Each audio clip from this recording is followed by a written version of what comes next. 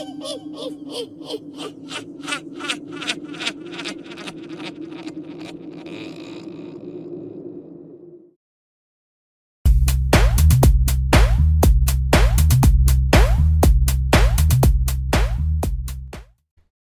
YouTube and Odysee. Hello, everybody. Welcome to day 43, part 47 of our Jodi Arias, The Wicked Witch of the Weird series. Yeah, welcome back, everyone. Uh, today is going to be really interesting. It's another, we think it's another full day of Juan Martinez cross examining Alyce LaViolette. I can't wait. Now, there have already been numerous holes picked in Alyce's testimony. I expect gaping holes to be. I expect him to drive through some of these like trucks. Oh, of course he will today. Yeah, so today is going to be really interesting. Um, thanks to everyone who mar- watched the Marshmallow Manifesto. Uh, we did a three hour video where we basically read out 36 pages of the most insanely idiotic Diabolical. bollocks. yeah, it was horrible, wasn't it? It was. It was cringeworthy. Yeah, we, we think we've just about recovered from that. We've we've had a spot of something, haven't we? A bit of a summer cold, but it's not stopped us working on this. This is quite a long one. Um, we we anticipate so um, be in for a long long haul on this one. Yeah, it's uh, like nearly four hours. Uh, probably, yeah, it's gonna be because I mean we've not recorded it yet, have we? But um, the source video is well over four hours, so um, with- We're anticipating. with sidebars and you know so we take the sidebars out. With sidebars and our commentary it's probably going to be well over four hours this so buckle yourselves in guys.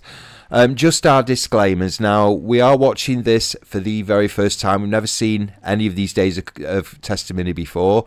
So what you're getting is our first time commentary and you know what we think the first time we see it um, so if you do want to watch the original, we're going to leave the links to the original day of testimony and the footage we used in the description.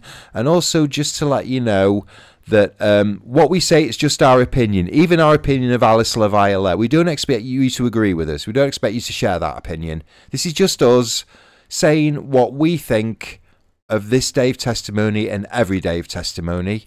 Um, just our opinion. Also, we are not professionals. We don't say we are. We have no expert training. We're just two ordinary people who just say what we see. Yeah, and as we said before, we don't have any domestic violence expertise either. But we can smell BS when we hear it, can't we? Absolutely. And we can tell when somebody clearly has an agenda and has a clear bias, which Alyce has, doesn't she? Oh, absolutely. Um, so, okay, as we always say, um, grab yourself something to eat, drink, smoke, imbibe, whatever. uh, sit back, relax, um, fall asleep if you want to to this, but um, watch Ma- Juan Martinez. We hope take Alyce LaViolette down a little bit further. Yeah. Are you ready? I'm ready. Let's go.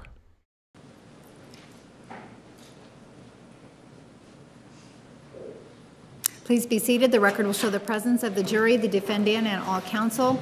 Mr. Martinez, you may continue with cross-examination. Ma'am, your assessment in this case and your opinion in this case was based in large part on an interview that you had with the defendant, correct? Incorrect. So you did not base your assessment on a 44-hour interview that you had with the defendant?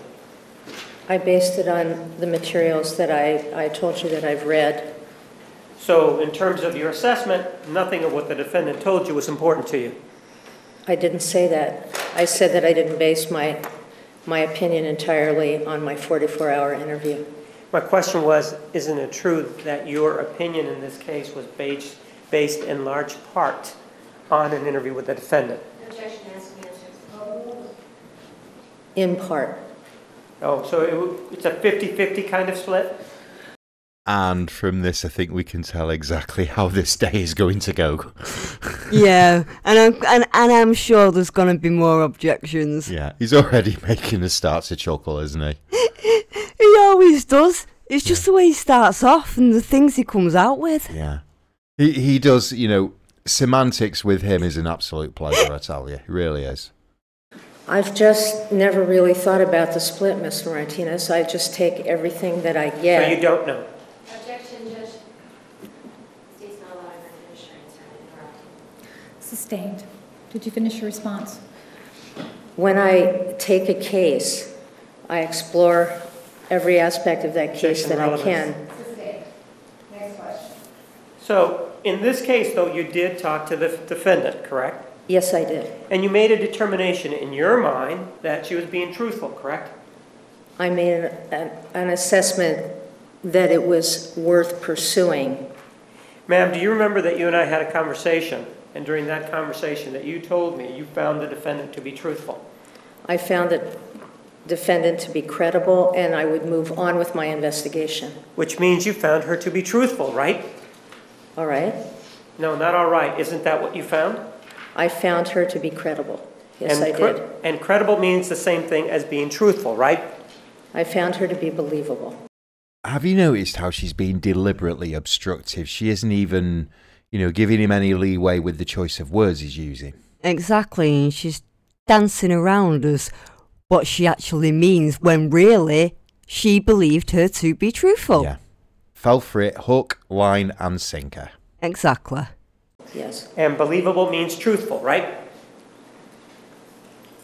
I wasn't, you're asking me for a yes or no, Mr. Martinez, and what I would say to you is, I found her to be believable enough so that I would continue with the case. So you believed her, is what you're saying. I believed enough to be able to continue with the case. And when you say that you believed enough, it seems to leave open the fact that perhaps you didn't believe some of the things that she was saying. It said that I was willing to pursue the case. I'm not asking you about whether or not you were willing to pursue the case. Do you remember that when we a when we started this exchange, you and I, I asked you about your assessment. Do you remember that and your opinion? Yes, I do. I'm asking you about the assessment and the opinion. Based, your assessment and opinion is based in part, as you said, on your conversation with the defendant, right? Correct. And you found her during that conversa- those conversations to be believable, right? I found her to be believable in terms of what I talked to her about at that time. So the answer is yes, you found her believable during those 44 hours, correct? I found her to be believable. Are, you're asking me about my first or my entire 44 hours? My question indicated 44 hours, ma'am. Do you understand that? Just answer the question, you slapped up old halibut. It's a simple yes or no. I do understand that, Mr. Martinez. All right, then, in those 44 hours, did you find her to be believable? Yes, I did. And that's part of the reason why you came in and gave us the opinion that you gave us in this case, right? In part. That's right. And are you familiar with the concept of secondary gain? Yes, I am. And the concept of secondary gain is that in situations such as this, if it's to the person's benefit, they may be deceitful, correct? They may be deceitful. And in this case, you found no issue with regard to the secondary gain involving this defendant, right? I met Ms. Arias Judge, After. she's non-responsive. It's a yes or no. Sustained. Can you answer yes or no, please? It's not really a yes or no question. Then question. we will move on. Okay. Ma'am, with regard to this particular case, the thought of secondary gain, did that even enter your mind? Sure. And did you assess it? There's not a real way to assess secondary gain other than by looking at collateral data, which I looked at. I'm not asking you what you looked at. I'm asking you whether or not you assessed it, yes or no. You assess it by looking at Judge, collateral she's just not data. responding to me. Judge, she's attempting to respond. It's not a yes or no answer. Overruled. Ma'am, I'm asking you, yes or no. Oh, I'm sorry. Withdraw. Jenny, with all due respect, sit down and shut up. Yeah, this has been dragging on and on and on. Yes or no, did you consider the issue of secondary gain in this case? I said that I did. And with regard to this issue of secondary gain, you, after whatever assessment that you made or whatever you considered, You decided that the issue, uh, there was no secondary gain issue in this case, right? I did not make an assessment of whether there was secondary gain in terms of looking, once I had looked at all the other information, there's always something that you put in the back of your head, Mr. Martinez, about what somebody's secondary gain might be. You consider that in everything. And so you take that picture and you investigate that picture and you pull in your collateral sources to do that, Mr. Martinez. And that's what I did. I So you're pulled in all the sources that I could possibly pull in to be able to assess. I think Alyce may have intended to do all of that, pulling all these collateral sources, but I think she was so bowled over by Jodi's personality, felt sorry for her, whatever. All her professionalism and all her objectivity went straight out of the window and she fell under the spell. There's no other explanation for it, really, is there? Yeah, and the fact is, she knows she's lying, Yeah. and that is why it's fine. She's being this evasive when she's trying when Martinez is as- asking her questions.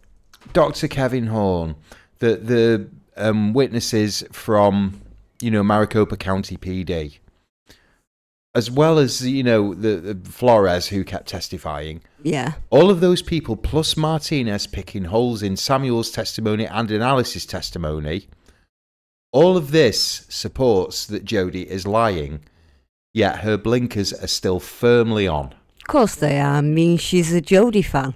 Yeah, but it's not just that she's a Jodi fan. I think a lot of it is she's worried about her professional reputation if she admit, admits that she was wrong about Jodi. So maybe that is one of the reasons why she is sticking, you know, stuck in mud in this stance, defending her no matter what. And probably that's maybe the reason why she still does to this day. Who knows? Yeah, who? I mean, we don't know what she thought after the trial. Well, we do know that you know it, her reputation suffered a severe setback, um, and it did affect her. She got death threats and all that, which obviously we'd never wish on her. You know, we wouldn't, But no, Wish you wouldn't wish that on anyone. you know, but- personal harm on her or anything like that. We just think that, as an expert in this case, she just behaved atrociously, and we will call her out for it. You know. her professionalism, as you said, went out the window. Yeah. So she deserves to be derided for her testimony in this case, and she deserves every second of it. Yeah, because she shouldn't even be up there. Yeah. So your conclusion is, based on whatever it is that you did in your mind, ma'am, your conclusion is there was, Objection. Argument. Finish your question. that, that there was no secondary gain here, right? I never said no secondary gain or secondary gain. I, I, I looked at all of the material and believed Miss Arias confessed to the crime. Judge, she's not being responsive to the question. It's yes or no. Ask another question. With regard to this issue of secondary gain, ma'am, whether you looked at material, whether you didn't look at material, whether you did 44 hours or whether you did 38 and a half, however you looked at it, when whatever you considered, isn't it true that you really didn't reach a decision with regard to secondary gain in this case? I considered it in my decision, Mr. Martinez. So you did consider the issue of secondary gain and decided that there was no problem with that particular issue in this case. I decided that there was domestic violence. Judge, she's just not being responsive here. So May approach? you may approach.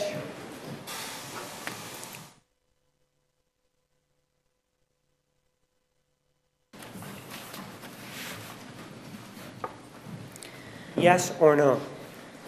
Did you rule out secondary gain with regard to the defendant?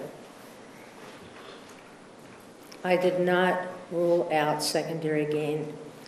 So that means that in your assessment, there's still an impossibility then that the defendant, whatever reason she may have had, may have been less than truthful with you, correct? it was open to my other assessments that, I was, I have a limited scope here, Objection, Mr. not Martinez. I'm, Sustained. Sustained. Next question. My question is this, since you did not rule out the, def- this issue of secondary gain, isn't it true, ma'am, that because your assessment was lacking in that aspect, that she, the defendant, could have been less than truthful with you in those 44 hours that you spoke with her? I didn't rule out secondary gain. I looked at it in the context of all the other information.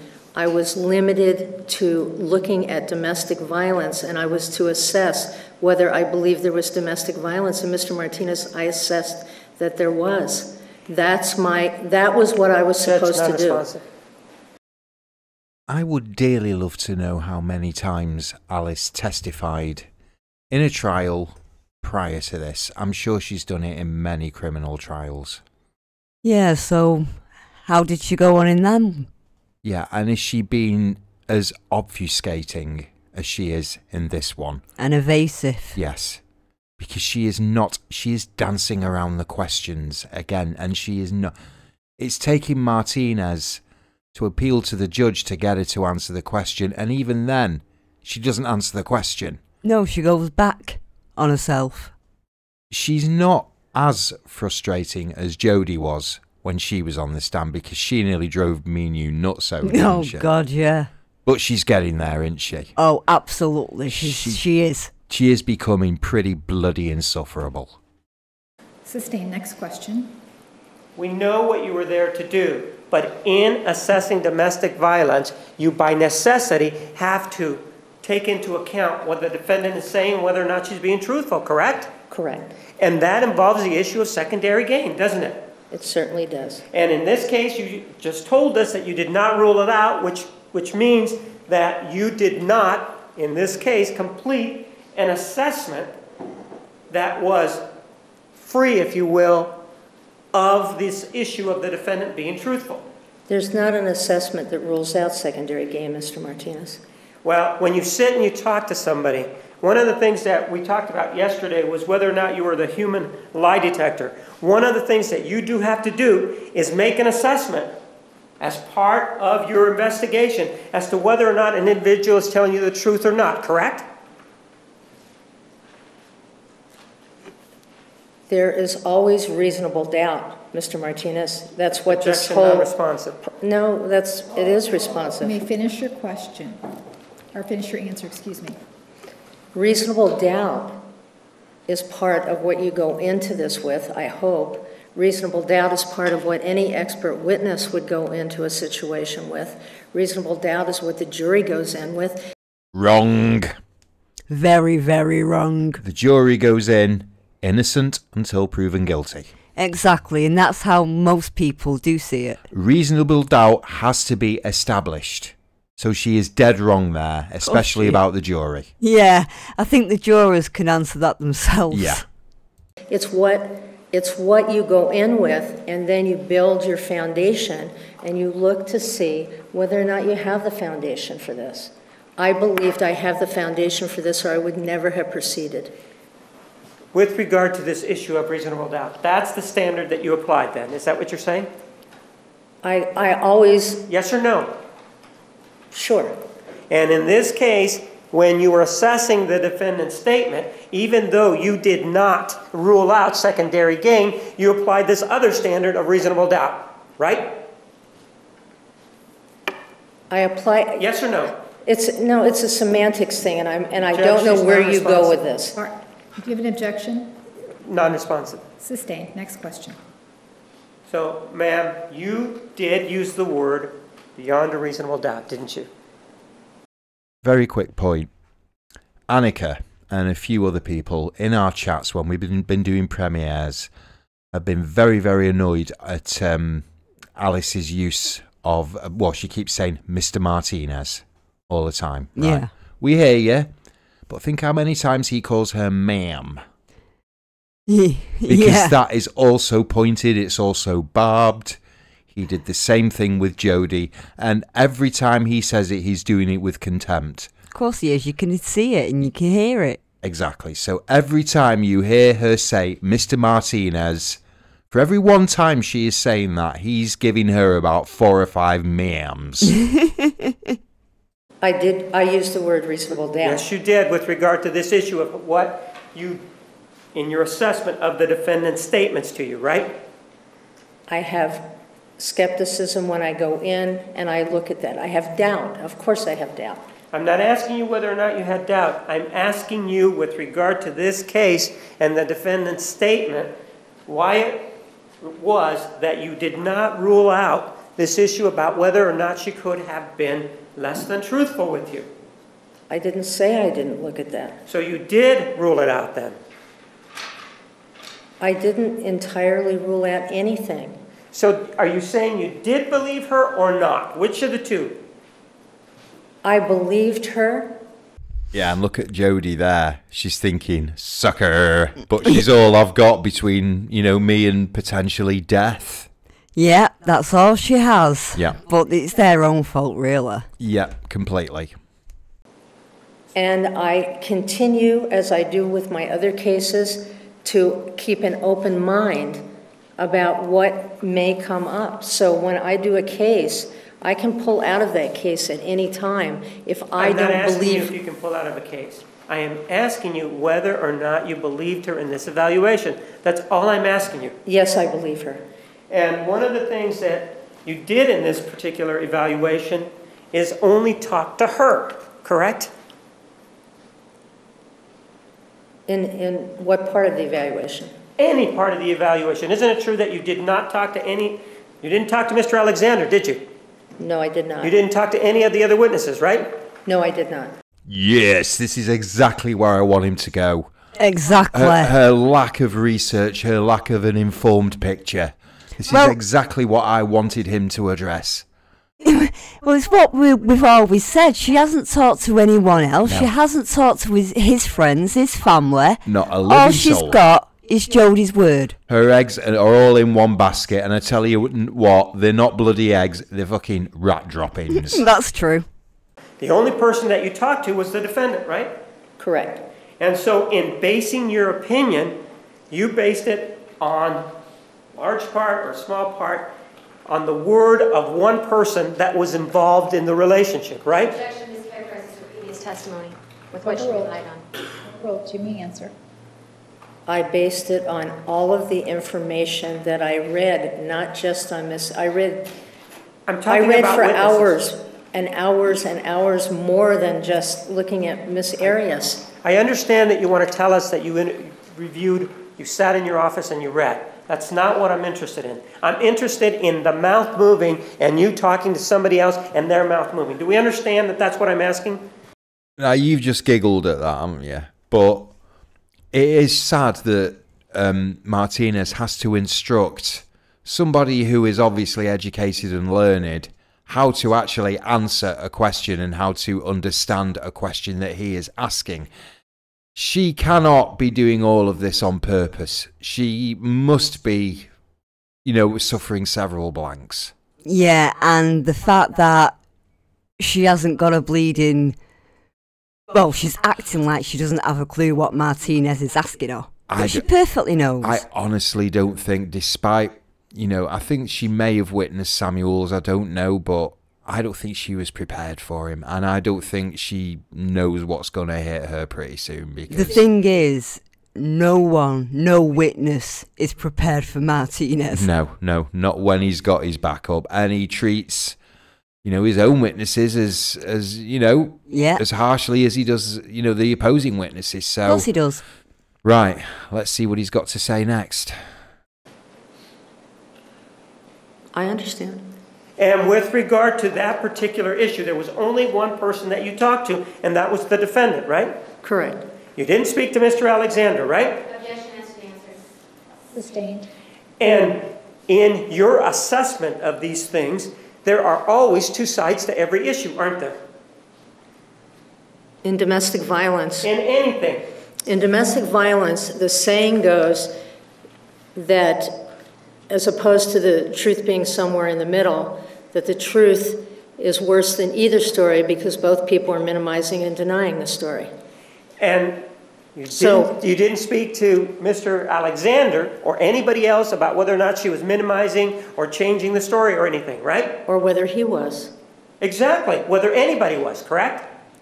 I read his words, as many I- as I had. Ma'am, I'm talking about talking to people. Of Did- course, did- I, I did not talk to other people, Mr. Martinez. I did And not. one of the things that you told us with regard to these type of valuations is that 90% of all communication is nonverbal, right?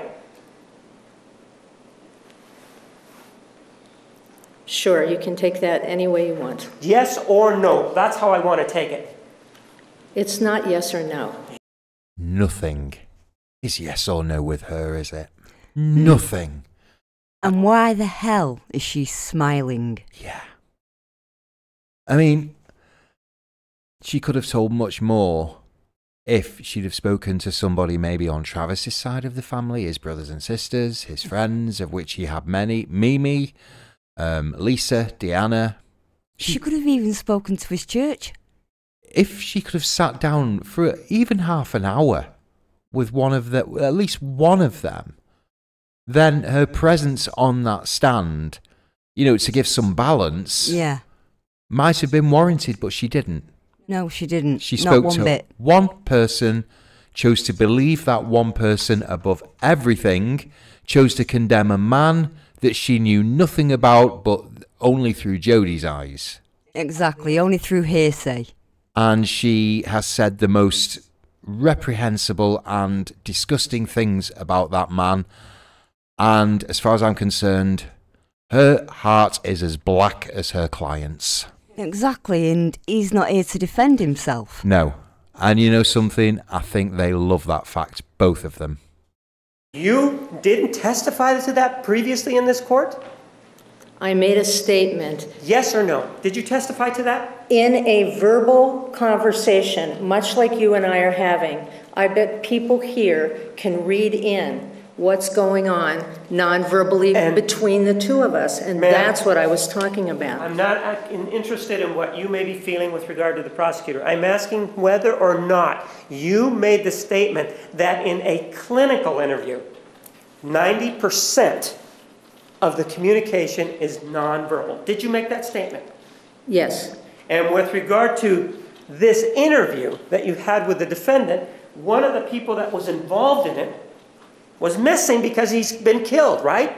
yes, And so if we apply the mathematics to it, 45, you have a 45% chance of being wrong just right off the bat because you don't have the other person there, right? Objection No.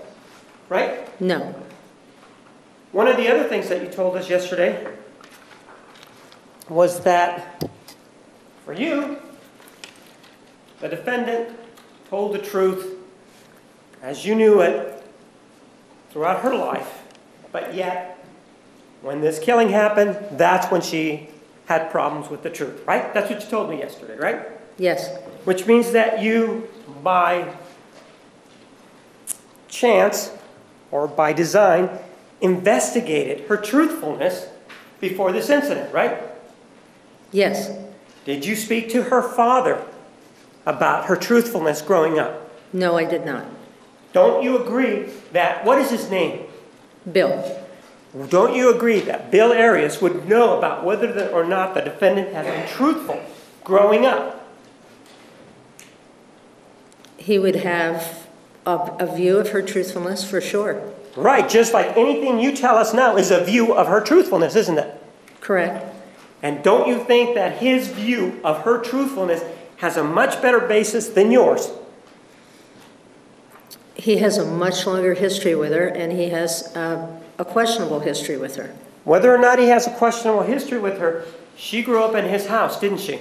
She did. He saw her on a day to day basis, right? He did. You didn't, did you? No, I did not. He dealt with her when she went to school, right? Correct. And he dealt with her whenever she had any issues. You did not, right? Correct. And he would know better than you whether or not the defendant had a reputation for honesty. Objection. Growing up. Pardon? Speculation. Overruled, me answer. right? Oh, yeah. And so, did you review his conversation with the detective in which he talked about the defendant's truthfulness after the age of 14? Objection, Judge, you. You may.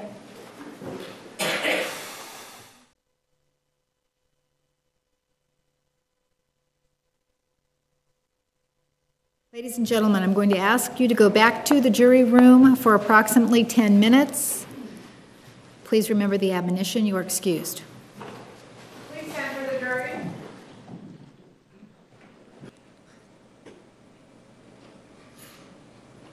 The record will show the jury has left the courtroom. Please be seated. Court is still in pro- process. Mr. Martinez, you may examine the witness. And Judge, can I inquire though as to how much of a clip this is? Is this the entire interview or are we just going to hear part of it? Nine seconds. I, I would ask for, I would ask for more information so that Ms. LaViolette can put it in context. All right, Mr. Martinez. She want, he wants more inform, do I need to address the issue of more information? Is that- Yes, please. With this witness. With regard to this uh, particular case, ma'am, the truthfulness of the defendant is important to you, right? Correct, And in fact, you spent 44 hours with her, correct? correct. And in part, whether it's a small or a large part, in part, your opinion is based on what the defendant told you, correct? Correct, And then you went out and you corroborated what the defendant told you in an effort to see whether or not she was being truthful, correct? Yeah, and some prior to, to meeting with her as well. And in, and in fact, yesterday when we talked about it, you told us yesterday that yes, you believe the defendant was untruthful, but it was, but her untruthfulness was after the murder. Do you remember telling me that Her, yesterday? her pattern of untruthfulness. Right, Yes. was after the murder, correct? Yes, And that I asked you specifically about before the murder, and you said you didn't see any uh, indications that she was untruthful, correct? with her prior boyfriends. With anything. Remember, you told us that we talked about whether or I, I not didn't have, I didn't have any evidence, I didn't see anything. that she was untruthful, correct? Correct, But you are aware that there was an interview between her and, uh, between her father and the detective, uh, Steve Flores, correct? I, I didn't have that information. Jesus, it doesn't matter whether she's got that information or not. It stands to reason that you talk to the people around your client. Exactly, because they can give you a better picture of her.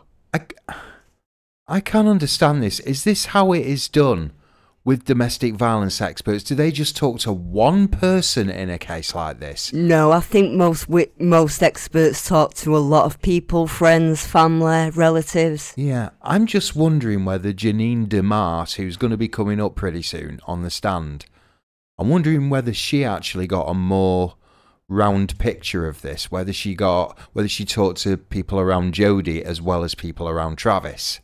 I'm guessing that she did because, from what people have said, she was pretty thorough. Oh well, then she's definitely spoken to people around Travis Yeah. as well. But the way that um, Alyce has approached this case is nothing short of disgraceful because there are always two sides to every story and you have to get a complete picture of everything, and she has failed on both of those counts. Of course she has. She is an absolute disgrace to her profession, and I wouldn't trust her as far as I could throw her in a in a domestic violence case. I really wouldn't. So you didn't have that information. But if there is information out there from her father that indicated that the defendant was Judge, may we approach? You may. Let me mark this as an exhibit, ma'am. It's exhibit 604.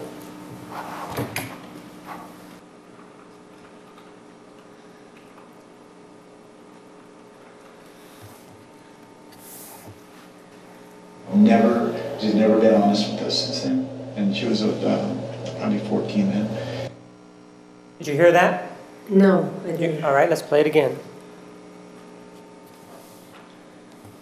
Never, she's never been honest with us since then. And she was uh, probably 14 then. Did you hear him say, she hasn't been honest with us since then, and she was 14? Did you hear that? Yes, I did. With regard to this particular case, this is not something that you knew when you testified yesterday, correct? No, it is not something I know. Pardon? No, it is not something I knew. Isn't this something that you would have wanted to consider in deciding whether or not the defendant was being uh, whether or not you were going to believe the defendant uh, in this particular case. Objection, Judge, it would be inappropriate to ask the witness this without context to the entire interview. This is outside the presence of the jury. You may answer the question. Well, I would not take a sound bite of anything and, and make a decision on it. So I'd want to hear the whole, I'd want to hear the whole tape. And I'd also want to put in perspective the things I'd heard about Mr. Arias. And I'd want to put into perspective what I know about teenagers. I think they anticipated that question, and I think that Willmott got up and did that objection to clear the way for Alyce to repeat exactly, more or less, word for word, what Willmott said in her objection. Exactly. Yeah, that was just. Yeah, I think Martinez walked into that one. That looked rehearsed to me. But then again, she says she'd look, she'd also see what teenagers were like. Yeah, Well, didn't her, her father say ten as well? Yeah. That's not a teenager. no, no. But she should have considered at least talking to her parents, which she didn't do. Yeah, she should have by so, rights. you know, A, she shouldn't be there anyway because there was no domestic violence. And B, she's just a sham because she's just shoddy in her in her work. and her reputation is gonna go down. It's in the bog. It's in the bog at the moment and it's going round the pissing U bend. But my question to you is, this, the fact that this person, her father, is saying that she hasn't been honest since the age of 14. Objection mischaracterizes what he said. Sustained. Well, let's hear it again, okay? And Then I'll ask you a question. Well, Never, she's never been honest with us since then. And she was uh, probably 14 then. Did you hear what he said? Yes, I did. He said she's never been honest with us since then, right? Right. And he also said she was 14, correct? Correct. Isn't that im- go contrary? Doesn't that fly in the face of what you just testified to yesterday, that she was always honest before the killing? Asked and answered. She was honest. All that time, she she was honest, like up until the murder. Who the bloody hell was she? Does Alyce think that she was Maria von Trapp or some shit? Either that or a proper full nun. Ah. I do not get that. Nobody is completely honest. Especially when you're going through the years 14 to 28, which is how old she was when she murdered him. Yeah, and don't forget there's all hormones Yeah. going on. You, you, you're gonna lie. It is impossible to be. Were, were you ever dishonest from the age of 14 till, say, the age of 18? Of course. Yeah, so was I. Ev- I think, everyone is. I think all of you listening were also dishonest between the ages of 14 and 28. So she's she's painting out. I think she. I think if it was up to Alyce, she'd bloody beatify Jodi, wouldn't she? I'm sorry, but to use a British colloquialism, what we are dealing with here is not a credible domestic violence expert. We're dealing with a complete wanker. It doesn't fly in the face until I've assessed it. I need to find out, I, I- the information I had, I didn't have information that she had lied.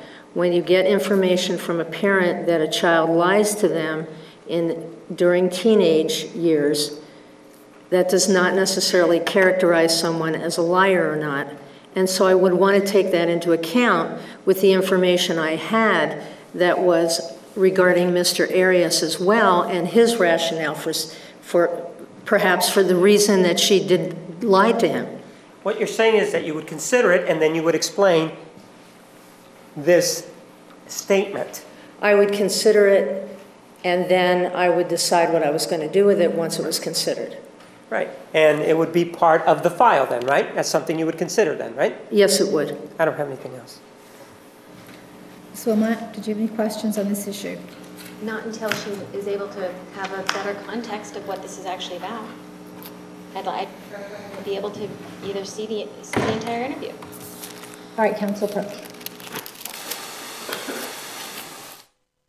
Yeah, Juan seems pretty determined to get to the bottom of this and to prove that Jodi's been a compulsive liar, you know, since her teenage years. Yeah, and she hasn't done any better in her adult years either. No, I mean this. You know, this whole defence is completely fabricated, and it's the most ridiculous defence ever. You know, a self-defence case for the crime that she perpetrated. Of course It's it is. just nonsensical, but. You know, I think he is trying to prove a point, and as, and as we've said countless times before, he is like a dog with a bone, a little Yorkshire Terrier with a bone, and he will not let go, will he? No, once he's got his teeth in, that is Yeah. it. That is it. And he will, you know, prove that point and he will hammer it home. Of course he will, and, and, and, he'll do it in so many different ways. Yeah, absolutely. It's, you know, it's a pleasure really to watch him work. I mean, all, all the crap that we've had to listen to Alyce spout, all this one sided, uninformed, completely, you know, skewed Crap. bull that she has spewed out we we've had to listen to that and now we're getting it picked apart and you know something it's just glorious i'm just waiting to see what happens when the jury comes back in and then uh, hopefully we'll get some real savagery Yeah, I can't wait for that. not that he hasn't savaged already because he has but let's face it Well, let's him sa- savage her a little bit more. yeah and let's get the popcorn Yeah.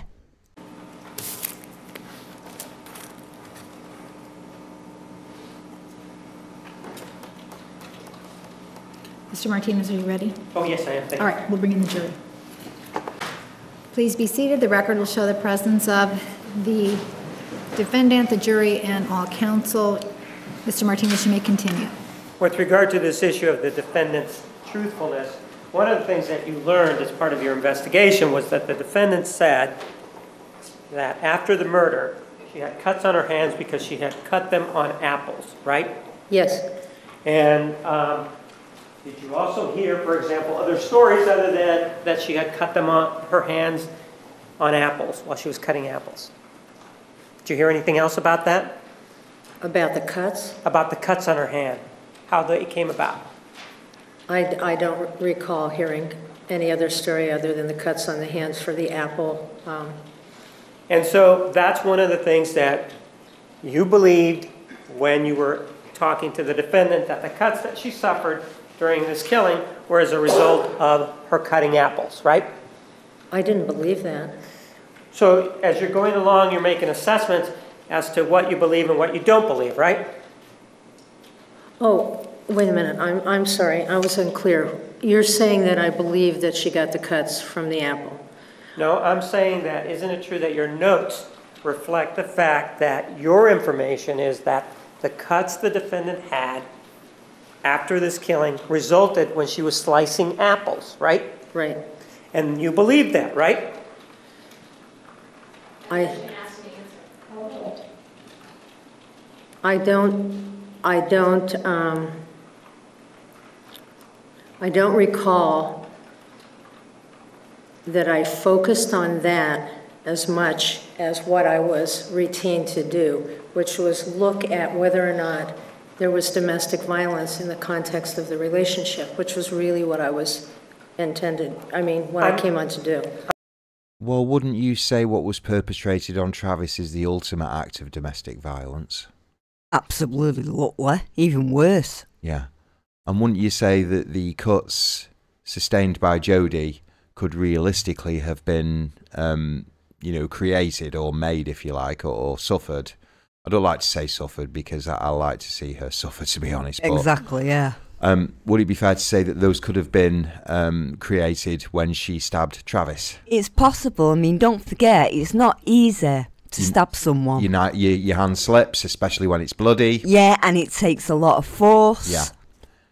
But, you know. So it's possible that happened when she was stabbing him. But it would appear that Alyce accepted the explanation of Jodi slicing apples and cutting her hands that way as complete gospel. It's crap. Yeah. Um, you know, I think probably she'd, if she could go to a church and an altar and worship her client, I'm starting to think she probably would. Yeah, I'm starting to think that way. I'm not asking you whether or not you focused on that. You understand that? I You under- understand I- that? I understand what you're saying. I'm asking you whether or not you believe the defendant when she told you, or the information that you received during this investigation, whether or not you believe that the cuts to her hands were caused while she was cutting apples, green apples. Objection, Judge Foundation, as to when, where this happened. Sustained. Well, ma'am, let me show you your notes about this particular incident, okay?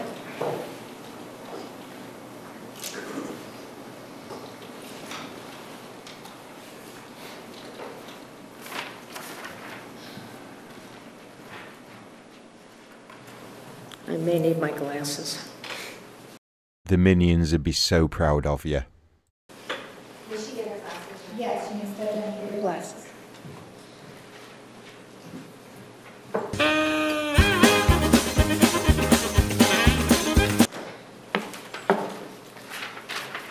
Ma'am, take a look at Exhibit 605, and take a look at the highlighted portion. And once you've read the highlighted portion, let me know.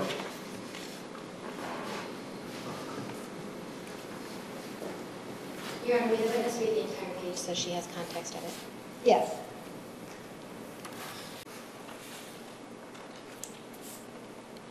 Did you read the entire page? Yes, May I have it back, please? sure.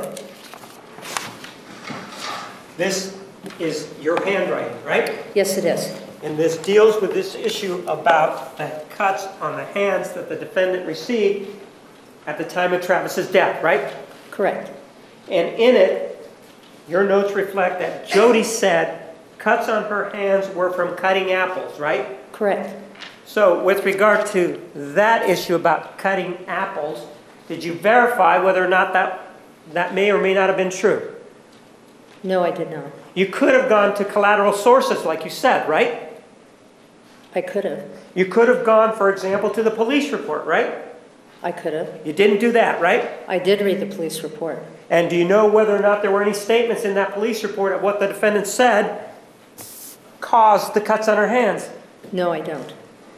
But you did read the police report, right? I read the police report very long ago and didn't reread it. So the answer is you did read the police report, right? I did read the police report. And Somehow I think she read the police report, don't you?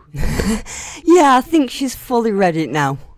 do you know whether or not, from your memory, whether or not there was any indication what she said caused the cuts on her hands? No, I don't. One of the things that you told us was that you reviewed, did you, re- well, let's do it this way. Did you review her statements to the police? I did. I reviewed them a long time ago. and I I'm not didn't- asking you, am I asking you when you reviewed them, ma'am? You're am not. asking me if I reviewed them, and I'm putting that in the context that I reviewed them a very long time ago. I'm not asking you for a context. Do we understand each other? I understand you don't want context. Ma'am, Judge, she's, I would ask that she be admonished for the last comment as to what the prosecutor wants. Your Honor, she answered the question. All right, move on, next question. I can see he's starting to get wound up now, can't you? Yeah, you can hear it in his voice Yeah. as well. And you can tell in his demeanour, his Movements. yeah, yeah, he's starting to get up there, isn't he? He is. He's gonna go all the way to the top soon. Yeah. Ma'am, with regard to this particular case, you did review her statements to the police, right? I did. You reviewed the videotapes, right? To the police? Yes. No, I did not. So you just reviewed a transcript of it, right? Tr- Correct. And in that transcript, isn't it true that there's a different version of how she cut that finger? I guess there is, because you're telling me, and I don't remember. No, I can don't tell- want you to, so. I don't remember, I don't recall, Mr. Martinez, Let's, honestly. ass- all I don't let's recall. assume, let's assume that there were four different versions of how that finger was cut. Objection, mischaracterizes testimony. Assume that there are four different versions of how she cut her fingers. Wouldn't that cause any problems for you in evaluating this case because there clearly is an inconsistency there? Mr. Martinez, people lie. Yes or no? No, that would not be a complete answer. All right? Um, No, it would not cause a problem for you, or yes, it would cause a problem for you? I cannot answer that yes or no and be honest about how I answer it. With regard to this case also, you were aware of this issue involving gas cans that the defendant uh, supposedly asked her boyfriend about before she took this trip. You're familiar with that, right? Daryl Brewer, Right. hmm Yes, yes, you're familiar with that. And you're familiar with that, the fact that before she went on this trip, she call, she asked Mr. Brewer for the use of two gas cans to take on the trip, right? I am. And in fact, that caused you problems, didn't it? I- I'm not sure what you mean. Well, that caused you problems in terms of the defendant's truthfulness, didn't it? I think he's got her. He sh- certainly bloody has. Yeah. And didn't he get Jodi with this? Yes, he did. Uh, got got her with the gas cans, and pff, you can tell by the hesitation. Alyce's moral conundrum is now being tested. Yeah, she's faltering. Does she actually have a duty to the truth, or will she just blindly defend her client as she has been doing all the way through her testimony? I reckon she'll just try and defend her. So do I. Let's see. I You, you look over there. No, no, I'm asking the question. No, no, That I'm- caused you I'm- problems, didn't it? I don't believe it did. I Well, let's think, take a look at your notes. all right.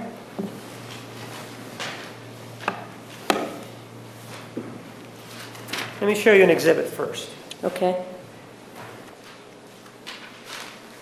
To give you a little context, take a look at exhibit 607. Read the whole thing and then let me know when you're done. All right.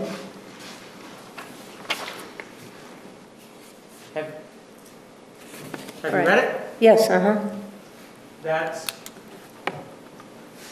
your handwriting on this particular page, right? Right. And it does reference this issue involving the gas, the borrowing of two gas cans from Daryl Brewer, right? Right, but I, I- uh, Yes or no, does it? yes, yes, it does. And it, doesn't it indicate that on the last week of May of 2008, Jodi told Daryl she needed to borrow two gas cans because she was taking a long trip to Mesa? Doesn't it say that?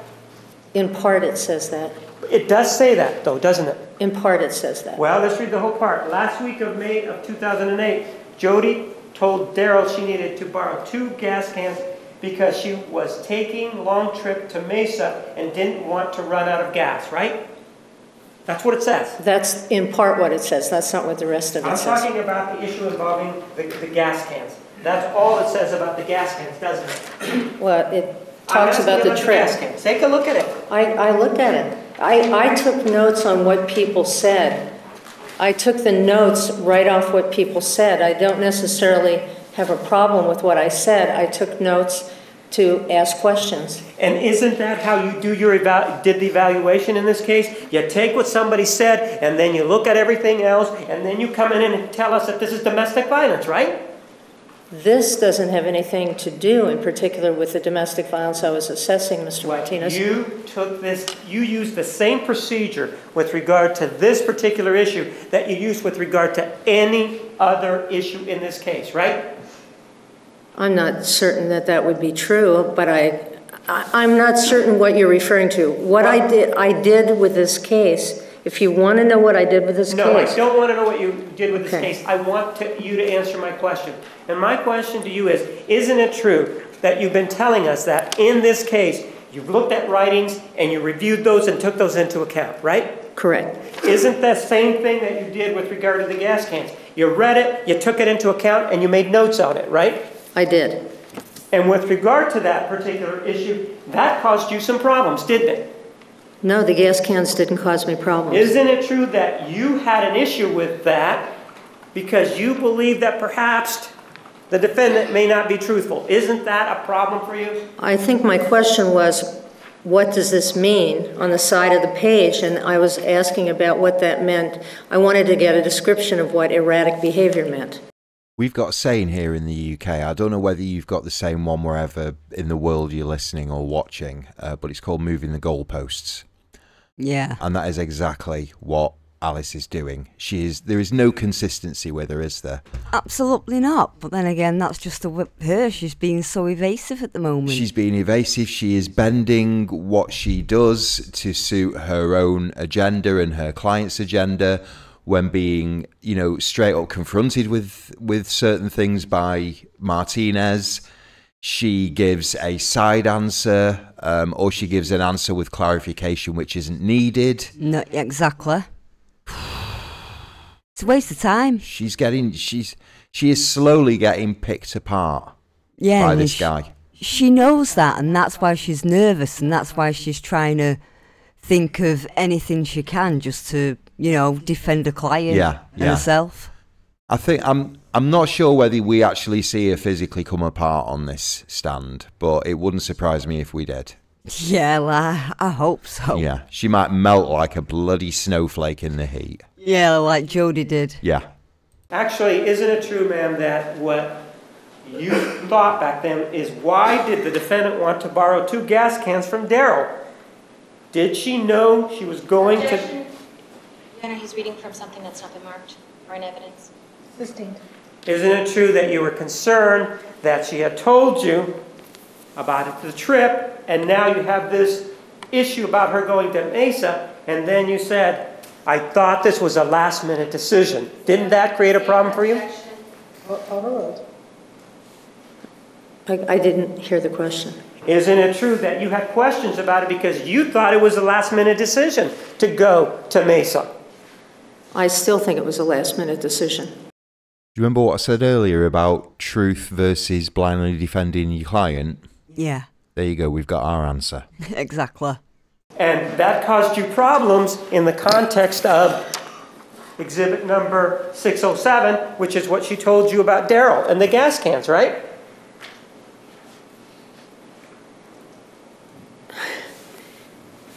I had a problem. That's what, that's what- take a look at. I had a question. You're, you're saying a problem, I had a question. Take a look at 608. See if you recognize the highlight, the whole page.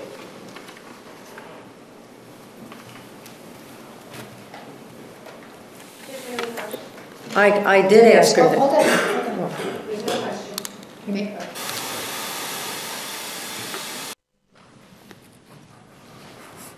Ma'am, did you read exhibit 608? Yes, I did. That's in your handwriting, right? Correct. And in fact, the approach that you took here were some, looking at things that you had problems with in this case, I had right? questions about. Questions that you had in this case, right? Yes. And one of the questions that you had in this case involved the gas cans, didn't it? Yes, it did. And in fact, you indicated that you, your words were something to the effect of, you thought it was a last minute decision and it was creating a conflict for you, right? I wanted to make sure that it was a last-minute decision. I had questions that I wrote throughout, and I asked those questions. And that was one of the questions that you had, was that you thought this was the last minute decision, right? Yes, And thinking that it was a last minute decision, in your mind, it did not make any sense that she would go to Daryl Brewer and ask for two gas cans to go to Mesa, because that happened many days before the trip started, right? Objection is mischaracterizing what Ms. Arias actually said. She never said that. The, the summary of the notes are not what Ms. Arias said. overruled. You may continue. Nice try, Miss Snappy Pants. Okay, okay. you may answer. Oh, um, I had a question about the gas cans, and one of the questions I had was because I don't know how far Utah is from Yreka. I wanted to know why she needed gas cans. That's all. But your And, and, note, and I wanted to know if there was a decision to go to Mesa, which I had written, and later in that same page, it talks about the trip to Southern California and Utah. So I wasn't clear about whether Mesa was an intended trip or not, and I Well- wanted to find out whether it was. Do you believe that Alyce ever, for one second, just one brief second, or maybe even a nanosecond, questioned Jodi's guilt? I don't think for a second did she do that. I don't either. I think that once she got paid to do this case, she just thought, right, she's innocent. She was a victim of domestic violence. That's how I'm going to go forward. But she didn't realise what Martinez was going to do. Well, she didn't realise how he would pick apart not just, you know, the way that she um, works on this case, but her whole, attitude towards her client and expose just how biased she is. Well, she is. I mean, it seems to me that even if every story she's told, it's always been the man that's been the bad one. It's either been the man that's been the bad one or Jodi Not, not just, you know, not talking about the stories that she's told. Obviously, you know, she's a man hater as far as I'm concerned. But, you know, Jodi could absolutely do no wrong. She's Snow White. She's Doris Day. You know, she's Maria von Trapp. She's Marilyn Monroe. She's flawless. You know what I mean? And can do no wrong. Whereas Travis is a monster as far as she's concerned. Because he's a man. Yeah. Not just because she's a man, but, but because he dared to stand up to Jodi. That's why I think. I think Yeah. that's why she thinks he's a monster. Us. Are you saying, ma'am, that you did not write in your notes last week of May 8, 8 Jodi told... Exhibit, it's not in evidence. Absolutely am. I'm impeaching her now with the statement because she- if, if you want, I'll address it. Judge, it's not, Approach, counsel.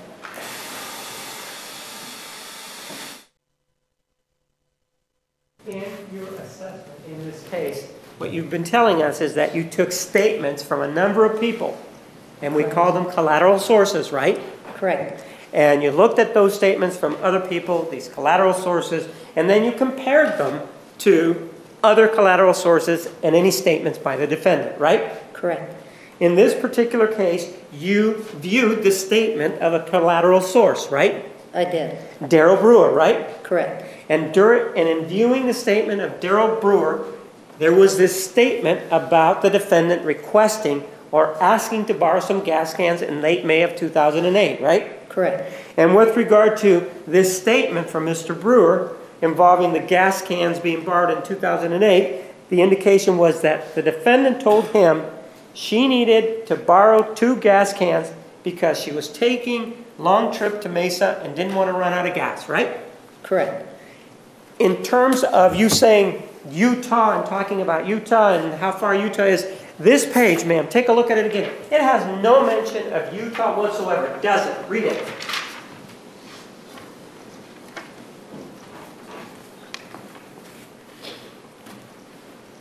Jodi said she was going to visit. no, no, read it to yourself. It does mention Utah. And it mentions it at the very bottom, doesn't it? No, it mentions it uh, a par, about, in the s- same paragraph as, as the question about Mesa, and it mentions the Grand Canyon. All right, go ahead, let me have it back. Okay. But it mentions Utah, man, after she goes to Mesa, right? It says Mesa, and then it says the other things. Right, and talks about what she's gonna do, it, but it doesn't talk about Utah first, does it? No, And that created a problem for you, didn't it? I had to ask a question. Didn't it? It created a question for me. Okay, it created a question for you because you thought this decision to go to Mesa was a last minute decision, right? Correct. And what you did is, with regard to this issue, even though you reviewed a statement to the police and all the other items in this case, you decided to resolve this conflict or this question in favor of the defendant, right? Definitely speaks to bias, doesn't it? Absolutely. I don't think you could get a more obvious example than that, could you? No, you couldn't. I asked the, the defendant about it. She told me that she was going to, that she had not said she was going to Mesa, she was going to Utah. And the, the, also the um, journals indicated, and the IMs when they were talking about planning trips. So I used other things to look at that. But yes, I had a question about it for sure. And you decided to resolve it in favor of the defendant irrespective of what you used, right? Irrespective of what sources you used, right? No, I- and, and respect to, to other sources I used. And I don't remember the police report. I'm very sorry, I don't remember that. With this, with regard to this issue as to whether or not she was going to Mesa first, ma'am, isn't it a fact that you could have just called or had an interview with Mr. Brewer to try to determine what it was that he said? You could have done that, right? You do that as part of your investigations, don't you? I could have, but I was basically told to rely on the information that I had. Well, now, now you're indicating that you were restricted somehow by somebody. I don't want to know who was- you, you you were restricted by. Did, have you ever voiced an objection here during testimony that you were ever restricted in your approach in this case? No, who told her just to focus on what they've got? No one would tell an expert to do that. Well, no, I mean, And especially in this type of trial. could could it be Willmott or or Nurmi? If mm, obviously, you know, I don't believe that, but if it was true, who could possibly tell her to focus on what they had? I mean, well, could it be Samuels? Could it be Nurmi? Could it be Willmott? Willmott? Who could have possibly told her? I don't think anyone's told her. And why would she not say to them, "Well, let me do my job my own way. I'm I'm the domestic violence expert. You're the lawyer. You do your job. I'll do mine." I need everything to hand. Yeah. That's ridiculous. And in this case, you, no one was directing your investigation, was it? Were they? No, You're independent. In other words, you have an independent assessment, here to make an independent assessment, right? yes, And as part of that investigation, you could have spoken to Daryl Brewer to see whether or not what he told, what his recollection was, right?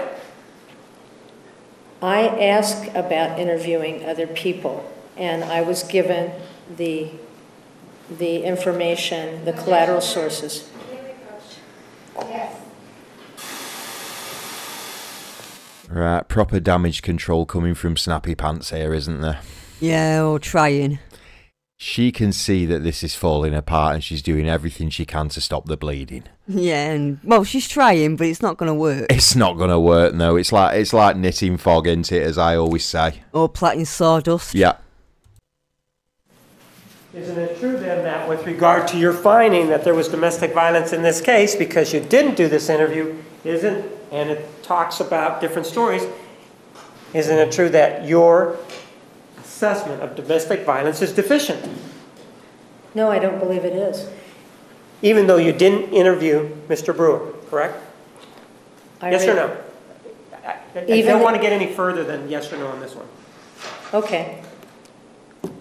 I didn't interview Mr. Brewer. And even though you didn't interview, because you didn't interview Mr. Brewer, your assessment in this case, at least to a certain extent, is lacking. I don't think so. So how the hell can she consider herself an expert when even the smallest little detail, especially in a domestic violence case, and an expert, nothing should be overlooked, and she overlooked it. Yeah. Um attention to detail in cases like this is absolutely key. Of course it is. and she has overlooked so much in this case when it comes to you know evidence you know pure evidence. She's overlooked it. She's ignored it. Or she's considered not important. yeah you're quite right. How can she call herself an expert when she's not doing a thorough job? She's not. not at all. And you didn't interview, well, you're the one that told us that with regard to these kinds of things, um, conversations are only part of, uh, conversations can form a part of your investigation, right? You did say that though, right? Yes or no? The conversations are part of my, right. And in fact, in other cases, you have conducted interviews with other people, correct? In most murder cases, I have not. So I've used collateral sources. So you're saying that with regard to your um, assessments in criminal cases, don't restrict it to, to, to- to murder cases. With regard to the criminal cases, what you're saying is you don't interview other people, you just interview the defendant and look at collateral sources. Is that right? Is that It what you're saying? It depends on the case, and it depends on what is available for me to review. In some cases, there are financial restrictions. They say these interviews have been done. Um, I'm given those interviews. So it depends on the attorney, and it Well- depends, and it doesn't matter whether it's the prosecution or the defense, Mr. Martinez. It's, there's a limit to what they give me, and I'm really not asking you to go into that, and if you don't mind not going into that area that you just went into, okay? All I'm just asking you whether or not, it's a yes or no, and if you can't answer yes or no, tell me and we'll move on, all right? Okay. With regard to uh, your other criminal cases, isn't it true that in those other other criminal cases, on occasion, you have conducted interviews? Yes or no?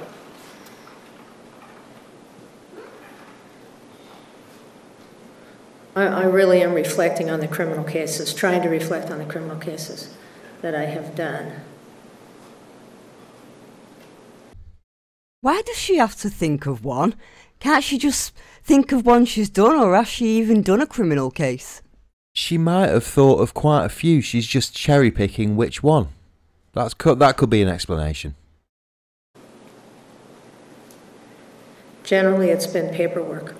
Generally means that you have, at least on a couple of occasions. I'm, I'm leaving it open because I know that you are, you know, it's like very precise, and I am not certain, so. So you I- don't know is what you're saying? Yes, I'm not certain. Ma'am, one of the things that your investigation revealed in this case, and we've talked about this issue of secondary gain, and we talked about some inconsistencies here. uh, One of the things that your investigation revealed was that the defendant is very manipulative, isn't she? I don't think that my, I, I don't believe I said she was very manipulative. Isn't it true that you reviewed collateral sources that indicated the defendant was very manipulative? There were collateral sources that said she was manipulative. Right, isn't it true that, in fact, it was people that were close to her who indicated, for example, that Objection, Judge. Reading from the exhibit. May we approach? You may approach. that the defendant was manipulative, correct? Yes. In fact, you received information that the defendant was not abused, she just, Objection, Judge. This is what we just discussed. Overruled to that question. isn't it true that your investigation revealed that she was not abused, but liked to play the victim? And that's part of the manipulation. I don't recall that. That expression she just had on her face was something like, I would never, ever, ever think something like that about her. How, you know, perish the thought. Yeah, I know, but I know, but I think the whole thought of that just filled our Alyce with horror. really did. Let's take a look at your note. Okay.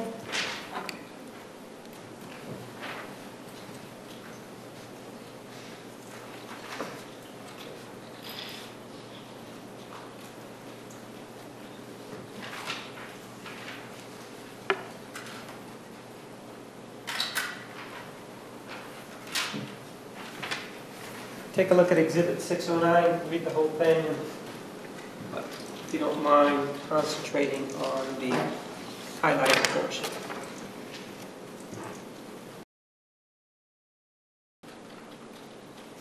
Have you read the whole page? Well, I scanned it. Go ahead and read the whole page, please. You reviewed it, correct? Yes, I did. Isn't it true that your investigation revealed that the defendant liked to play the victim?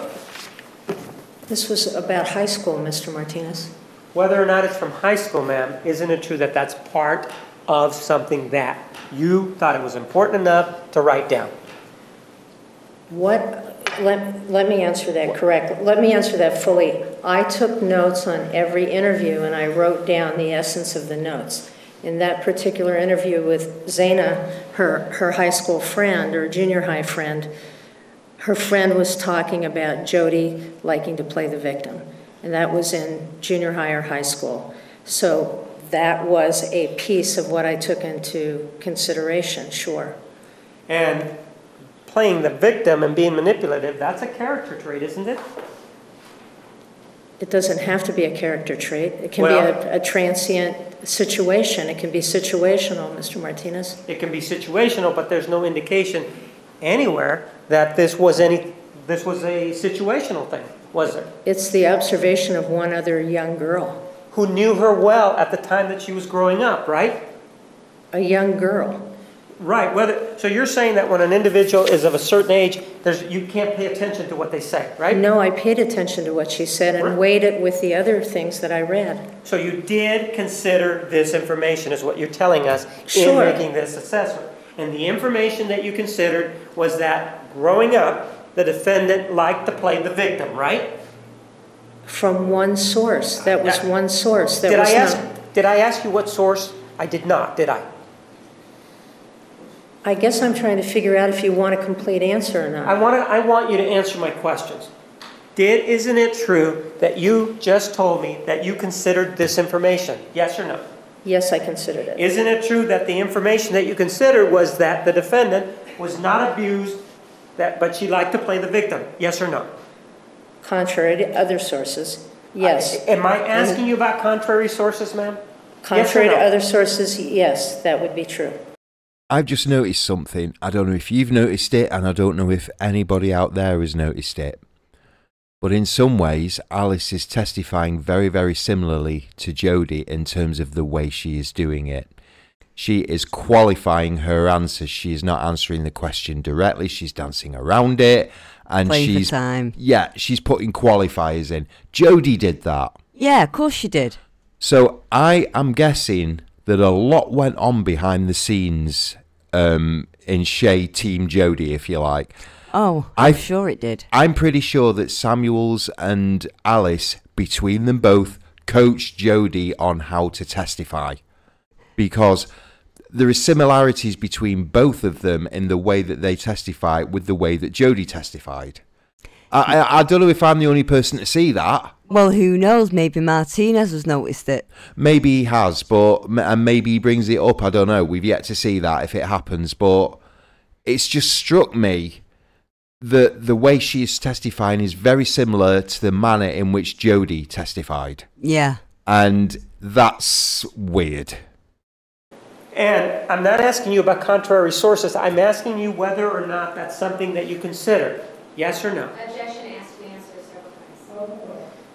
Yes, And this information that she, whatever it was, the term is manipulative, this is something that you had when you were considering this whole issue of, of abuse, right? correct. And again, you gave the benefit of the doubt to the defendant because you never even asked her about it, right? Did you even ask the defendant about her playing the victim? I asked her about that report, but I also looked So at did. statements from Jodi's mother, Jodi's sisters, Jodi's grandparents, in, and Jodi's, and Jodi's siblings, and, and looking at the issue of Jodi playing the victim. Do you see what I mean about the lack of consist- consistency? Absolutely. She she claimed not to know anything about what Jodi's father said earlier, and yet she claims to have read everything that you know her parents had to have said, and If- you know reviewed everything about the. if she had read everything that her parents said, then she would have read that. Yeah. So she would have known. Yeah, she would have known. Like I said, lack of consistency, clear bias towards a client, and you know just a, a clear desire, as far as I can see, to cheat justice. Yeah, and now she's getting caught up in a web of lies. Yeah. But you didn't speak to the defendant herself directly about it, did you? I don't recall if I did or not. Your note, do your notes reflect that you ever talked to the defendant about that? My notes don't reflect everything I talked to the victim, or Well, the, Wouldn't it have- have been The defendant important about- in this case, since we're talking about abuse, to ask the defendant whether or not she had manipulated people into thinking she'd been abused before? I had talked to her about being abused before, and I never got an impression from her or from other collaterals that she was in the habit of playing the victim. And what I'm looking for are patterns of behavior here, Mr. Martinez, not isolated instances. I'm not asking about patterns, I'm asking about whether or not you asked her specifically about this issue, about her being accused of playing the victim when she was not abused. Objection asked to. I do not recall, if I ask her specifically. And, but isn't that what we're here to discuss? Whether or not the defendant was abused in a domestic violence situation? Isn't that what we're here to discuss? Yes, And so. in the relationship with Mr. Alexander. I understand that, but we're talking about abuse though, right? We're talking about the relationship specifically with Mr. Alexander. And, and if in another circumstance, the individual had pretended to be a victim of abuse, you don't consider that, that to be important in your, in your assessment? This characterizes the notes that were on there and her testimony. Overruled, you may answer the question. no other collaterals suggest that Miss Arias is playing the victim or that she did. In fact, they talk about her being a victim of her father and her mother at times. Do you consider this information to be so unimportant that you didn't consider it? in- This information, was it so unimportant to you that you didn't even address it with the defendant? I am sure I addressed it to some degree. Then tell me what she said with regard to this issue about playing the victim. Tell me. Nothing that stands out in my mind. So you can't tell me anything, correct, about what she I said? I can tell you that she had. Yes or no? Can you tell me anything that she said with regard to this issue? I cannot tell you specifics, no. Let's face it, she never bloody brought it up, did she? It was never even a factor, it was never even mentioned. Well, no, because if it was, it would have been a bad thing for her. Yeah, it would have been somewhat of a factor, but once again, I don't think it would have put her off taking the case. Oh, of course not. Not at all. Ma'am, the other thing that we know is that not only is there this indication that she was manipulative at that age, isn't it true that after she... That's actually mischaracterizing the testimony. Manipulative at that age, that's not what it was.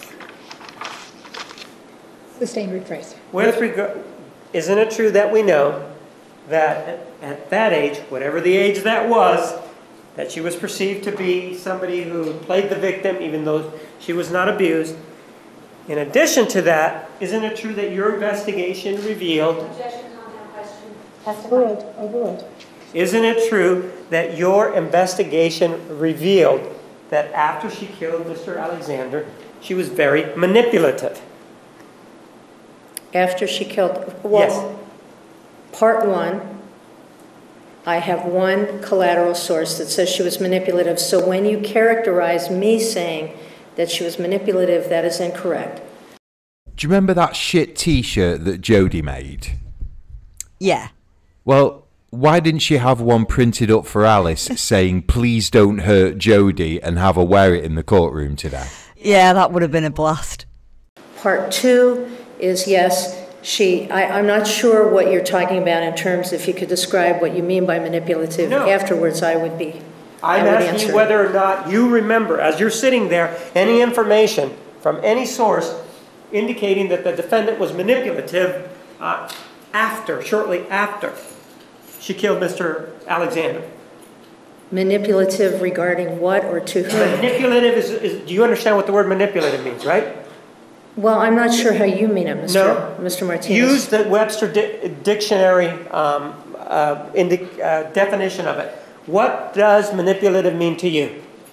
Manipulative can mean manipulating facts, it can be manip, it can be deceiving people, if you're, is that what you're asking me? I'm asking you for your definition of manipulative. That's what I'm asking. If you you're for. asking me if she, No, I'm not. I'm asking for a definition of Webster's. Objection, Judge. He's not allowed- allowing her to finish her answer.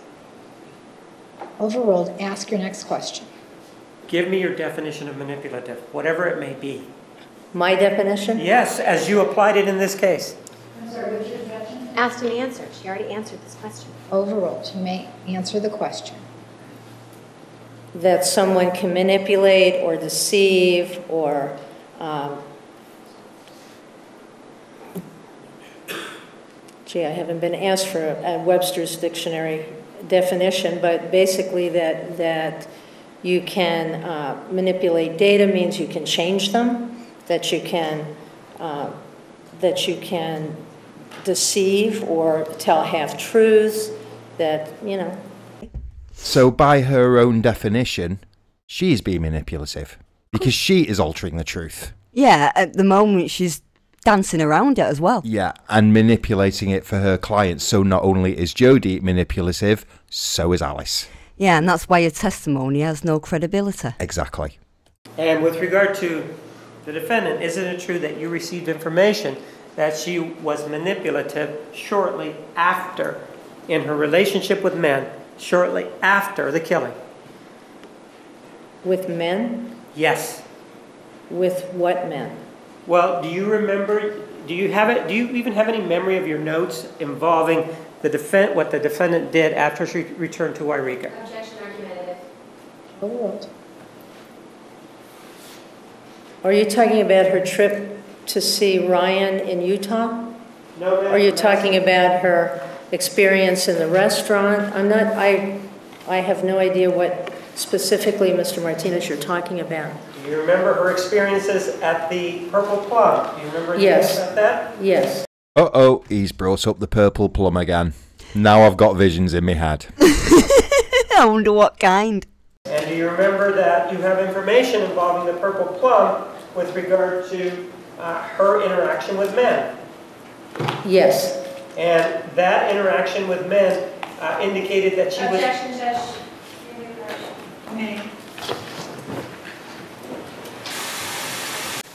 May. You May continue. Ma'am, do you need your notes to refresh your recollection as to the incident at the Purple Plum? Is this regarding, there were several interviews about the Purple Plum, so I'm not sure which one, which interview you're referring to, Mr. Martinez. I'm referring to the one involving whether or not the defendant was manipulative with men. There was, there was an interview with uh, a waitress uh, who said she was manipulative, um, or, or only, only, was only nice to uh, good-looking men. Of course she was. Yeah, it's only men she was she was interested in. That's all who she would be nice to. Yeah. And I bet every time a dishy bloke walked into her restaurant, her arsehole was gaping. Yeah, and then the top will pro- prob- possibly open. Possibly, yes, to reveal two tablets on an ironing board. How about the interview with the manager, Gary Franklin? Are you familiar with that? I am familiar with it. I don't remember every detail of it, if you All like right, me let to me go look at ahead and that. provide that to you then. Sure.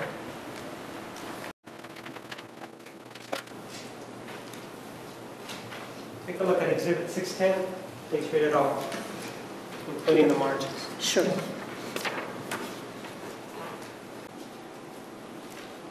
I may have it back. You're done reviewing it, correct? Yes, I am. This is your, this, these notes are in your handwriting, correct? Yes, they are. And you completed them as part of your investigation in this case, correct? I was taking notes on, on the interview, yes. And this is what you did with regard to this investigation. You would look at collateral sources and you would take notes, correct? Correct. And you would use them either then or later uh, as part of the evaluation. It's something you considered, right? Yes, And in this particular case, there was an individual, that was the manager of the Purple Plum, right? correct. And you talked to the defendant, she worked at the Purple Plum at some point, right? Yes, she did. And when she worked at the Purple Plum, there was this indication, or your investigation revealed, was that the defendant was manipulative towards men, right? Objection foundation. Timing. Sustained. Well, ma'am, what do your notes indicate that, uh, um, well, do you want the date, ma'am? Take a look at the date uh, on Exhibit 610, if that refreshes your recollection as to when this happened. I'll I'll point it out to you.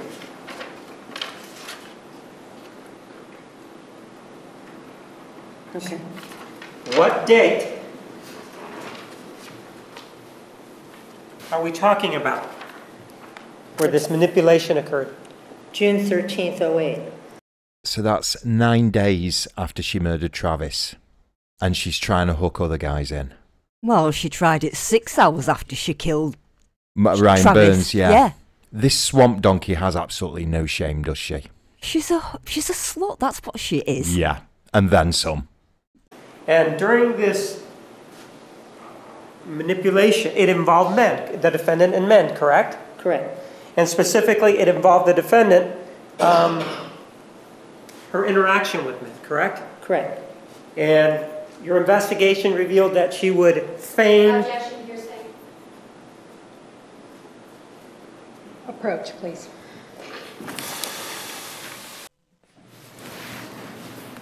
and the part of the investigation that you found out was that the defendant was manipulative in her interaction with men, correct? Objection. Overruled. You may answer yes or no. Sit down, Jennifer. Shut up. Yeah, let Martinez do his job. He let you do yours. She was flirtatious with them. I don't know if she was manipulative with them. She, he says she used them. All right? Using men, given your previous um, definition, that's someone who's manipulative, correct?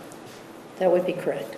And so, given that, isn't that something that you, it's something that you considered and ultimately rejected in favor of the defendant, right? Actually, I looked at behavior after the homicide, and that was after the homicide, Right? that I would consider would be aberrant behavior. Uh, and according to other, her other history in working in restaurants, that was never part of it. Uh, and at working at Casa Ramos, that was not part of it, according to the owner. So I looked at behavior after the murder or after the killing, and I would say that unusual aberrant behavior would be part of that. And that's your assessment, if you will, of her behavior, correct? Yes, And that's your assessment of her behavior, even though the indications are what they are as part of the investigation, correct? the indications. The indications, they're, they're contrary indications, with Casa Ramos different than, differently than Purple Plum. But my question, my point is that you decided to disregard these indications that she was manipulative as part of your assessment in this, as part of your opinion in this case, right? I didn't disregard them, I considered them. You considered them but chose to find them to not be of enough value to factor in into your assessment, right? The only thing Alyce considered of value was the fee she was getting for this case. Spot on. I factored in behavior prior, her behavior toward men prior to the killing. I factored in her behavior with both restaurants. I factored them all in. You- You've already told us that, but my question to you is more pointed. You came in here and you indicated that the defendant was manipulated by Mr. Alexander, correct? Abused by Mr. Alexander. All right, he was, and that's, that that has a component of manipulation, correct? Yes, it would. And in fact, in this particular case, what we have is the defendant ex- exhibiting manipulative behavior after she killed him, right? Correct. And what you're saying is, even though she's exhibiting manipulative behavior, I'm not going to believe that manipulative behavior. That's what you're saying, right? No, I'm not, no, I'm not saying that. Oh, yes, you are, because according to you, the sun shines beautiful heavenly rays from Jodi's gaping backside. Well said. So you I'm saying believe- I believe that, that she could have been manipulative with men at that time. I'm not, any- I'm not disregarding that. if she is manipulative with men, you would agree that Travis Alexander was a man, right? I said she was. Yes or no? Her testimony as to when the manipula, supposed manipulation took place. Overruled. Yes or no? Was Mr. Alexander a man? Yes, he was. Despite the smile, you can tell that hurt her to say. Yeah, and it also looks as if the defence is worrying now. Oh, they're shitting themselves, mate, trust me. And th- you've just told us that she could be manipulative with men. You just told us that, right? I said at this period of time, she was manipulative. And in Casa Ramos, which was during that period of time, the, the statements were that she wasn't. So I have no evidence prior to Mr. Alexander that she was manipulative with men. I just what- don't have that evidence. What you're telling me is that somebody is telling you, according to you here, that there's no information on the left side, but on the right side, somebody's being very specific that she's manipulative, right? That's what you're, you're telling us, right? Objection mischaracterizes the testimony specific as to manipulation. There's no specificity. Overall. Right? That's what you're telling us. You have two competing views, according to you, right? I have competing views Yes or no? After the killing. Yes or no? You have two competing views. Casa Ramos on the left side, Purple Plum on the right side. You have two competing views, right? Those two compu- Right. competing views. And what you decided to do as part of this evaluation is tell me, well, I believed what people were saying at Casa Ramos, right? No, I did not say that. Well, you are disbelieving what people are saying at the Purple Plum, right? I am also looking at, Yes or no? Are you disbelieving what people are saying? I have other information about what people said at the Purple Plum that I also took into account, Mr. Martinez. And so what you're saying is that you're disbelieving what was said at the Purple Plum about her being manipulative. That's what you're telling me, right? Even if I say I believe that she was manipulative at that time, it doesn't mean I believe as a characteristic that she is. No, because you're not being paid to, love, are you? No, you're pe- you're being paid there to lie for her and to try and get her off. Yeah, and to toe the line and to toe the narrative. That is what she is being paid for. Anything else? Nah. Even This- the truth doesn't matter to her. This woman is despicable. Yeah, she is, and then some. I could believe that she was manipulative at that time. It does not, it's situational. It doesn't mean that I believe, as a characteristic of Miss Arias, that she's a manipulative person. And what we know with regard to this assessment is that when she was younger, she was, we have information from you that she was not abused and she liked to play the victim, right? You have that information, right? You- You're don't answer the question. mischaracterizing. Don't answer the question. I'm sorry, repeat The que- objection. The, the question is mischaracterizing the testimony. Overruled. You may answer. Right? You, you told us about that when she was younger, right? That you have that information, right? I have one friend Yes saying or no? that. I have one friend, Yes or no? one friend. And then you're now telling her, and this is when she was younger, right? And now you have her immediately after the murder, five days after the murder, exhibiting manipulative behavior. Yes or no? Yes, So what you're saying though is at one, you have an, ex- an expanse of years in between, right? Yes, And what you're choosing to say is, well, even though there was this behavior here when she was younger, and there's the same behavior when she was older, you're choosing to say that was aberrant. That is not something that was a characteristic of hers. That's what you're saying, right? I'm saying that what I hear from one teenage friend of hers is limited compared to what I heard from other sources in regard to Miss Arias. And so there is a preponderance of evidence on the one side and not on the other. What the hell is she talking about? She only talked to one person. She didn't talk to anybody from Jodi's childhood. She didn't talk to her parents, didn't talk to anybody except Jodi. So, how can there be a preponderance of evidence when she didn't speak to anybody other than a bloody client? God, this woman is an absolute piece of work. Well, not only that, she only did one part of the investigation. Yeah. She was shoddy, she was work shy, and she skewed her oh, uh, her whole testimony in one direction and refused to see the other side. Exactly. Now, when you are appearing as an expert in a court case, you have you have a duty to the truth, not to somebody's version of the truth, but to the truth over overall. I think in this case, Alyce and the truth have been on. They've not even been on nodding acquaintance. They've not even passed each other. They're hemispheres apart. She probably wouldn't know the truth that it jumped up and smacked her in the face. Do you know something? All of you guys out there that have, you know, when we were working up towards this, and you were saying to us, you know, wait until Alyce gets on the on the stand and just see how unbelievably biased and what an absolute piece of work she was. We, you know, I I believed you all, didn't? Well, we both did, didn't we? Yeah. But we never thought she would be this bad. Oh my God, she, unbelievable. And That's you're what I'm is- saying. Is that your standard that you use when evaluating this, this uh, evidence, the preponderance of the evidence? Is that what you're using? One is more likely true than not? Is that what you're saying? I'm saying that when I have numerous No, no, no. collateral I'm sources.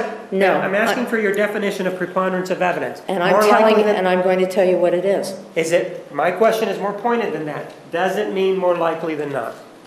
No, You're using it differently. I am. What's the standard in one sentence that preponderance of the evidence means to you? For me, preponderance of evidence means that I have looked at all of the evidence that I have available to me. Uh, no, you haven't. and I have gone through it and looked at what appears to be the truth. What for me makes sense, what for me, after I weigh all of the evidence, makes the most sense to me. And that's what I have to go on. What I have been presented with is what I have to go on. And your definition of preponderance then is what appears to be the truth. That's what you just said in part, right? In weighing the evidence. Right. What, and so, in a sense, what you're saying is you're a human lie detector, right? Because whatever may appear to be the truth to you may not appear to be the truth to somebody else, right? I would not call myself a human lie detector. I think Well, that you- mischaracterizes me. You evaluate this in terms of what appears to be the truth to you, then, right? Right? And that's the And- context of what I'm saying today. And what appears to be the truth to you in this case, in terms of the purple plum and the Casa Ramos example, to you, the Casa Ramos example appears to be the truth. I yes or no? I didn't say that. Well, we were talking about it in the context of the purple plum. Didn't you tell us that that's what appeared to be the truth to you? This characterizes her testimony. No. You may answer. I said that, that the, what they said at the Purple Plum could be true. So she's finally admitted that what they said at the Purple Plum could be true, but she's always maintained that what they said at Casa Ramos is true. Exactly, so she's believing one over the other. Exactly. Uh, with the same amount of evidence for both. Yet Yeah. she chooses to believe one over the other. So she could be manipulative towards men at that point, right? I said that Yes or no? situationally, it Yeah. appeared that could be true. So That if was it's- their perception. So if it's true that she could be manipulative towards men on June 13th of 2008, it could also stand to reason that a week or two weeks, before, let's just go with two weeks, two weeks before that, she could also be manipulative towards men, correct? It doesn't stand to reason. I'm sorry, the objection Speculation. overruled.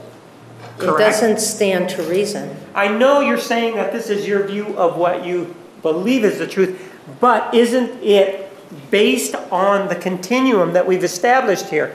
Young, right after the murder, isn't it also true that it could be true that she was manipulative before the murder? Objection. Because it, Approach.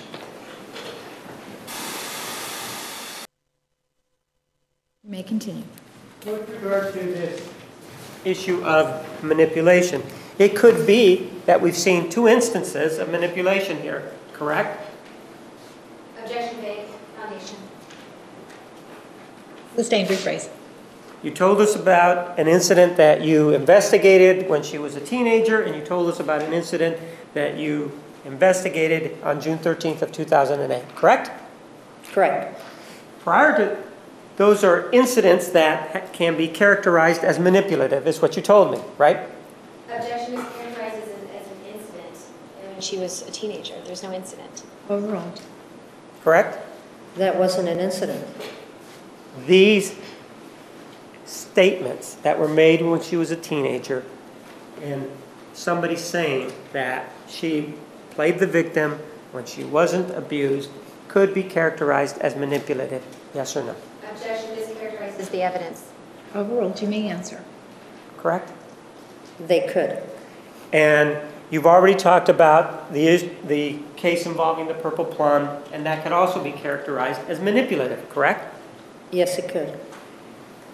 Do you remember that we talked yesterday about a text message that was sent by the defendant um, to Mr. Alexander? And this text message was sent mistakenly. Do you remember that, that we talked about yesterday? Yes, It was to an individual named Stephen. Do you remember that? yes. And that as part of that text message being sent out, Mr. Alexander became upset, right? Became very upset. Right, and then the defendant created another text message and sent it, and it was almost the same as the first one. Do you remember we discussed that? Yes. Could it be that this individual that uh, is manipulative, um, given those two incidents, could have sent that text message just to get a rise out of Mr. Alexander and manipulate him into paying attention to her? Before she answers this question, I'm going to take a wild stab in the dark and she's going to say, no, that's not possible. Of course she is.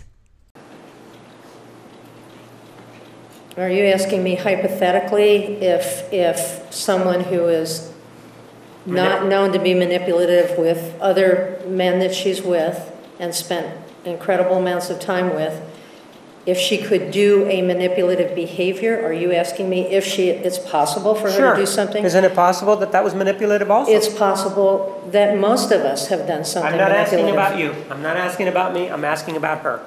It's certainly possible.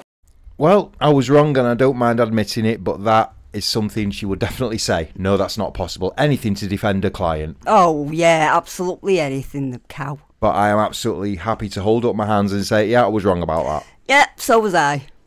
And with regard to her going to visit Ryan Burns, one of, you, you talked to her about that, right? Yes. And when she went to visit Mr. Burns, one of the things that happened was that they were involved in some sort of um, sexual contact. They had sexual relations. Do you under, do you know about that? They were making out. And during the time that they were making out, one of the things that the defendant, do you know why the defendant was making out so shortly after the killing? Do you remember what she told you about that? I remember that she was trying to act normal. She was trying, which is another form of manipulation, isn't it? I don't, I think that's manipulating yourself. I think it's trying to make yourself feel normal in a situation that isn't. Well, ma'am, if she has Mr. Burns laying down and she gets on top of him and straddles him, do you really think that she's trying to make herself feel normal or do you think she's trying to make him feel normal? Do I think? Ma'am, we have I. I, I don't know who she, I think she's trying to feel normal. I think I would want to feel normal, or anybody would want to feel normal So- so- after what happened. And this begs the question Has Alyce ever got up and straddled anybody? I or, don't or think- has anyone straddled Alyce? I really don't think anyone has bothered. Because, you know, if someone had straddled Alyce, or indeed if Alyce has straddled someone, then she would know exactly how it feels when you are the straddler or the straddlee, Exactly. right? So she knows exactly what Jodi was trying to do. I don't think she was trying to act normal. Obviously, she was trying to put Ryan, you know, make him feel horny, and then, you know, to pardon the, the vernacular, take away the pussy at the end. Yeah. or in that case, the arsehole. I mean, all it was, t- he was like a pawn to her. Yeah, a pawn. Literally, a pawn. Yeah. Yeah.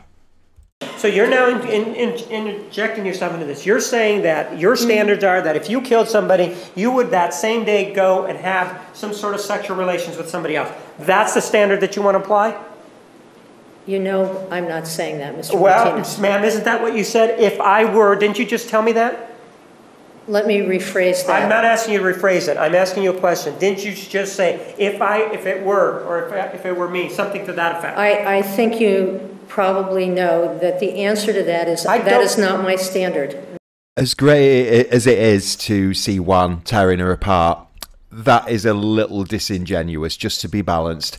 When she said, if it were me, I would want to feel normal, I don't think she was referring to killing someone and then having sex with someone else. I think she was just referring to the actual act, not to the murder before. But what, that's just a, a nitpicking thing. It is a little disingenuous, but it doesn't take away from the fact that I'm enjoying the hell out of this. Yeah, me too. Yeah, just wanted to provide that for balance, that's all. You No, don't, ma'am, I don't go and, and ma'am, behave. we don't, rea- you, you understand that your standards, personal standards are unimportant here, correct? Okay, But you keep interjecting it by saying, if it were me. Do you, do you agree then that by you saying if it were me, you are attempting to interject your standards here, right? I misspoke. That's the understatement of the century. When with regard to your standards, in fact, there was an issue that was created in this case because of your standards, wasn't there? I don't know what you're referring to. Do you remember that you told me in our interview that you didn't ask certain questions of the defendant because you were old fashioned and you were embarrassed? Oh, it's sexual questions? Ma'am, isn't it true that you told uh, me that you were old-fashioned, yes or no? There were sexual questions I did not ask because they do not come easy to me to ask. Yes, that's true. Then excuse me, but what the bloody hell are you doing as a domestic violence expert? Because the two things go hand in hand. Of And course in- they do. Yeah, and in order to be a professional, you have to be professional enough to ask uncomfortable questions. It's the only way to get the truthful full answers and to get everything, you know, clarified. Jesus, where did she study Ringling Brothers? Probably spit spitting image. You, it was much more strong than that. You indicated that you were old-fashioned, yes or no? Yeah, I'm old-fashioned. And as because you were old-fashioned, that restricted you in asking the defendant certain questions involving the sexual aspect of Mr. Alexander, hers and Mr. Alexander's um, relationship, right? I read about them. Ma'am, I I- know you want to tell me that you read about them, but I- isn't it true that I- you did not ask her about them, right? I asked about them later, after I had spoken with you, after our interview in November. There was a sex tape. I, I did ask her questions. I'm not asking about the sex tape, ma'am. I'm asking, There were questions I did not ask during, that I had not asked when you and I um, had our interview, and there were questions I asked after that. Here's the way it works, Alyce. Juan Martinez asks you a question, and you answer it. It's simple. Isn't it true that, first of all, you told me that you were old-fashioned, right? Sustained. After that, isn't it true that you are now telling us that you then went to talk to the defendant, right? I asked her some questions. You did go to talk to the defendant after our interview, right? Correct. You were still old-fashioned. You were even older when you went to talk to her, right? Objection. Afterwards. I was, Well, your standard of being old-fashioned hadn't changed from the first time to the second time when you went to visit her, had it? My, Yes or no? my standard changed because I was exposed to a lot of things that I needed to find out about. I'm not, a- so now you're saying that when you went back to talk to the defendant, you are no longer old-fashioned in your approach to this assessment in this case? You haven't defined old-fashioned, and Well, ma'am- maybe you need to do that for me, uh, or maybe I need to do that for you. Ma'am, isn't it true that you were the person that used the word old-fashioned during our interview, correct? Right, but I don't know that you understand what I mean by it. Isn't it true, yes or no, that you were the person that used the term old-fashioned, correct? Yes, And isn't it true that during that time when you used that phrase old-fashioned, you indicated that you were inhibited in your questioning of the defendant? I said I hadn't asked her if she used KY or not, or Do who brought it, if, if that's what you're asking me. I did not specifically ask, did you bring KY, or did you bring Astroglide? I did not do that. I'm sorry, but Astroglide to me sounds like a company that lays artificial grass. I thought it was some sort of skateboard. Yeah, it sounds a bit cosmic, doesn't it? It does, yeah. But apparently it's a lubricant. Ma'am, isn't it true that that's not even, the- well, do- why don't we play it so that you can take a look at, it, listen to it, okay? Objection, objection. Name of approach. Ma'am, one of the things that you indicated was that there was this issue about Astroglide or KY. Do you remember your, your response just now? Yes. Ma'am, isn't it true that when we were talking about this being old-fashioned, we weren't talking about that, we were talking about something else? And and the answer is yes or no? Do you remember? Objection, objection. May we approach? I, I can't do it without speaking. Yes ma'am Juan looks fed up. Well, can you blame him? Not really. I mean, he's doing everything he can here. Um, she keeps interrupting with, uh, you know, objections. Because she doesn't like the questions being asked. Yeah, obfuscation, and she knows that um, the case that she has prepared with Nurmi and Samuels and this absolute, well, she's a monster as well, as far as I'm concerned. Alyce Yeah. is just falling apart. You may continue. And you indicated that in, in conjunction with our conversation involving being old-fashioned, something about KY and Astroglide. You, you said something about that, right? Yes, Isn't it true that we were actually talking about something else? Do you remember, yes or no, that we were talking about something else? no, I don't remember. And isn't it true that we were talking about anal sex? Do you remember that now? We were talking about anal sex. No, I'm asking whether or not you remember talking about anal sex in conjunction with the fact that you were old-fashioned. I don't remember, I don't remember putting those together. I remember we talked about anal sex. All right, well, let, let me go ahead and play the tape for you, and maybe that will refresh your recollection, okay? Did you really, did the see what is actually on this clip prior to it being played? I see that there's a transcript. I'm just- Yes, you may.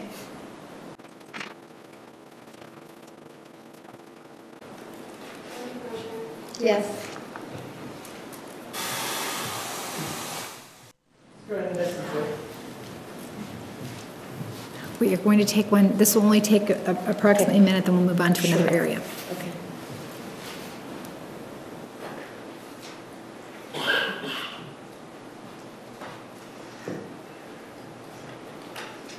Um, did you ever discuss the sex with, uh, Miss Arias between her and Mr. McCartney? she said they had normal sex and that, um, and this is once again, I, I can't recall if it was Bobby Wise or, or Mr. McCartney that they attempted anal sex once, but that it was, you know, uh, they didn't like it. She didn't like it. This attempt at anal sex, whether it was consummated, did you say it was consummated or not? I didn't ask if it was consummated. Okay, this anal sex, was it at her insistence or his request? Whether it's Mr. Juarez or Mr. McCartney? I didn't ask. Um, why not? Oh, maybe I'm just old fashioned. I don't know. I, I just, I didn't ask because she said she didn't like it.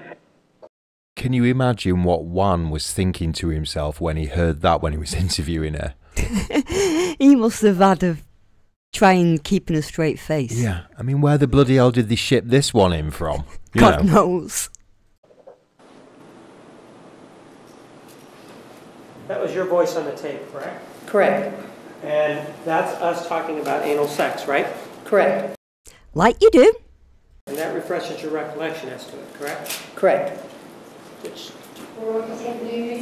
Time, please be back in the designated area at 1:30. 1:30, please remember the admonition, have a nice lunch, you are excused. You may step down. You may step down.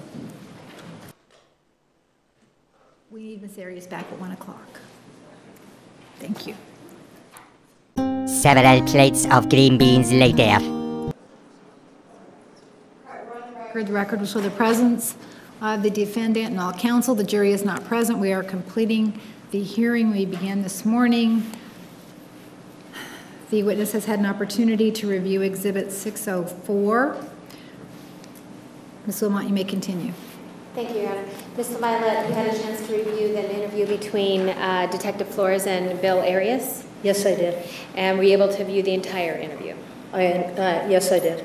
And specifically, you were asked questions earlier by the prosecutor about a nine-second clip of that interview. Did you, did, were you able to put that nine-second clip into context? Yes, I was. And putting that into context, did you, uh, do you see that right prior to that, that he, w- that the interview, uh, Mr. Arias is talking about uh, Jodi as a teenager? Yes, And that Jodi was uh, in trouble with her parents?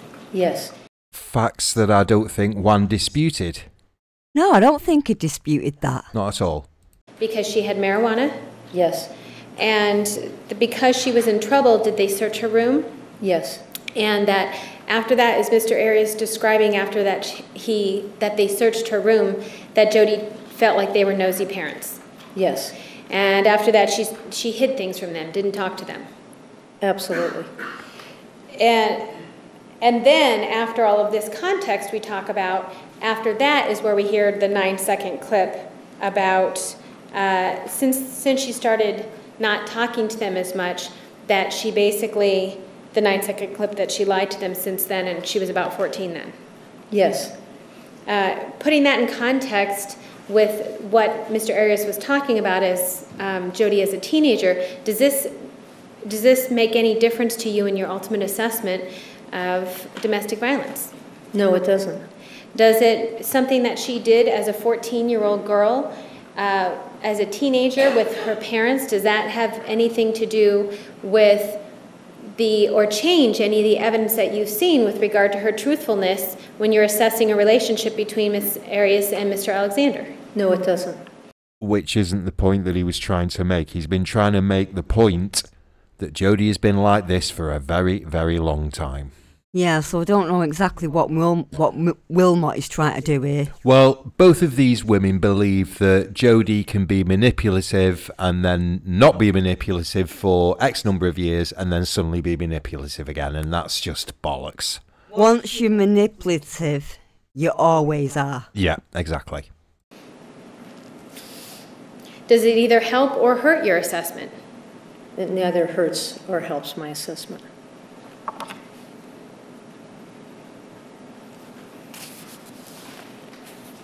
All right, thank you. Is anything else? Just hard to do, thank you. All right, Irrespective of what Ms. Violet may say, and with due respect to her position, this appears to be a case where there was shoddy work that was done on her behalf. And one of the aspects of that shoddy work that she did is in taking the defendant's word in this case about the events. There was only one person that she talked to, the defendant, and that was for 44 hours. Uh, gauging or in looking at that statement provided to her by the defendant, this person made the assessment that she was telling the truth. Anything that goes to whether or not the defendant was telling the truth is relevant. I understand that she says that it didn't factor into her assessment, but that's not the inquiry. The inquiry is whether or not there's something out there that may be considered or may cast doubt upon her opinion. Certainly, the fact that we have um, evidence already that at that time, at around the age of 14, the defendant saw herself as a victim and never was the victim of abuse, according to the evidence that you just received. It's about that same time that this defendant then begins to be dishonest with her father. And it's even though this witness here says it didn't affect my opinion, that may be so. That may that may be legitimately what she believes, but her opinion is flawed, and it's flawed because she took the defendant's statements into account without really filtering them adequately for the truth. And so I believe that it is relevant and should come in. Your Honor, this, this absolute, this nine-second clip absolutely is not relevant, and in fact, it's overly prejudicial under 414-2043. The reason being is, first of all, the state is continually trying to characterize or mischaracterize Ms. LaViolette's testimony by claiming that she only took into account Ms. Arias's uh, words during her interviews. Which she did. She swallowed everything that Jodi told her and believed it as the absolute gospel truth. Yeah, she didn't take into account anything else. She didn't No. speak to anybody else. She didn't look at anything else. She just believed in what Jodi told her. As she likes to say so often, she didn't feel it was relevant or she didn't feel it was important. Now Willmott is going to try and walk this back, saying, "Oh, oh no, that's not the case. She, she, she, you know." She's She- been diligent. She's been, you know, she, she's been very, very thorough in her research, but she hasn't. Well, I think one knows that. She did a shit job, and the whole courtroom and the whole of America at that stage knew it. Of course they did. That is not the case, and I don't know how often Miss LaViolette can say it, that it, it's going to change anything, because she keeps continuing to tell the prosecutor that not only did she take into account what Miss Arias told her, she took into account multiple levels of information, including Mr. Alexander's own words. She also talks about the fact that there is no evidence at the time that she's assessing this domestic violence abusive relationship, there is no evidence that Miss Arias was being deceitful in any way. In fact, she's talked about the only person who's deceitful has been Mr. Alexander during this time. So, and the second thing is that the state talks about, um, continues to mischaracterize the evidence that Miss Arias was not a victim of abuse. There is no such evidence. In fact, the evidence is quite contrary to that, that she was a victim of abuse as a child. So that state should be precluded from continuing to say that as though it's truth, because it's not. The um, fact that there is something, this one tiny little piece of information from her father, a father who, quite frankly, has a motive to not be truthful because he's the one who is abusive. Oh, so it's not just Jodi throwing him under the bus now, it's It- his lawyer. Yeah. Can you believe that? How low can these people sink? How They- low can they sink? That's well, they must be sinking low to believe Jodi anyway. And I bet you, once Willmott has said that, Jodi just sits there impassive, like she is right there now. Of course she is. those, Those words will not, you know, have, have wounded her in any way. Because, I mean, we don't know whether Jodi's telling the truth about being, you know, vi- you know, ha- having violence perpetrated on her with the wooden spoon or whatever when she was a kid. I mean, her mum didn't deny it.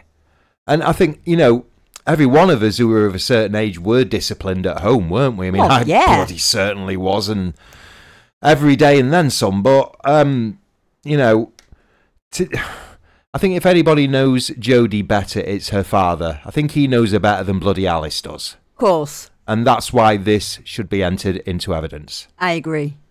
A motive to not paint Miss Arias in a in a good light because of what he has done to Miss Arias. This tiny little piece of information that we have is not relevant, as you heard, to Miss LaViolette's assessment that she did um, 14 years, started 14 years later. So the fact that a teenager was not truthful with her parents at some point has nothing to do with whether or not her assessment was is flawed. It doesn't it doesn't weigh. And the fact is is the state wants to talk about that there is something out there that could ultimately go to Ms. Arias' credibility. But that's not how the rules work. And the law is, and evidence is weighed, that if there is something that is so long ago in time and so minute in detail, there is nothing to support it other than what um, this nine second clip.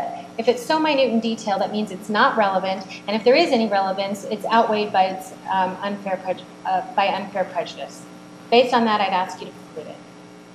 All right, the objection to Exhibit 604 is sustained, however, the state may inquire about the substance in that clip and whether it would have made a difference to this witness in formulating her opinion. Judge, maybe just have a clarification then as to how the state may inquire so that we, we don't get outside of your ruling. What is, what, is, what is, you're saying that the state may not get into the details, but what is the state allowed to ask then? Well, the state is allowed to ask uh, if she has viewed this clip and she's aware of the statement made by the defendant's father and if it would have affected her opinion. So nothing about what the statement of the father was? Yes. Okay. No, he may inquire about the statement of the father, but just not the circumstances that she opined, or that the father opined about the defendant's truthfulness and whether that would have affected her opinion. So he's allowed, okay, so the state's allowed to ask about, about the father making a statement as to Ms. Arias' truthfulness? Yes, but not the circumstances. Well, She's desperate, isn't she? She's desperately trying to not get this entered. The problem I see with that, Judge, is that then it, it makes it sound like it's more important than it is. If he's, if the state's allowed to talk about her own father talking about her truthfulness, because it's her truthfulness as a teenager. It's similar to the restrictions that were placed on this witness with regard to other information she considered in forming her opinion. If you're going, if you're not going to object to the prosecutor putting in the tape or having her explain it, then that can happen. But I believe that the state is entitled to question the witness about this aspect in light of her prior testimony regarding what she considered important in forming her opinion about the defendant's truthfulness or credibility. Okay, I, I'm not asking for details, but what I would ask is that it just be qualified so that it's an accurate statement that the father made, her father made a comment about her truthfulness as a teenager. Christ. She doesn't know when she's ahead The judge has already ruled in her favour, and now she's arguing the toss with the judge. For Christ's sake, Jenny, sit down and count your fucking blessings. Yeah, I think she's been watching Demi Moore too much. Arsehole. So that it's put appropriate context. From the state, what do you intend to to elicit with regard to Exhibit 604? I would like to ask Hold on. Go ahead. If she has reviewed this clip, that this clip indicates or involves the father, and that the father uh, has questions as to whether, as to the defendant's truthfulness, uh, and that this statement involves the defendant at the age of 14. That's fine, Judge. Okay, let's bring in the jury. Oh, so that's okay with you now, is it, Jenny? Oh, that's fine. So, so can justice proceed now that you're happy? Cow. The record will show the presence of the jury, the defendant, and all counsel. Mr. Martinez, you may continue. Ma'am, um, you've had a chance to review a statement by uh, the defendant's father to Detective Flores, correct? Correct. And specifically, you have had a chance to review a portion of that statement involving the father's um, characterization of his daughter in truth of her, in terms of her truthfulness, correct? Correct. And he, and there is an issue with regard to her truthfulness with regard to the father, correct, involving the defendant? Correct. And this issue that he has with her truthfulness is referenced with regard to the age of 14, correct, and onward. Correct. The issue that we discussed previously involving the defendant being a victim uh, of a, portraying herself as a victim, even though there was no abuse, isn't it? Objection is to mischaracterizing the evidence. Approach, please. Ma'am, in Exhibit 609, we talked about an interview with Zaina Carranzo, right? Correct. And she's the one that talks about whether or not the defendant likes to play the victim, right? Correct. And one of the things that you told us about this particular incident was that this was when they were teenagers that she was referencing this, correct? It was actually when she was younger than that. Well, you indicated previously when you testified that they were teenagers, yes or no? I thought they were teenagers. I was incorrect. Well, ma'am, isn't it true that that's what you told us previously? That's all Yes, yes, it is true. And so this indication that you gave previously that they were teenagers is about the same time that the father made the statement about his daughter's lack of truthfulness, correct? Objection, foundation knowledge. Overruled. Right? I gave the wrong age, Mr. Martinez. I'm not asking you that, am I?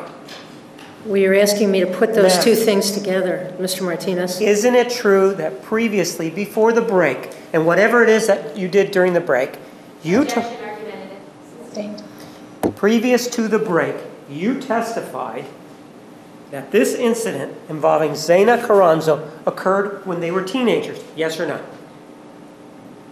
Yes, I did testify to that. And isn't it true that the father's statement about the lack of truthfulness references the, the age of 14, correct?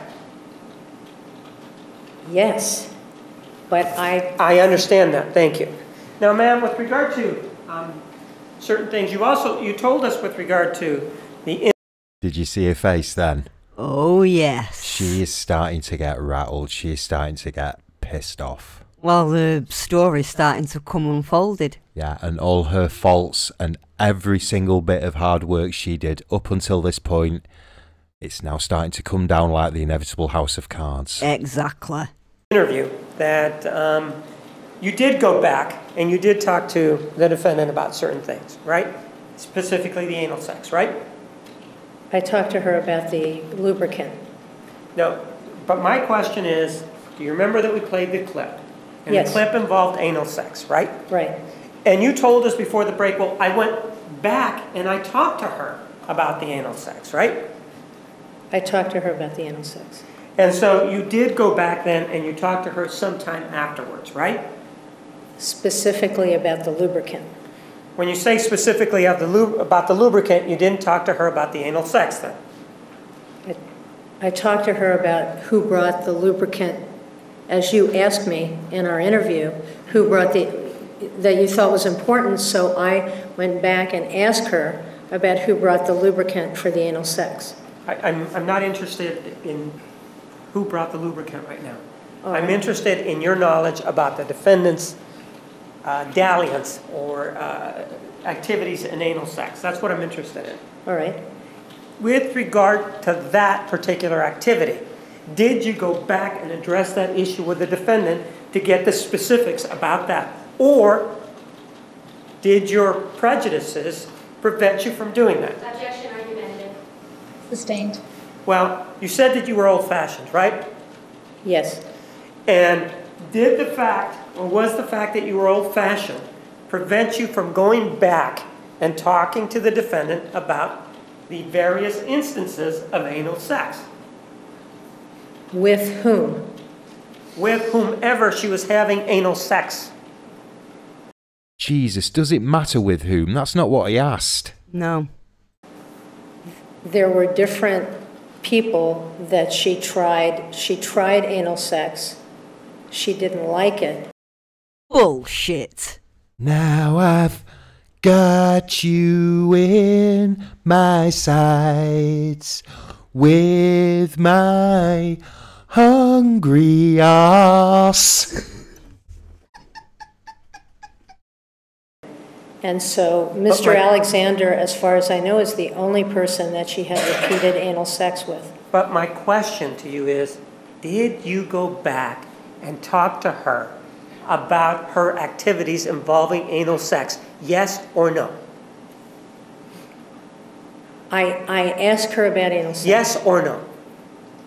Yes, I asked her about So anal you went sex. back, and after you went back to talk to her about anal sex, did you talk to her about the anal sex involving all these other individuals, or did you just talk to her about anal sex involving Mr. Alexander? Her, I talked to her about anal sex with other people. And I bet Jodi's lost count. With regard to those other people, did she ever indicate to you that she had anal sex with Mr. Juarez? I did not talk to her about Mr. Juarez. So do you know whether or not she had anal sex with Mr. Juarez? No, I do not. Do you know? No, I do not. Would it be important in terms of this to see who's assertive to determine who initiated the anal sex if she in fact had it with Mr. Juarez? Would that have been important to you? It's not important in assessing the domestic so answer is no. violence. It's not asse- important in assessing domestic violence, which is really what I was asked to do here. So the answer is no. The answer is no, correct? It would be irrelevant. She's a fine one to talk about irrelevance. Right. And with regard to Mr. McCartney, do you know whether or not she had anal sex with Mr. McCartney? She said, She said, she said that, that they had attempted anal sex and, and she didn't like it. how about with Mr. Brewer? Did you talk to her about having anal sex with Mr. Brewer? That they were experimented and tried it, and it was not something that either one of them pursued, nor did she pursue it with, with Mr. McCartney. Well, I'm guessing she was really mad for some brown action, but he wasn't, and that's why they didn't do it. Yeah, I don't think Darryl would have been that type to do that sort of thing. I don't think he's up Jodi Street. No. Uh, and up Jodi Street being the, uh, the the main phrase. Brown Street. Yeah. But there was at least two, as far as you know, there were two attempts at it, correct? Is the way, is that what you're telling me? There were attempts. Right, I used the word attempt, so there were Yeah. two attempts, correct? Mm-hmm. And they never went anywhere, I guess is, is the point. In other words, they, it wasn't consummated, for lack of a better term. It wasn't pursued. And they didn't go forward with it, right? They didn't continue having anal sex. Are you saying they only had it once and didn't continue having it? I don't know how many times they had it. That was not relevant. What was relevant was that it was not enjoyable and they did not continue it as a practice. And that illustrates that if there's an area out there to discuss and you don't think it's important, then you won't discuss it, right? If it doesn't feel relevant to the domestic violence aspect of it, because I was retained to look at domestic violence. That's what I did, Mr. Martinez. I looked at domestic violence. Yeah, you looked at my arse, Alyce. Yeah, she didn't look at much at all. Not at all. I mean, her research was shoddy. Her interviews were, well, it was just one person. Yeah, Joda. She's a disgrace to her profession, and she's a disgrace to every single genuine, you know, domestic violence counselor and expert that is walking the streets out there trying to stop genuine instances of this happening, isn't it? Yeah, but I don't think she's gonna be at a career for much longer. Well, she's still doing it, um, but I don't think that she enjoys the prestige that she used to. Um, and if anyone trusts her with anything, then they're just bloody idiots. As I don't think concerned. any a lot of people will trust her after this. I tell you something, if you got up and kicked this shit out of me now, right, Yeah. and left me for dead, she's the last person I'd consider, you know, calling for counselling or for evaluation or for anything like that. I'd ask She's a disgrace. I'd ask for me money back. Yeah, yeah, totally. If, she, if she quoted me, I'd go, what? Bugger off. So if it doesn't feel relevant, then it's a feeling that you have about whether or not it's relevant. And if it doesn't feel relevant, then you don't pursue it, right? If it isn't relevant, I don't pursue it. You use the word feel. Do you remember just using that? If it isn't relevant, I don't pursue it. And the person who makes the determination, the gatekeeper about whether or not it's relevant, is you, right?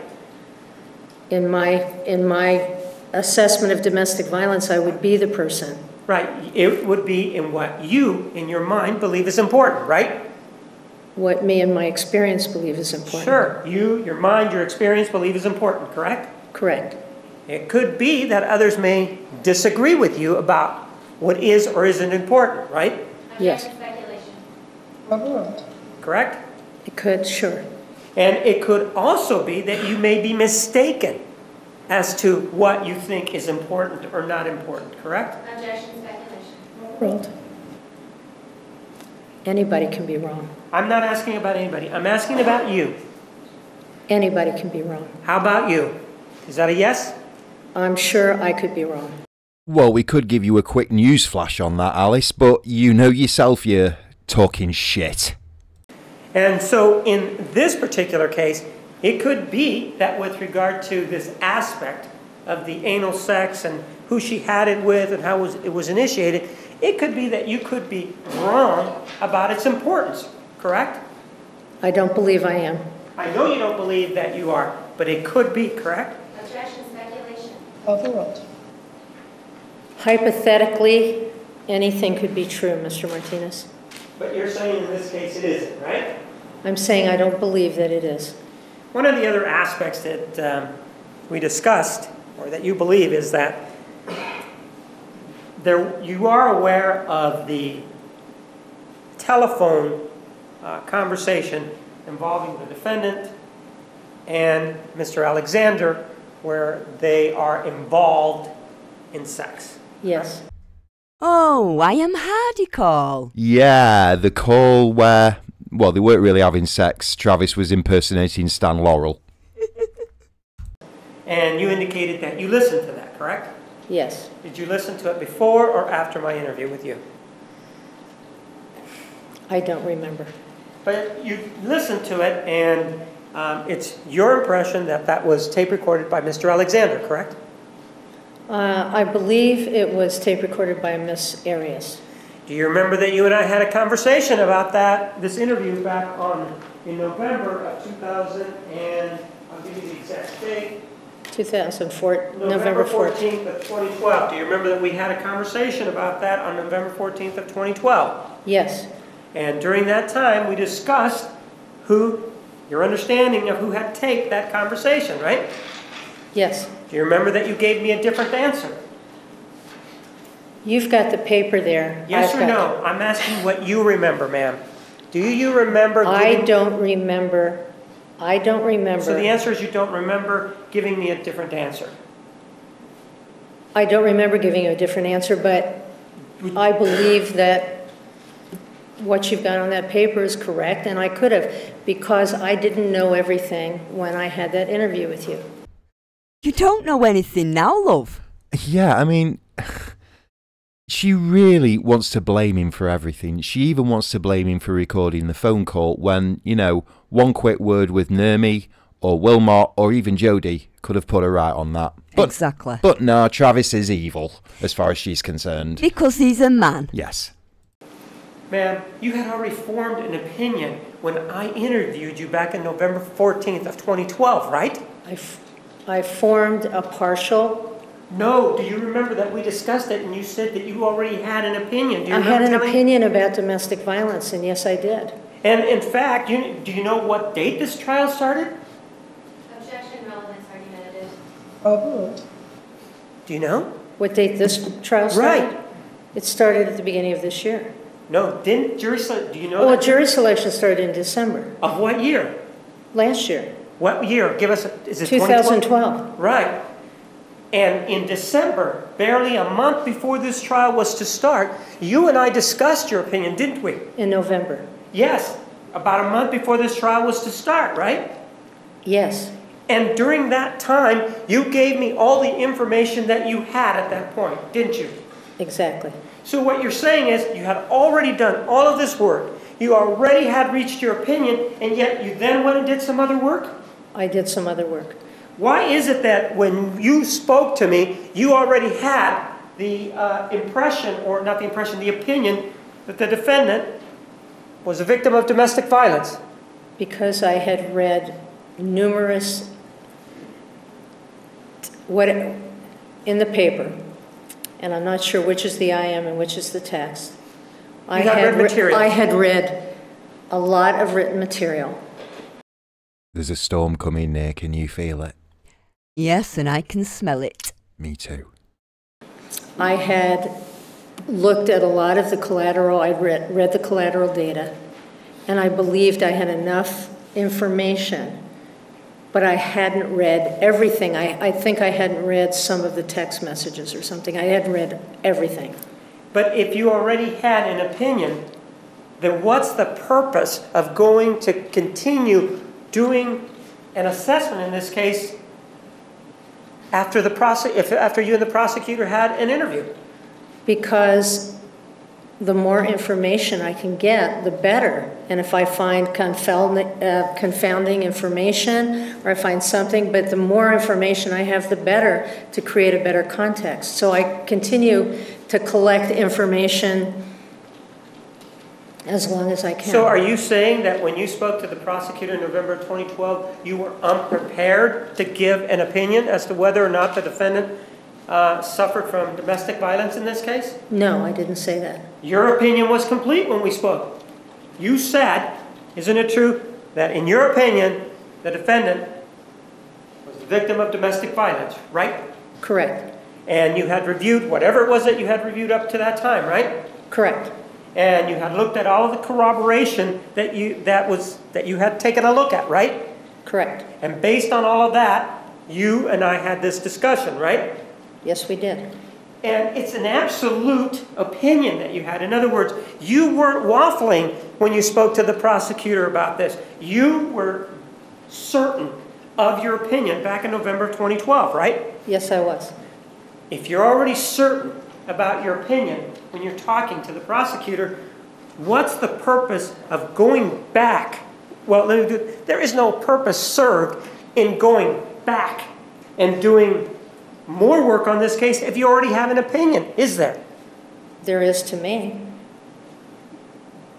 How can that possibly be if you've already reached an opinion?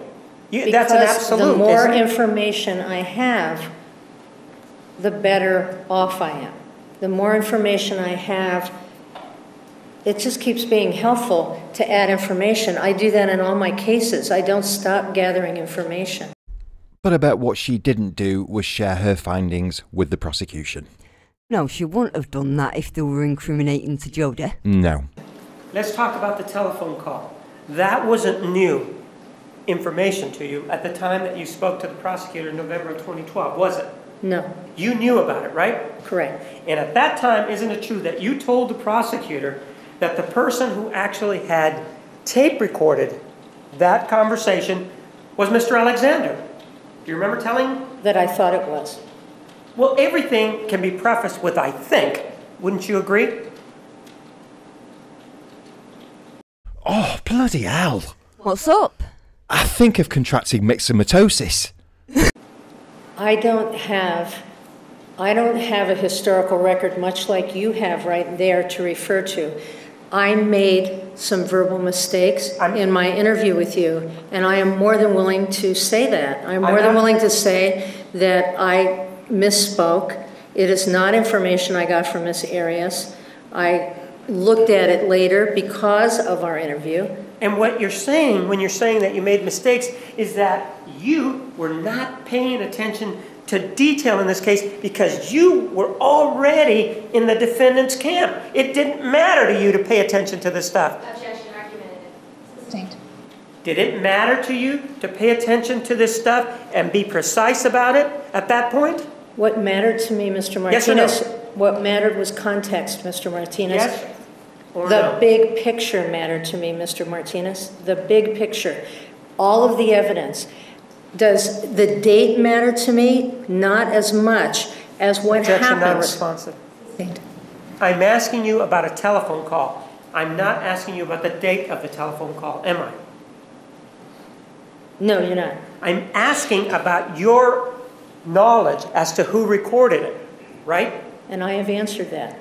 You've answered it, but you've also said that you made a mistake, right? I made a mistake and who made the recording? Yes, I And did. And if you made a mistake about that, something that, that in your review of all of this case, isn't it true that that is the only piece of evidence that we have where Mr. Alexander is actually present and you can actually hear what he's saying, right?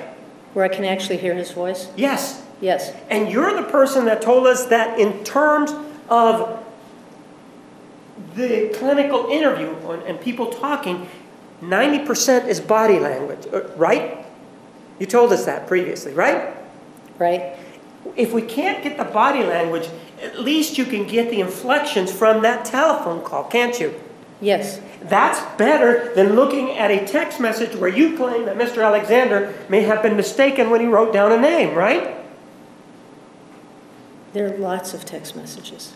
Ma'am, we discussed a text message yesterday. Do you remember that? In which Yes. you indicated that you thought that Mr. Alexander had written the wrong name. Do you remember that? Yes. So, this telephone call is much better evidence, if you will, because you can see the, or hear the interaction between the two of them, right? That doesn't necessarily make it better. It makes it different. There is a huge difference between hearing someone say something and seeing it written down. Yeah, because you can't really tell what the person's thinking when it's just written down. Yeah. You don't know what emotions they're going through, you don't know what they're feeling. Whereas if you hear their voice and they're talking about it, you can hear every single li- little bit of emotion, detail, um, cadence, whatever. Yeah, but I don't think she was looking for that.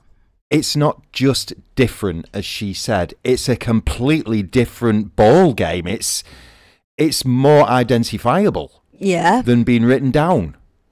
I mean, I could I could write down to you, "I hate you," but that doesn't mean I hate you. It just probably means a, a it means a affectionate "I hate you." You know, like if you do something that I've never been able to do, and I just say "I hate you" for that. You know, Yeah. could be that. But if I turn around and say, I hate you, you know, it doesn't mean I hate you. But if I turn around to you and said, Oh God, I hate you, then That's a that's different.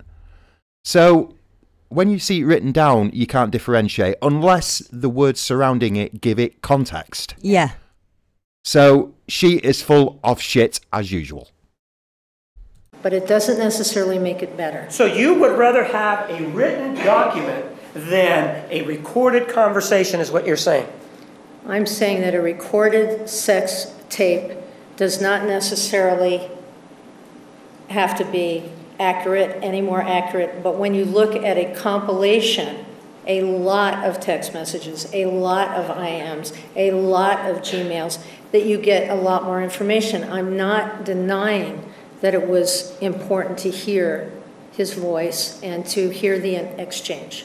And in terms of the comparative analysis between that exchange between the defendant and Mr. Alexander, the person she ultimately killed, you're saying that that information there is as good or maybe less than as good as something in writing? Objection is characterized in their testimony. Overruled, you may answer. Can you repeat the question? Which is better, this tape recorded conversation or a text message? Which, one- Has to be answered. Overruled. which one? I can't say which is better. In your assessment in this case, you can't say which one is better, right? I'm saying that there's a, there's a large number of text messages. There's a large number of IMs. There is one sex tape that I listen to. So if you ask me to weigh and ask me what's more important, I'd have to say they're important, but I have to take all of that information in. Right, I can't remember how long the sex tape was. We covered it, didn't we? Yeah, we did. But it was pretty long. From what Travis was saying and the way he was saying it, she could, you know, she could get a lot out of that. She could get a lot of, you know, background out of that. But she yeah, didn't. But sh- she didn't care about what Travis was going through. Nope. She only cared about what Jodi was going through. She made a conscious decision, I believe, when she took this case, to only see it from one side. Exactly. She didn't. It didn't even occur to her, in my opinion, to think, well, maybe this woman that I've been paid to represent, maybe she's a wrong un. No, didn't even enter her head. I don't think. It didn't even co- come come into conversation, probably. Well, I reckon the first couple of hours she spent with Jodi, Jodi is very highly charismatic, She is. and I'm sure during those first couple of hours, like we said earlier, hook, line, and sinker, and Alyce just fell for it. But she's very manipulative as well. And do you know what's so sad about this? Do you remember when she first started testifying and she was telling us about, you know, her credentials and about what she's done to help people? Yeah. I felt something close to admiration for her because, you know, from what she was saying, from what she she'd stated, she'd done some brilliant work and she'd done some sterling work to help, you know, victims of domestic abuse. Yeah. And I thought, well, how could people think that this woman is, you know, so bad? But we gave her the benefit of the doubt. We did. I mean, we're slagging her off now because she deserves it, but I just want it to be noted and, and, you know, for everyone to know that we gave her the benefit of the doubt and we gave her a fair crack of the whip, and she's the one who's shit in the punch as far as we're concerned. Exactly. Yeah. She is. And that's how you approach this case, where you have something that's as vital as Mr. Alexander talking. When you have Mr. Alexander talking, you can hear in, in the tone of his voice whether he's happy or unhappy, can't you? Whether he's happy or unhappy, Right. You can hear what he presents, certainly. Well, it's what he presents, but you're, one of the things that you did is you talked to the defendant and she presented evidence to you by talking to you, right? Correct? So now, when Mr. Alexander is talking, he's presenting to you. He doesn't know it, but he's presenting to you, right? Yes, he is. And that's even better than what the defendant is presenting to you because he doesn't have the issue of secondary gain there, does he? It depends on how you look at it. Well, no, I'm asking about your definition of secondary gain. Do you remember we talked about that previously? Secondary gain? I certainly do. That if it's within the individual's uh, point of view that something is going to be beneficial to them, then there's this issue that they may be deceitful, right? There's secondary gain in a sex tape. I'm not asking you about that right now. We're talking to about secondary gain, just itself, correct? Well, And- secondary gain, secondary gain is not only part of whether somebody is going to get something from an expert witness or an attorney. Secondary gain also implies um, what you're going to get when you're having a sexual encounter with somebody. So- So there's, So you're equating, in this case, an individual who is charged with a very serious crime with somebody who maybe, maybe talking about masturbation? You're equating that and saying, well, they both have the same reason I to be not- deceitful. I did not say that. Well, that's what you indicated. Are you saying that Mr. Alexander, when he was speaking with the defendant, was in the same relationship as you were with the defendant when you were speaking to her? If you were in my group, I would ask you to take a time out, Mr. Martinez. But he's not in one of your groups right now, Alyce. He is a prosecutor in a criminal murder trial, and you are a witness for the defence, and you are defending a monster. So don't try and quantify your groups to this quote courtroom, because it just won't wash. No, I mean, you should treat him with the respect he deserves. Exactly. He, He is- was actually there. he was there. He has a, he ha, has a lot invested in this because he was at the crime scene. She bloody wasn't. She just flicked through a few photos and thought, "Oh, well, that doesn't make any difference." I'm sure that my darling Jodi wouldn't have done something so horrible to Travis unless he'd provoked her. Exactly. God, I tell you something. If um, if Jodi is the the wicked witch of the weird, then Alyce is the wicked witch of the wanker. Exactly. Judge, would you please admonish the witness to Yes. withhold those comments and ask that the Ms. jury LaViolette. disregard the outburst? Yes. Ladies and gentlemen, disregard the witness's last statement. Ms. LaViolette, please just answer the questions. Did you see the look on her face when the judge ruled? Yeah. She did not like that. Proper slapped ass. Isn't it true, ma'am, that the relationship between you and Mr. and Miss Arias, when you were asking the questions and you were talking to her, is different than the relationship between Mr. Alexander and the defendant when they were having this telephone conversation back on May 10th of 2008? Yes, it is. They were being intimate in that conversation, weren't they? They were being sexual. I don't know how intimate they were being. They were being tender to each other, weren't they? There was a tenderness. And there was a feeling, if you will, that they were getting along there, correct? Correct. There was no indication from the tape itself that Miss Arias wasn't enjoying herself as much as Mr. Alexander, right?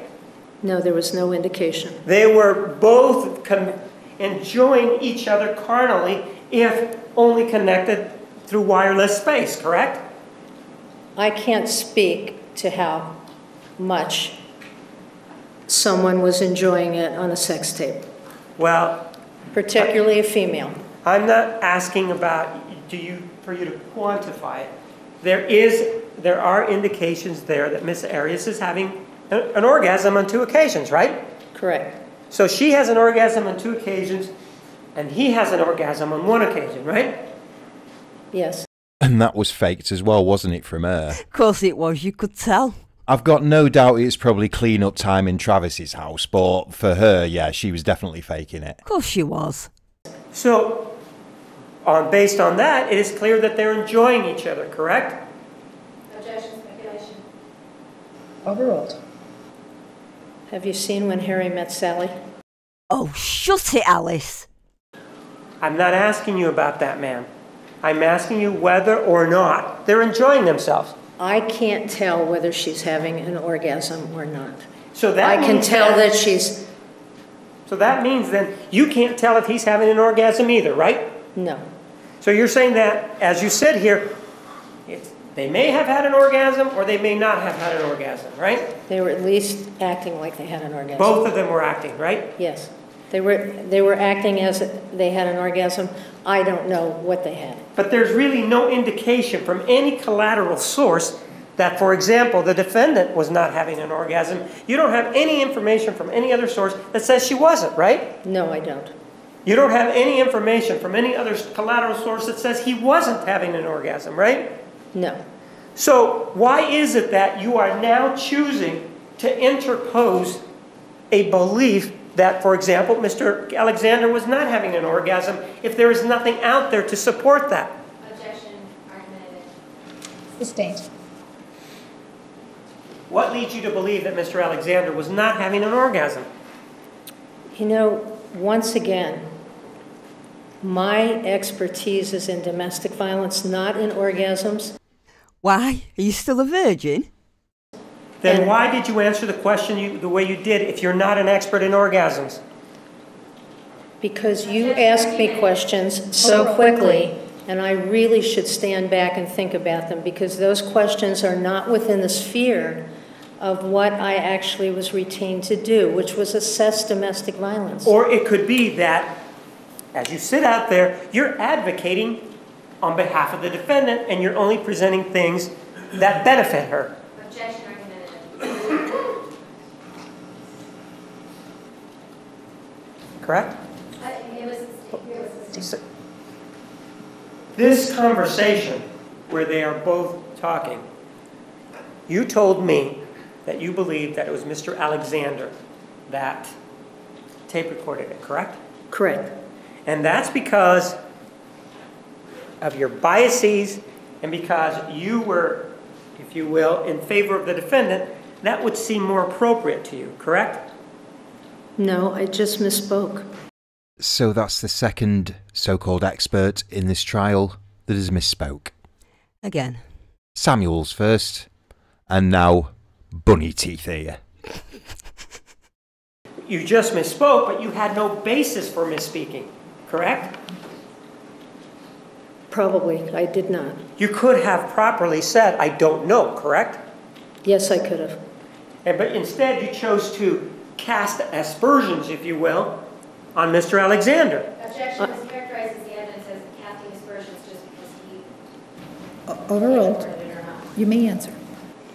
I didn't believe that was casting aspersions. I believed that, I didn't, be- I didn't believe whoever taped it was a problem. I believed that they were both participating, so I didn't think that was problematic, that he would, whether Just- he did it or whether she did it. Just like the text message before that we discussed that involved the names of those two women. Do you remember that, that we discussed that yesterday? Yes, Rather than saying, well, it could be that the defendant lied to Mr. Alexander, you immediately went to the fallback position that Mr. Alexander perhaps typed the wrong name. Do you remember telling me that yesterday? yes, Every time that there's been a judgment call in this case, you have taken the defendant's side, correct? I'm not sure that I have. I am hoping and praying now that Juan gives her multiple examples because there are multiple examples. Oh, there are hundreds. Yeah. Well, on those two occasions you did, right? On two occasions I did. And I, and I don't think of it as taking someone's side because I don't think that who taped the thing was, was a critical issue. I didn't think it cast aspersions on either Mr. Alexander or Miss Arias. I just thought they consensually did a, a sex tape and that that wasn't a really important aspect. Do you believe her? No, I mean, what the hell does she, you know, consider vital? I don't believe her for one second. Maybe, as I said before at the beginning of this trial, you know, what she might have said could have been considered plausible, but now, no. It's just getting ridiculous. Yeah. And the bias is just too plain to say. Exactly. as, as to who, who did it. And I probably just should have said, I don't know. Well, you had had information previous to that that the, that the defendant really only had sex with Mr. Alexander to please him. You've had that information, didn't you? No. That you never heard that the defendant felt uncomfortable when she was engaging in sex with Mr. Alexander? I also heard that she felt comfortable. Foundation, when? Sustained. As part of your investigation in this case, did you review several sexual encounters involving the defendant and Mr. Alexander? Yes. And with regard to the first sexual encounter, what is your understanding of the first sexual encounter? What kind of sex act was involved? It was oral sex, and she was uncomfortable with it being too soon. Ma'am, so it was oral sex and she was uncomfortable with it being too soon. Where did this oral sex take place? The oral sex took place um, in the, the home of the Hughes. And that's the first time that they ever had this oral sex, right? As, yes, With regard to this oral sex, you said, well, she felt uncomfortable, right? Yes. So if we then listen to the tape, was there any indication there that she was uncomfortable with any of the phrases that were being used? Objection as the foundation when the tape was actually made. Approach, please. Overruled, you may continue. Your assessment of the tape, you don't see anything indicating that she, the uh, defendant is uncomfortable in any way, do you? You mean seven months later? No, I mean on May 10th of 2008. So- Seven, seven months after she said she was uncomfortable? All right, if you want to say seven months after she was uncomfortable, let's go with seven months. Yeah, seven months after she was uncomfortable. I don't see discomfort in, in the tape on- of 510, if that's what you're asking. And, and ma'am, just for the purposes of the math here, if that happened in May of 2008, would you agree then that uh, seven months before that would be November of 2007, correct? Correct. Oh, And- no, Nove, I'm sorry. November. so- so It was November of uh, 2006 when they first had the sexual encounter, so it's quite a bit prior to that. Part of the reason that I point that out is that it appears that you seem to jump to um, a conclusion when, when you're answering these questions and, and, and like in this case, you were mistaken, wouldn't you agree? Objection argumentative. Overruled. That I gave the wrong date, the seven months? You were, you were mistaken, weren't you? Yes, and I remembered quickly that it was November 6th. No, you didn't remember quickly. Actually, the prosecutor prompted you, correct? Objection relevance argumentative. Overruled. Isn't that how it worked? I didn't feel prompted by you, but uh, okay, if you want to Well, prompt me, no. that's fine. Didn't the prosecutor indicate to you May 2008? And just for purposes of clarification, he then indicated it was November 2007. Do you remember that exchange And just then, now? yes, and then I said. Yes or no? that- Yes or no? I said. Thank to- you. Yes. Thank you. Yes! Go Juan! yeah. Now, ma'am, one of the other things about the interview that you had with the defendant is that you had these issues with regard to what she told you, but you also prompted her with leading questions, didn't you? I don't believe I did. You pro- you suggested some answers, didn't you? Objection foundation and bait. Are you talking about, Objection overruled. You may answer yes or no. I, I don't, I mean, I interviewed her over 44 hours, so I'm not sure. I try very diffi, or very hard not to lead people. Well, do you remember that with regard to her, one of the things involving sex was that you had an issue or a question as to whether or not the defendant or, or Mr. or the defendant, yes, isn't it true that you wanted to know from Miss Al, from Miss Arias whether or not she used sex to quell his anger? That is your question, right? Yes, And those are your words, right? yes, but I think she had already mentioned that to me, and I Well- just, If she had already mentioned it to you, then why did you feel the need to ask her about it? Oh, yeah, again. Sorry, that just came out. I just pressed record mid there. yeah, completely. Got her Completely again. got her again. Yeah. Catch 22, checkmate. you know, that was a long time ago. I'm- Well, then I don't- maybe we I could- don't know. I, Well, I really don't know. I can't tell you. Let's take a look at your notes about what you wanted to ask her. All right. Objection judgment proper. O- uh, Overruled.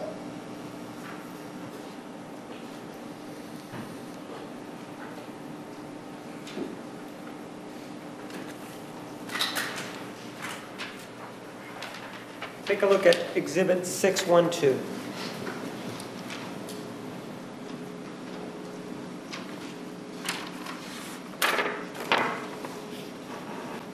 I'm sorry, but am I the only one who finds those glasses incredibly creepy? They are a bit creepy. I mean, they just don't look right on her. They don't.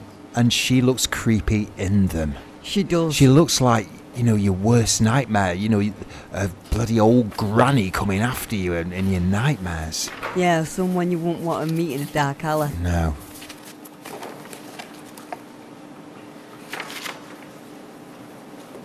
You recognize the writing there? Sure. That's your writing, correct? Yes, it is.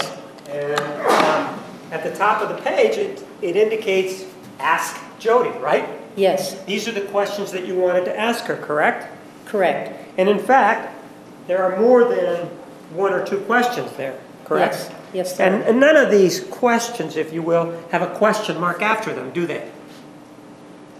No, I, I guess not. Well, no, let's just take a look at the first one and read that. And, well, just read the whole document to see there are no question marks there. No, there aren't any question marks.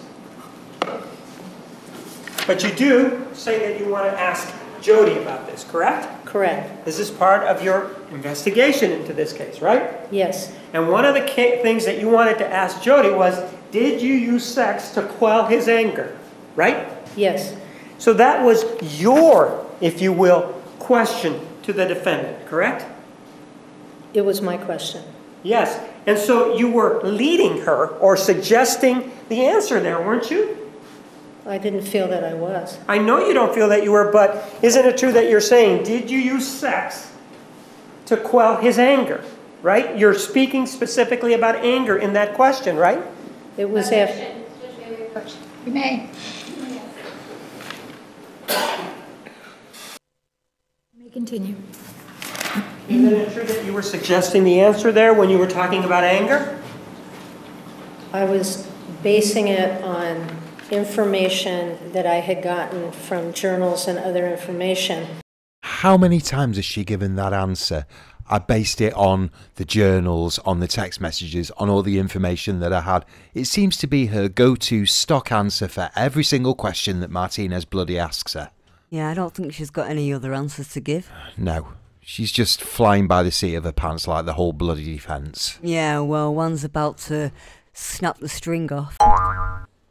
And I was putting it together, and I was asking the question because it appeared that that was happening. Y- So But- the answer is. So I asked, I did ask that question.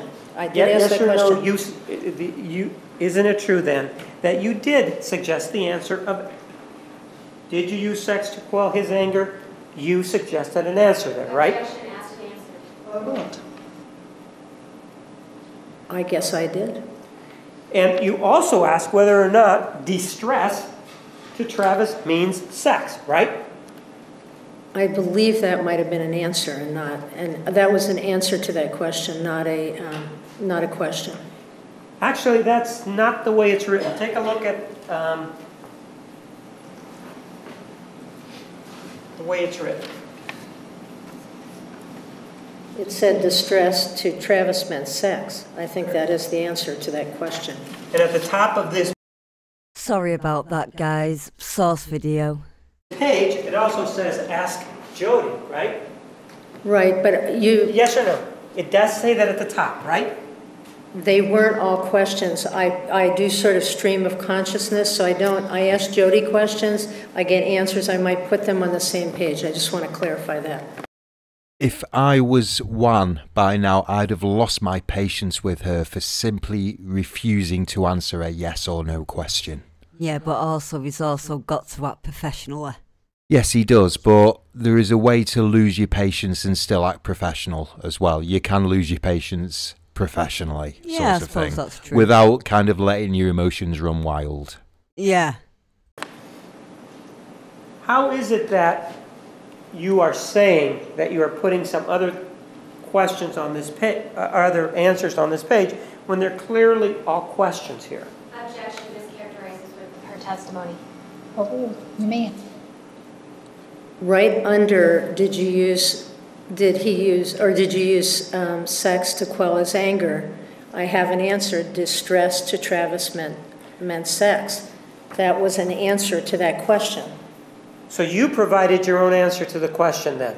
That's what you're saying, No, Mischaracterizes her testimony. You may answer. right? it was a question I asked Ms. Arias, and so I, I write on, on the papers that I write questions on, I write answers on, I write other things on. So it's not clearly just all questions, it's not clearly just all answers. I intersperse things. Ma'am, isn't it true that at the top of this page it says ask Jodi, correct? Correct, And then there are a number of writings underneath there, right? correct. You're not saying that as you're sitting there talking to the defendant, you're writing down ask Jodi, are you? No, I'm not. This is something that was done in advance, isn't it? The question was, yes, This document was done in advance, wasn't it? yes. And so when you say that, well, I write the responses, how could the responses be there if you're doing this document in advance? Now that's a conundrum, isn't it? Absolutely. I mean, she is actually looking now nervous. Yeah, I think he's just caught her there. I could be wrong. We both could be wrong, couldn't we? Exactly, but I don't think we were. Let's hope not. Let's hope we're right on this, but if we are right, he's caught her in a massive, massive whopping lie there and wow, she did this was prepared in advance, the questions and the responses? How can that even be deemed evident? You know, put put into evidence. The mind boggles and it, I'm just a bit flabbergasted at the moment. I don't know about you. Let's see what where this goes. Yeah. I wasn't doing all that, Mr. Martinez, Yes or no? Yes or no? Was, isn't it true that all of these questions were written in advance? Judge, the, the original question was not a yes or no question. Or did not request a yes or no answer. All right. Your objection is noted, overruled. You may answer the question. the question is correct. I Thank wrote, you. Thank you. Now, one of the other things that you told us is that you reviewed all of the, or a lot of the defendant's journals, right?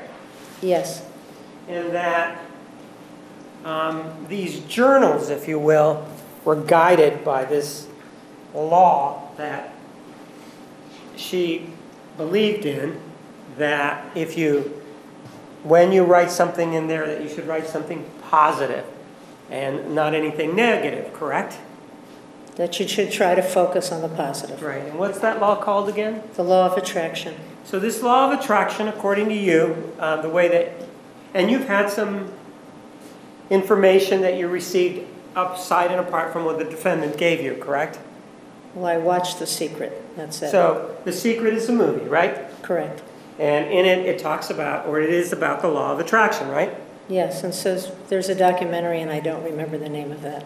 But you didn't watch the documentary, correct? No, I watched the documentary as well. Oh, you did. And then you also spoke to the defendant about the law of attraction, correct? Correct, And that is what encompasses your knowledge of the law of attraction, correct? correct. And the law of attraction, as you've defined it for me, is that if you write something positive, positive things will happen, correct? No, not, it's not that simple. Go ahead and tell me what you believe the law of attraction is. That that's part of it, that the energy you put out in a positive way comes back to you. So you should think in a positive way, write in a positive way.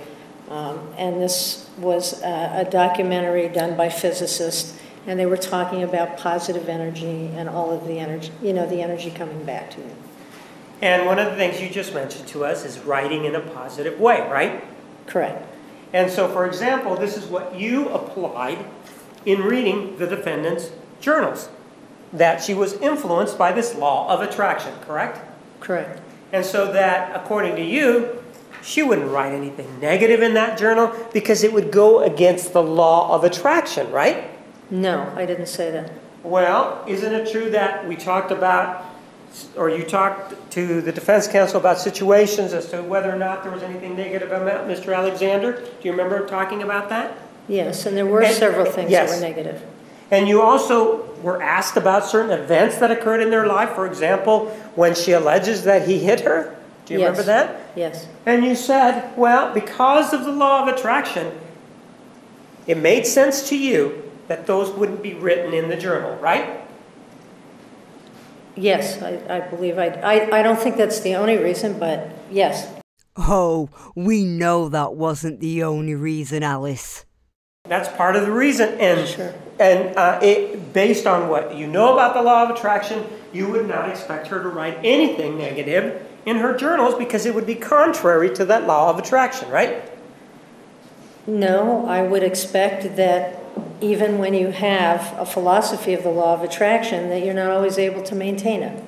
Okay, so in this case, though, with regard to writing negative things, you did not find anything in those journals indicating that Mr. Alexander ever laid a finger on the defendant, correct? Objection is characterized as your testimony. Overruled. You may answer. Correct? Correct. But you still believe the defendant, though, right? Based, based on other things. And those things are her statements, right? Those things are Mr. Well, no, no, no, let's do. You believe it in part because of her statements, right? In you part. come- You also believe it in part because of the law of attraction, right? I believe that, that she didn't write in it because of the law of attraction, or I believe That she he was- never laid a finger on her. You believe that the reason she didn't write these things in her journal, as you explained it on direct examination, is because in part she's an adherent to the law of attraction, correct? Correct. And that's how you tried, or that's how you went behind, if you will, the written word, correct? Objection argumentative. Overruled.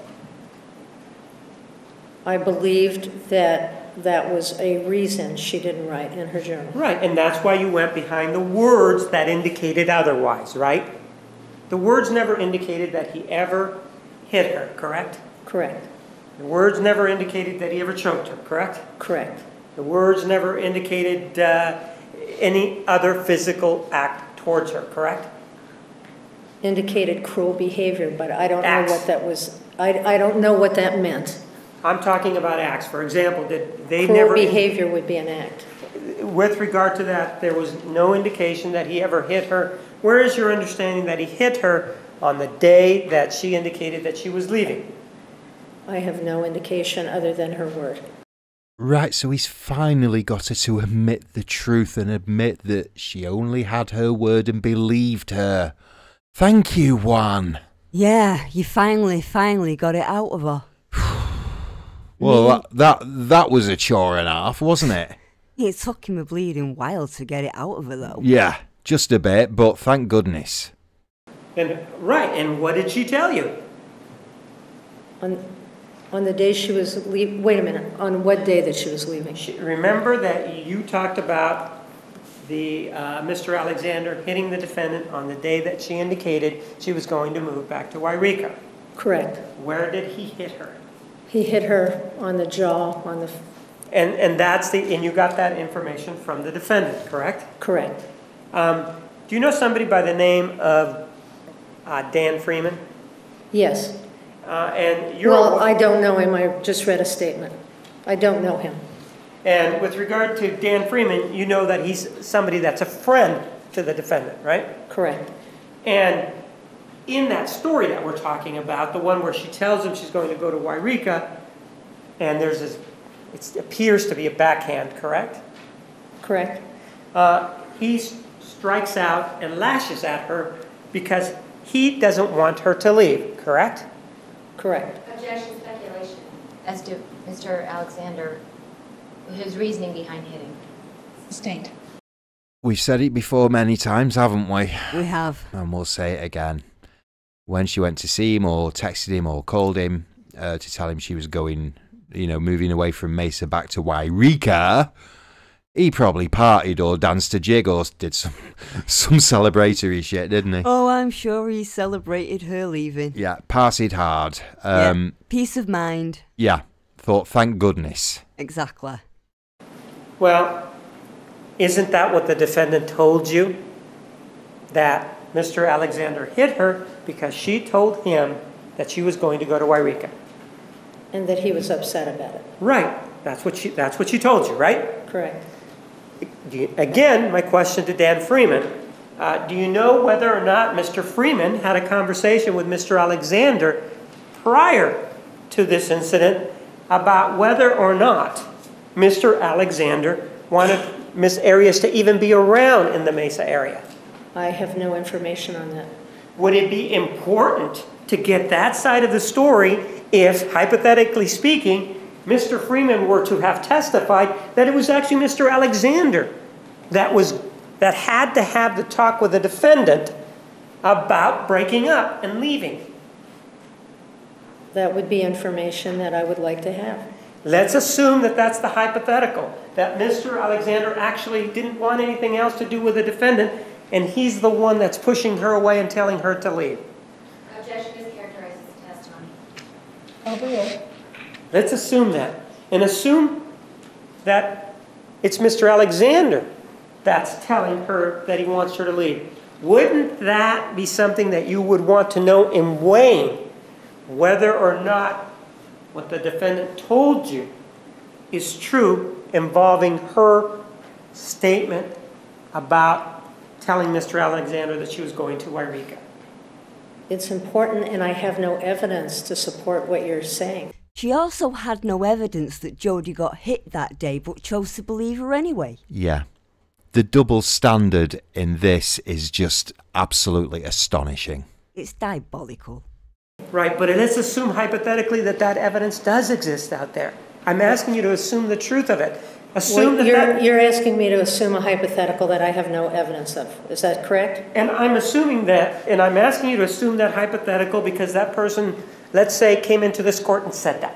All right? Assume that. If all of that were true, wouldn't that cause a problem in your assessment of this case? Because now, at least, as to this alleged incident, it doesn't seem to be true. It would be important for me to have that information. You have that information. Now, what are you going to do with it? What am I going to do with it? Yes, in terms of your opinion, does that Does- that give you a sense of pause in the firmness of your opinion? It gives me information that I have to look at, that I have to check out. Does it globally change the picture of domestic violence in regard to the evidence that I have reviewed and seen? It doesn't mean that there was no domestic violence. So what you're saying, your opinion that changes not, even though you have you that new information were to be provided to you, right? That, that Mr. Alexander wanted Miss Arias to leave? Yes, and go back to Yreka. There's also no evidence of that. I'm not saying that there's no evidence of that. I'm asking you to assume that Daniel Freeman came into this courtroom and said that, that he was there. If you had that, would that give you pause in terms of your opinion? I would, Yes or no? it's not a yes or no question. Okay, Mr. then we'll move on. Now, with regard Why is he moving on? Why isn't he pursuing that line of questioning? Why isn't he just trying to filter her down to a yes or no answer like he has been doing? Well, maybe with the saying she can't answer yes or no, he just thought, well, forget it, let's bloody move on. I really hope he comes back to this later because that is something that needs to be explored, isn't it? I think he will because maybe Willmott will go over that with her when she takes over and then when it goes back to Martinez. Yeah. His job is to, you know, strengthen the cause of um, justice. Yeah. And they have to have a reasonable doubt. Exactly. He, he has just narrowed that considerably in the last few minutes with what he just did. Well, with the way uh, he rattled her. Yeah. Without geeking out too much and being too much of a fanboy, we are watching a master at work, aren't we? Oh, absolutely, and I'm enjoying it. Yeah. to this fight, do you remember about the tri- that you told us about the trip to Havasupai? Correct, And you spoke to the defendant about it, right? correct. And what was her version of the trip to Havasupai? Why don't you tell us what you know about the trip to Havasupai and tell us who started it, if there was a fight? There was an, an argument Between whom? between Miss Arias and Mr. Alexander. Where did it start? I don't know where it started. Uh, do you know how it started?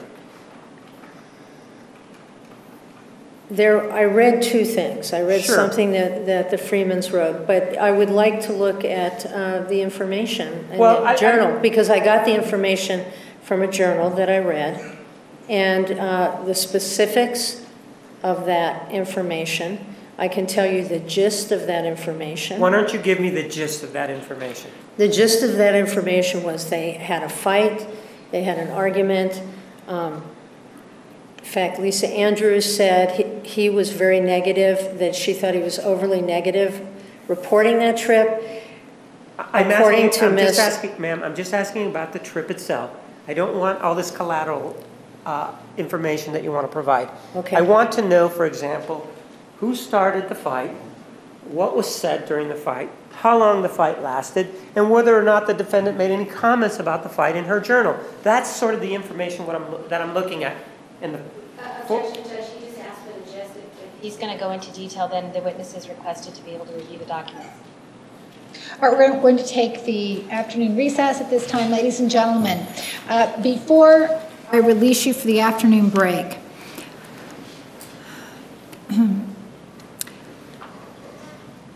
the court is considering holding trial on Friday, this week, this Friday, April 12, from 9:30 to 12:30. I'm also considering holding trial on April 26th, that's a Friday, from 9 to 4, and on May 3rd, from 10 to 4. During the break, please look at your calendar, and when you come back, I'm going to ask you to let me know if any of those dates Uh, would cause a problem for you in being present.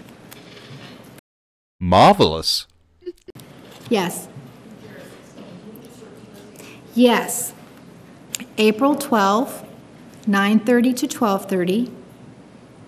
April 26, from 9 to 4. And May 3rd, from 10 to 4.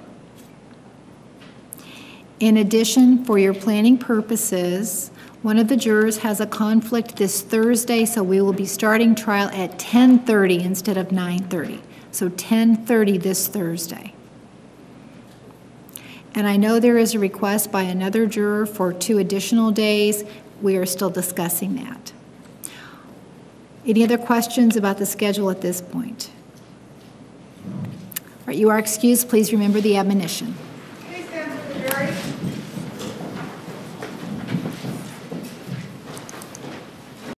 Yeah, whisper away, you gibbering shit sack. I wonder if she's really blowing in her ear.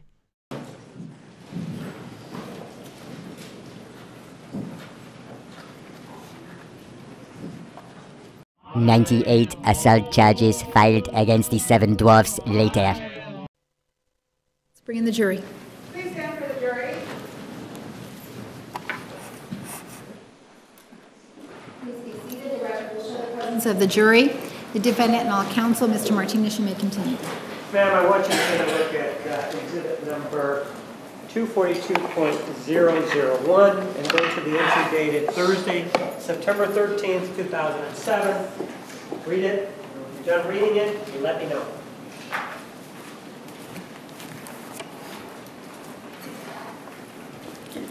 September 13th, did you say? I have it tabbed for you right there. See it? Let me do it again. Here. I'm sorry.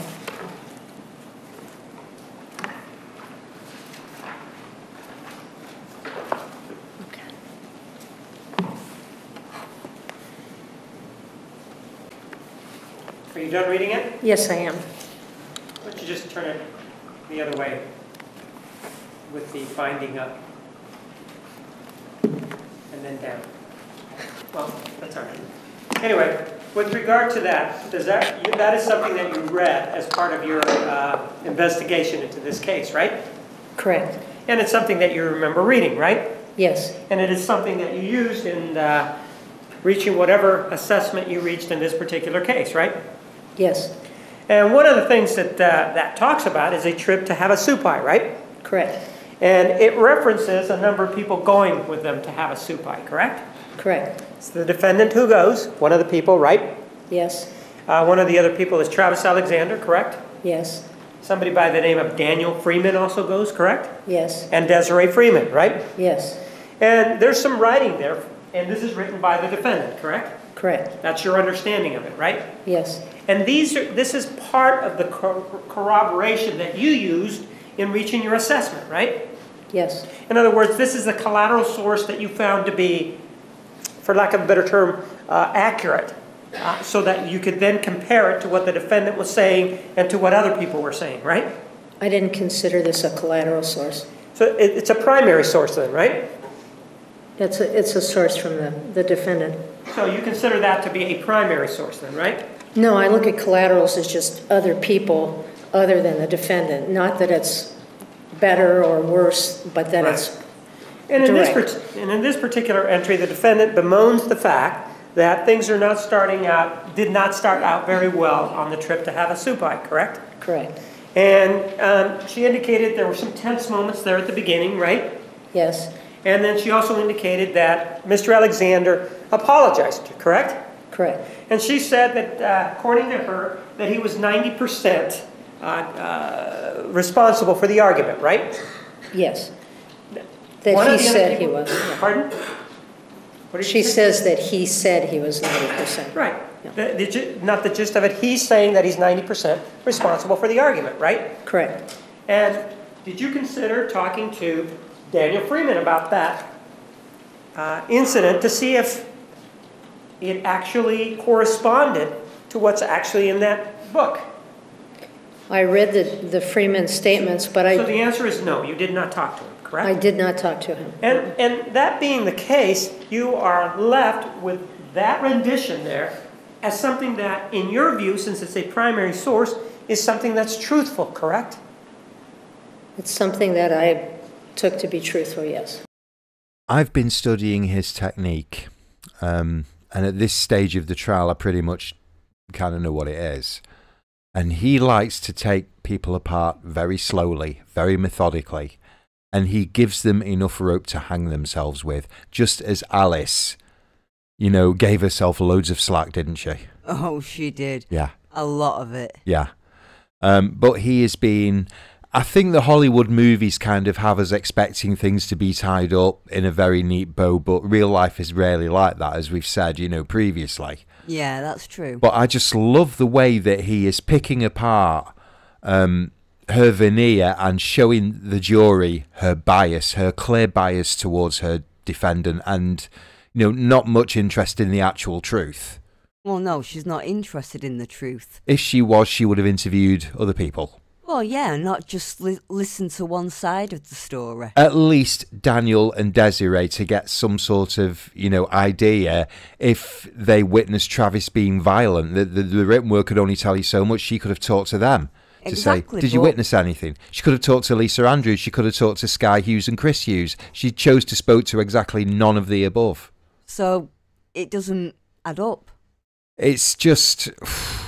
I just love how he's doing it, though. I love how he is saying you didn't talk to this person, and he's going Yeah. to each person in turn who was central in Jodi's life and saying you didn't talk to them, and he's saying to the jury, "This is what they've come up with."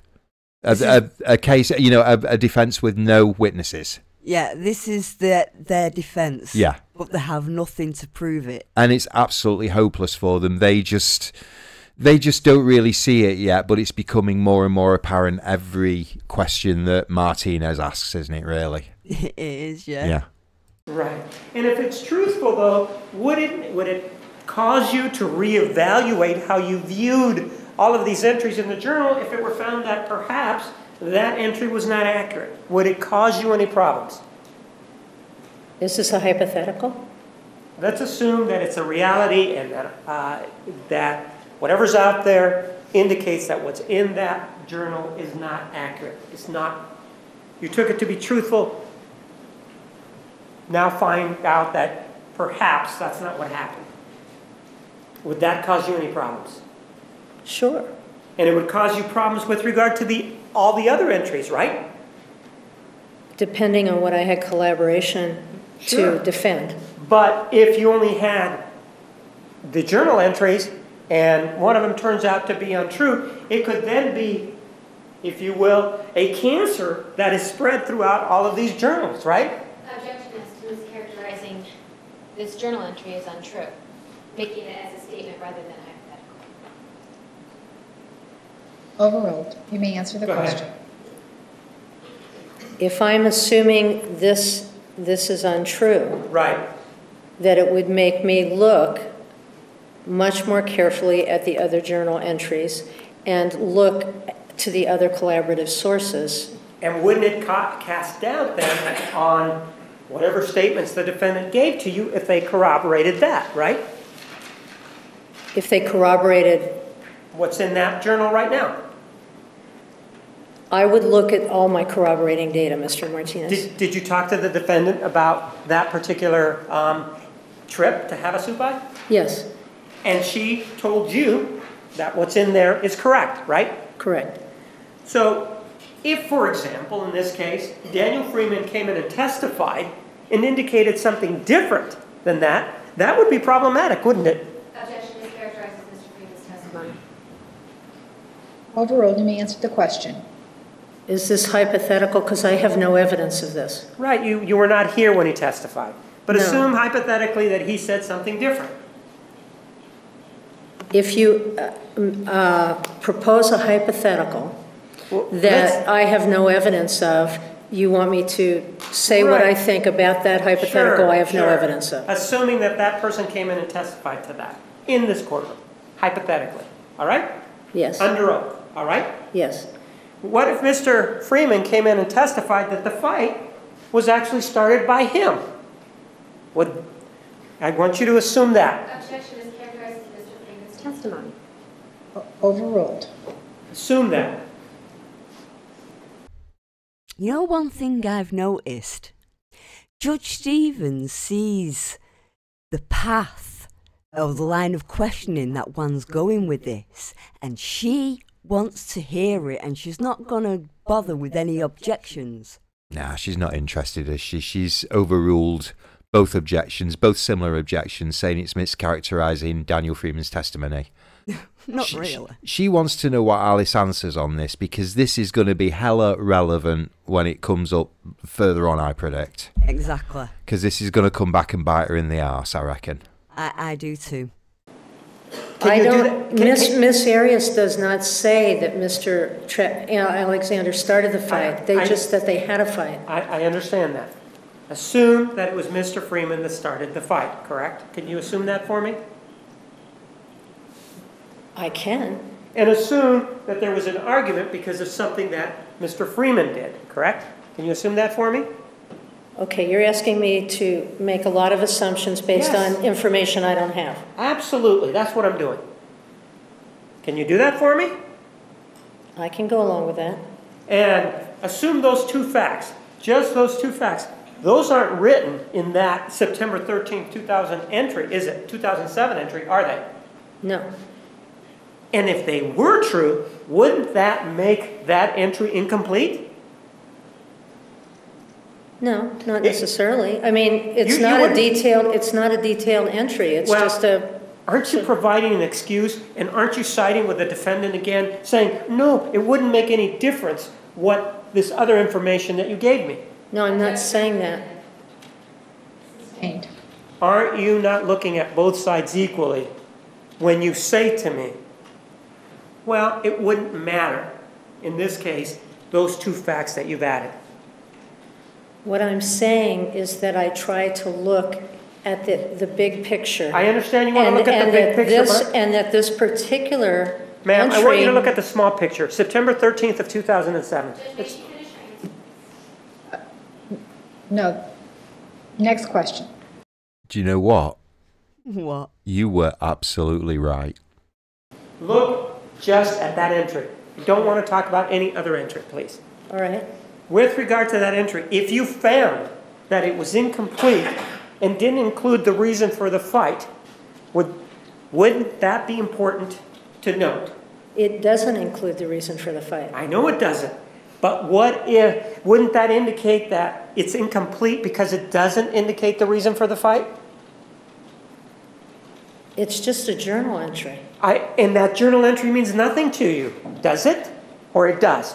A standalone journal entry Yes. doesn't mean as much to me as when I look at the big picture. I'm just talking about this one, and I understand what you're saying. It's, it's incomplete, I will agree with that. There's not any, any description of the fight or anything. So if it's incomplete with regard to that, and you're relying on it, it would appear that you're relying on something that's incomplete, correct? You're, I'm not sure that you're looking at how I rely on things. Well, you read it, right? Yes, I did. You put it into your brain, this brain that you use to go through this continuum of aggression, right? Objection argumentative. Overruled. Right? That I, You put that information, after reading it, assimilated it into your brain, and then made a decision based on this continuum of aggression that you talked about, right? That's what you, it's part of what you did with regard to that, right? I told you the way I used the- the continuum. So I'm not putting it into the continuum, I'm putting it into the big, All right, so you took the Cauldron. Yeah, in keeping with the the theme of this series, excellent use of that word. Big barrel of information that I've gotten. So you took this entry and you put it into this big barrel of information that you have, right? Correct. What if that's a cancerous, if you will, or invalid entry that you put in with the remain, with the other information that you have there? That won't affect your view or opinion in this case? Objection assumes facts not evidence. Overruled. Anything can affect, All right, specifically here in this case, we both agree, or you agree, that the reason for the fight is not there, correct? correct. And so that's an omission on, on the writer's part, correct? To put that in there. For whatever reason, the writer didn't put it in, right? Correct. You don't know the reason why the writer didn't put it in, correct? No, I don't. It could be that it would reflect badly on the writer, right? Objection speculation. Sustained. Well, with regard to this case, assume that Mr. Freeman came in and testified that the reason that the fight started was that the, because the defendant was being unreasonable as to the items that she was going to take on the trip. I want you to assume that. Objection characterized Mr. Freeman's testimony. Overruled. Assume that. Will you do that? So I'm, you- once again, you have me assuming Yes. facts I, I have no knowledge of. Absolutely. And no evidence for.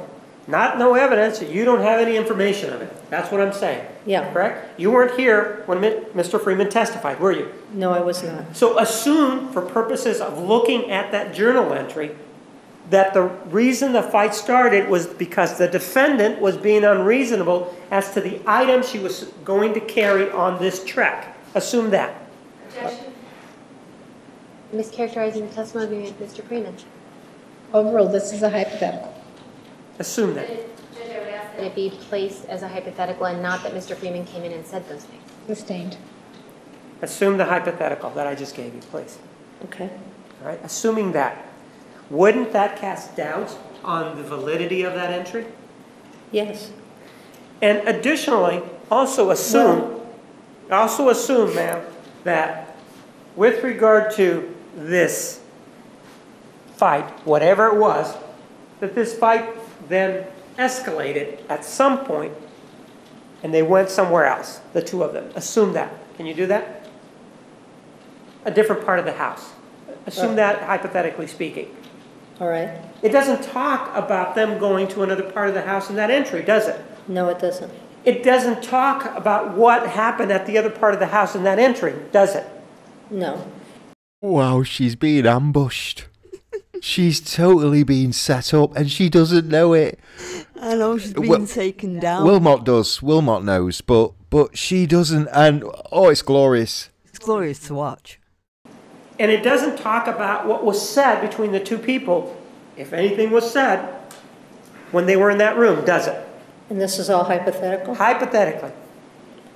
Hypothetically, hypothetically, you're, you're giving me a lot of things that I don't have any reason to believe, but I will go with a hypothetical if that's what you want. Well, does it say anything there about anything happening in a bathroom? No, Does it say anything in that entry about anybody cursing at anybody else? no, it does not. Does it say anything else about how that argument was resolved, if it was resolved at all in the bathroom? No, So you don't have any information. That entry is an example of something that is very incomplete, right? yes, And so, did you talk to the defendant about this?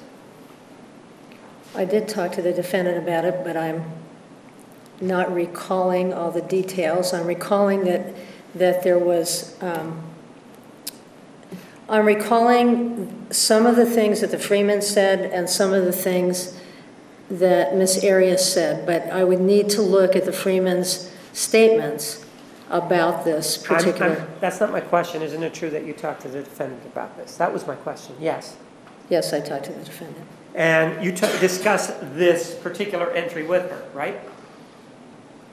This Yes, particular- And even though you discussed this with her, and even though you had the Freeman statement in front of you, whatever that statement would, may be, you still had, found there was, there was nothing invalid about this particular entry. In other words, it's something that you found according to your um, truth gate, gatekeeping um, um, abilities, you found that one to be true, correct? I found it to be one piece of information that I, I, I I didn't put that in the, if you're looking at it and saying, did I put that in the mix with domestic violence? No, I didn't. I'm I- not, I'm not asking you that, if you put it into the mix with domestic violence. Are you clear about that? No, I I'm- wasn't clear about that. I'm asking because you say that you're, you take the items and you look at items that you think are truth, and then you decide to do something with them. Did you decide that this was either truthful or untruthful, given the way you approached this? I decided that it wasn't incredibly important, but did I believe it? I thought something happened and that there was an argument, and that I believed that, that Mr. Alexander apologized. Yes, I did. I, I'm not asking that question specifically. You read the entry for September 13, 2007, right? Yes, I did. And you, it's the written version, correct? Correct. I'm asking you if you believe the written version in that exhibit. Yes or no? Objection, asked and answered. Overruled. Did I believe, did I Yes. believe the limited information that was given there? Yes. mhm. Did I believe there was an argument?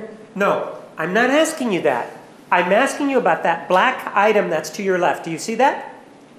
Yes, I see It's that, a but I'm not, It's a- I'm, Ma'am, let me do it this way. It's a journal, correct? correct. In that journal, it's an entry for September 23, 2007, right? September 13th, 2007, Seven- right? The 13th, Right. not the 23rd. Right? This is 13th, correct? Yes, Do you believe that entry for September 13th, 2007, in that black book that's to your left? Yes or no? do I believe all, The that, truthfulness- that it was just, do I No. believe there was an entry that said, I, I'm not sure what you're trying to get here. Delaying the inevitable, isn't she? Well, I'm not ma'am, you say that you evaluate what's being told to you for the truthfulness. Didn't you just tell us that earlier today?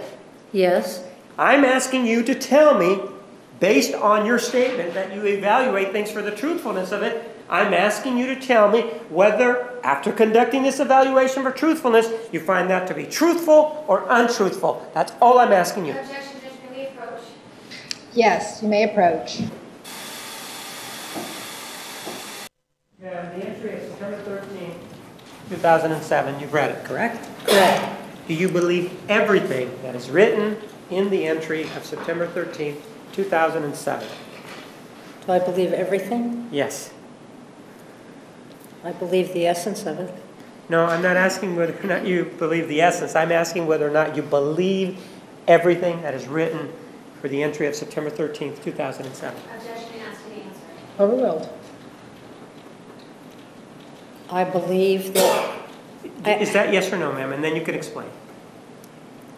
I basically, yes, I have no reason All not to right, believe thank it. you. Okay. Just want to let you guys know that, well, I am sat sitting here quietly tittering to myself. Talk about knob rushes. Indeed. Now, one of the things that you told us in taking a look at the defendant's journal was that you saw no evidence of jealousy, right? Correct. And that would assume that if you saw no evidence of jealousy, was that all of the entries would be complete and truthful, correct? Not necessarily. Well, if some entries were incomplete and untruthful, wouldn't that cast doubt on the completeness of the writings? Yes, it could. And so in this case, though, you took a look at all of the journals and all of the writings in the journals, and in response to a question on direct examination, you said, I saw no evidence of jealousy, correct? That wasn't just about the journals, Mr. Martinez, that was about the other evidence as well. Right. Assume that you looked at, I, fine, you looked at the other evidence, at the other evidence too, correct? Correct. Well, part of what you used to look at was the journals, right? I did use the journals as well. And I want you to focus on the journals only for the purposes of my next questions, correct? Okay. And this is the journal that has this law. Uh, uh, uh, whenever the defendant writes, she, she, um, she, de- she applies this law, correct? The law of attraction. Right, the law of attraction, correct? So that she wouldn't put anything negative in there, right? She did put some negative things in the journal. I know that you indicated that she did put some negative things in the journal, but she didn't put anything about Mr. Alexander hitting her, correct? Right.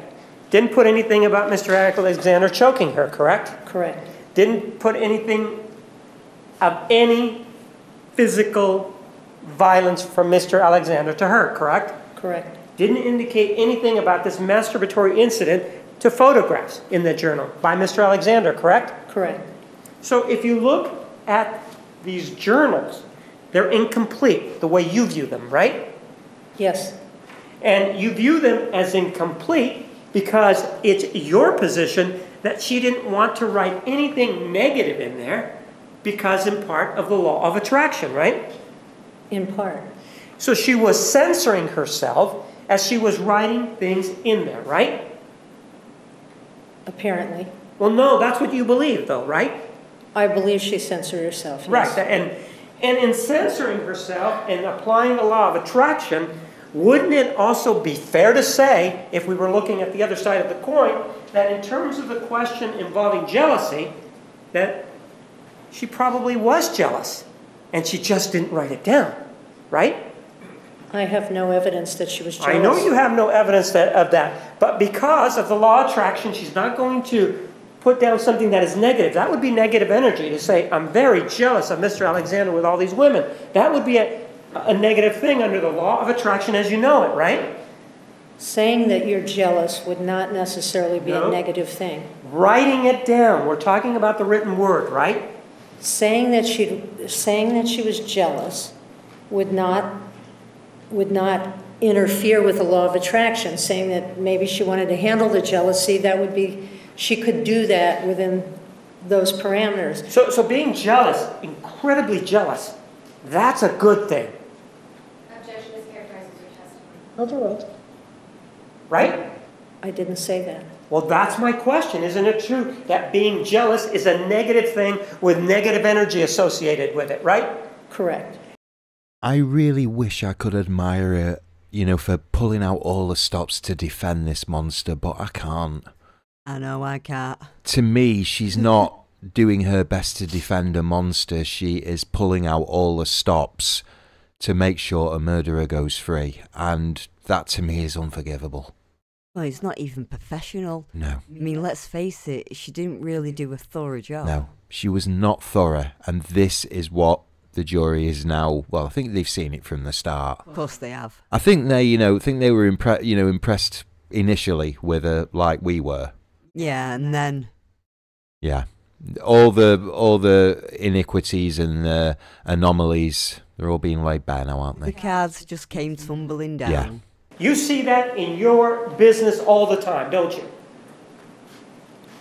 I see what? Jealousy in Yes, I do. couples that you counsel, don't you? Yes, I do. It's a real negative emotion, isn't it? In the people that you counsel, right? It depends. Well, okay, so it's positive in some of the couples that you counsel. No, jealousy. it's not a pattern in some of the couples that I counsel. I'm not asking about pattern, I'm asking about the emotion of jealousy. In mm. your experience, isn't that a negative emotion? It's a human emotion. There Oh, so, but it's a positive emotion then. I'm asking you to put a perspective on it for me. Do you view it as an, as, an, as somebody who does this forensic evaluations in domestic violence? Do you view it as a positive emotion, jealousy? I view it in regard to the behavior it generates. So if it generates negative behavior, then it becomes negative. It's an emotion. An emotion in and of itself doesn't have to be particularly negative unless there is very negative behavior associated with it. Give me examples where jealousy generates positive things from it. Give me an example.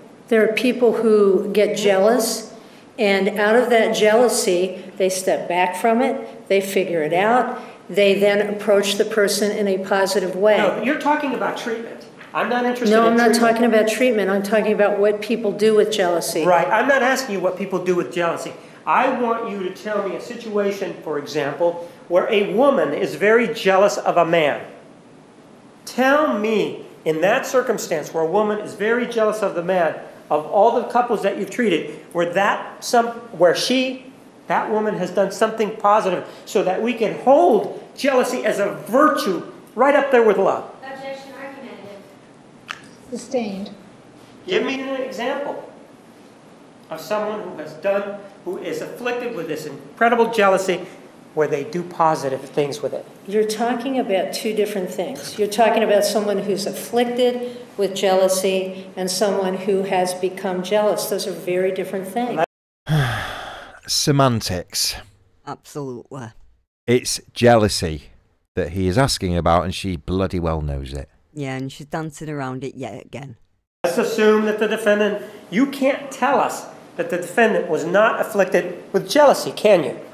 I can tell you I have no evidence and collateral data that she is, and not just in her journal. Well, I'm talking about the journal. If a person, if the defendant were afflicted with jealousy, that would be a negative energy kind of thing in violation of this law that she pres- subscribes to. Yes or no? What do you mean by afflicted? What do you mean by afflicted? Isn't that the term that you used just now? No, you used the term afflicted, and I'm re- You did, you feeding did, it back to you. You, you didn't say a person was is afflicted with jealousy? I said it after you said it. You believe that I was the one that started this then? Okay. There are two types of emotions with regard to jealousy. Do you remember describing them to me just now? I said there's a difference in a pattern of jealousy, and that's basically the whole context of this of this testimony is that there is a difference between, for instance, somebody being angry and somebody having a pattern that's destructive. There's a there's a difference between somebody feeling jealous, which human beings feel, and them acting out in a jealous way and having a pattern of jealous behavior. Let's assume a pattern of jealous behavior. That's what we're talking about. So, stalking both Travis and Lisa, slashing their tyres, Sneaking into his house. yeah, making cookies, uh, pretending to be a bloody Christmas tree, uh, peeking in windows when he's snogging Lisa, uh, sending Lisa nasty letters and. um, Intercepting his. yeah, and, you know, sending Travis fake forwarded messages. Yeah. All of this sounds like jealous behaviour, and yet it's behaviour that she didn't think was jealousy. Which does not add up. No, Because so that is jealousy. would you trust this woman at that time to sort out your domestic violence problems? Because, as we've said earlier on, no way. I'd get me money back if I were her patients. Exactly. Can we assume that for purposes of this discussion? So you're assuming No, I'm asking you to just think about this in terms of a pattern of jealous behavior. Can you do that? you're asking me to hypothetical Yes, of course. and a hypothetical that I have no evidence of. It's a hypothetical, ma'am. Can you do that? I can sure Let's try. assume that the defendant has a pattern, a hypothetical pattern of jealousy. You don't see a, hypo- a pattern of jealousy in the journals, do you? No, I don't. But that lack of pattern in these journals could be because of the law of attraction, because that's a negative energy kind of emotion or pattern, right? Objection, speculation. Well, this law of attraction, this energy that you've talked about, you're saying that a pattern of jealousy is a positive thing under the law of attraction? I never said that. It's a negative thing, isn't it? A pattern of jealousy Yes. is a negative thing. Right. And so that goes against the law of attraction, doesn't it? Where you put out positive vibes, right? Yes. And so if the defendant exhibited a pattern of jealousy throughout her life and didn't write about it in those journals, the reason could be because of the law of attraction that you've talked to us about, right? Right? Nobody has indicated she has a pattern of jealousy. I just indicated it to you. You've indicated it in a, pi- Objection, that pa- misrepresents the in a hypothetical. Uh, Hold on. I indicated it to you, and you're saying that even if it's, my point is this. This pattern of jealousy, if there is one, would not show up in those journals because she wouldn't write about it, right? Probably not. And, ma'am, with regard to this pattern of jealousy, one of the things that we can look at for the pattern of jealousy is what an individual has done, in this case, the defendant, in her other relationships, right? That's something to look at, right? Correct. Not only is it what they do, but how they handle things, right? Correct. You're aware, for example, that the defendant dated somebody by the name of Robert or Bobby Juarez, right? Correct. Okay, we're just going to take this opportunity um, just to do our last pun about Bobby Juarez and close the lid.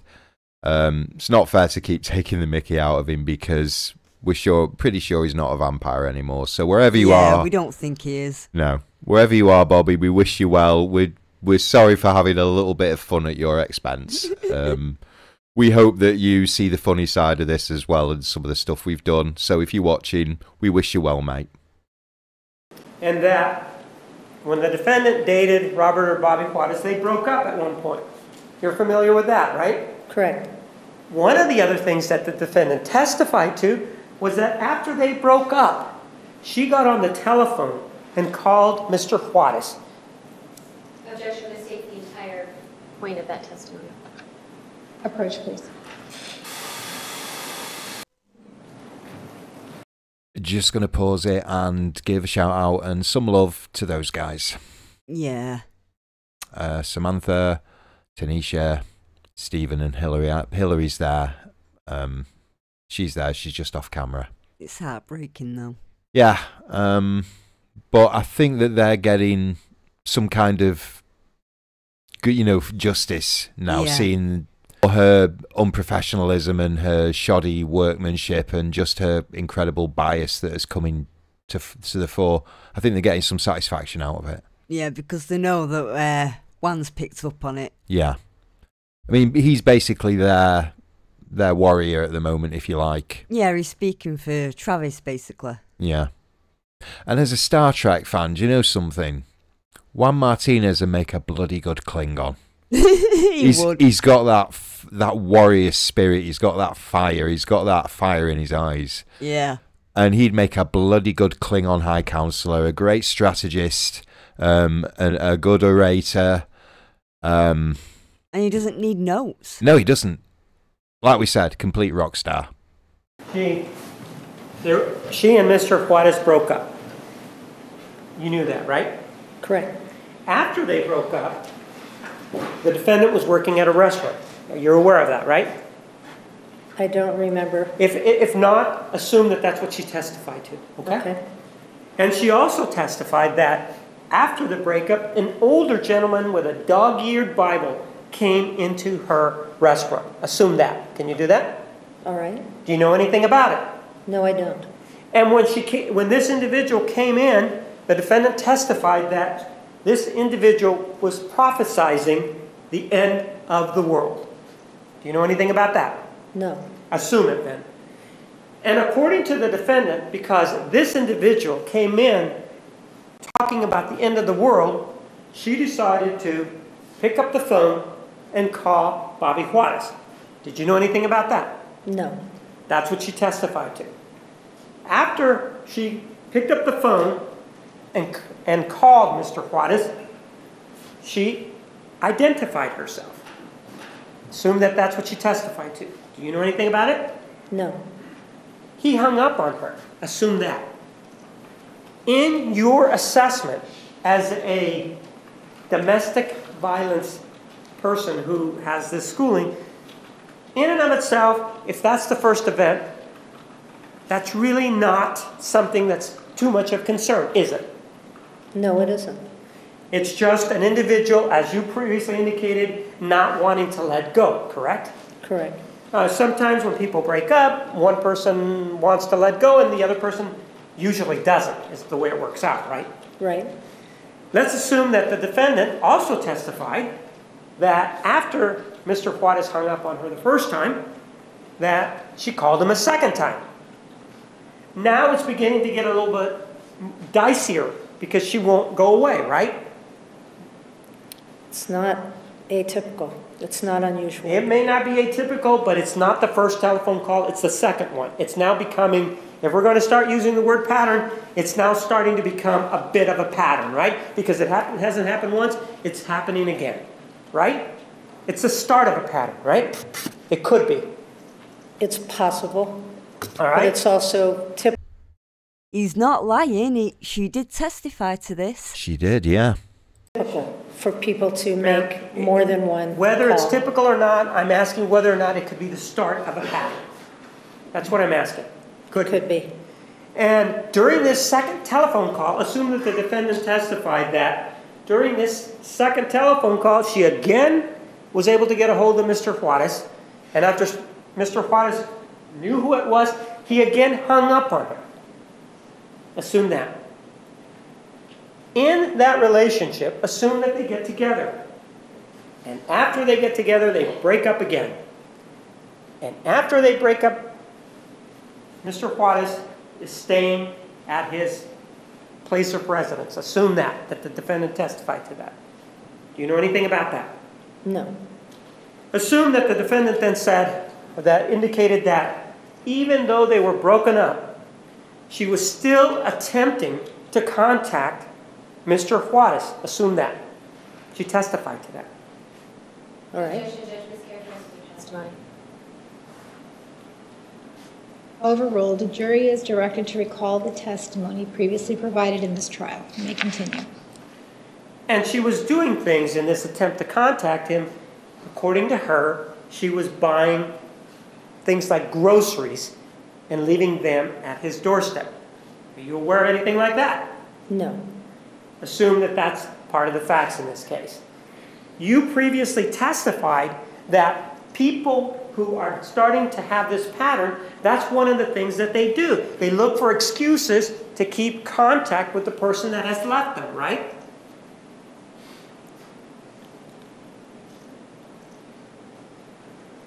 Different situation at the end of a relationship. People oftentimes don't let go right away. But I, I, would want to see how far it went and, and I'm, I'm, what? te I'm You're telling you tell how me. far it went. That's All what the defendant testified to. All right, That she left things like groceries at his doorstep all right. for whatever reason. So again, even though the relationship is over, that indicates that there's still, on the part of the defendant, some action to keep contact, doesn't it? Yes, And again, if we take into account the two calls that were involved and now this contact, it does seem that there's the beginning of a pattern where the defendant is doing something in a, in, in a positive fashion to keep the relationship going when the other party is, is done, right? Objection, foundation, and timeline as to, as to over what time of period this is actually occurring. Sustained. Let's say it happened within a year, all right? Will you assume that? that, that there's a year No, of constant let me put it this contact? way. I'm- I'm Assume not that there's a breakup, there's the calls, they get back together, they break up again, and then there's this contact, leaving things at the door, and that all that happens, let's say, between six to eight months apart, this whole thing. Assume that. Okay, And then assume that the defendant told us that they break up again, and that the individual, Bobby Juarez, moved to Medford. Do you know anything about that? I don't know about Bobby Juarez. I don't know much about Bobby Juarez. So why the hell is she testifying for? And why did Willmott and Nurmi not prepare her? Yeah, I mean, you would think that she, you know, that the, they would have gone over the Bobby Juarez stuff with her. considering how heavily it was covered during Jodi's testimony. Exactly. They may have, you know, they, they should have actually been more thorough and said, well, you know, review the Bobby Juarez stuff. Usually, uh, lawyers prepare the witnesses. Yeah. But this, She hasn't been prepared. no, she wasn't prepared. And she didn't go as far back as she should have done because, I mean, I don't even think Willmott and Nurmi expected, you know, Martinez to be this thorough, to go back to what Bobby, you know, Bobby Juarez even, to go back to her teenage years. But he deals. He's left very, if he's left any stones unturned, there's very, very few, isn't there? Oh, yeah. We'll assume that he moved to a place called Medford, Oregon. That, that was the testimony, correct? And after, and he started to live with an individual by the name of Matthew McCartney. Do you know anything about that? I do know about that.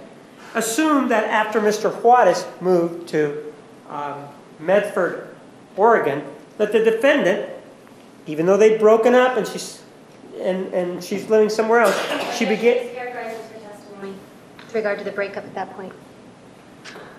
Overruled again, the jury is directed to recall the testimony. You may continue. After the breakup, and Mr. Juarez is in Medford, Oregon, living with Matthew McCartney, she testified that she then started going there on weekends. Assume that. Doesn't that begin to show a pattern of number one, telephone calls, then contact at the door, and then after the individual and they're broken up moves away, she's still starting keep it, trying to keep contact. Doesn't that, and this is over a period of many months, isn't that the beginnings of a pattern? Objection, Judge. Mischaracterizing Ms. Arias' testimony as to when the breakup occurred, they were not broken up at that point when she was traveling. So the hypothetical is not true. Approach, please.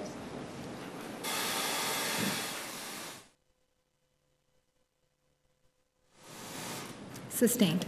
You may And assume that they were broken up when Mr. Juarez moved to Medford. Assume that, okay? Will you do that as part of the hypothetical?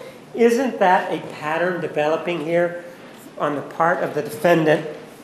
A jealous sort of pattern where Mr. Juarez and her are broken up, she's making telephone calls, and after making telephone calls, she then starts bringing him stuff over to his house, and then after he moves away, she goes to the area where he has moved to.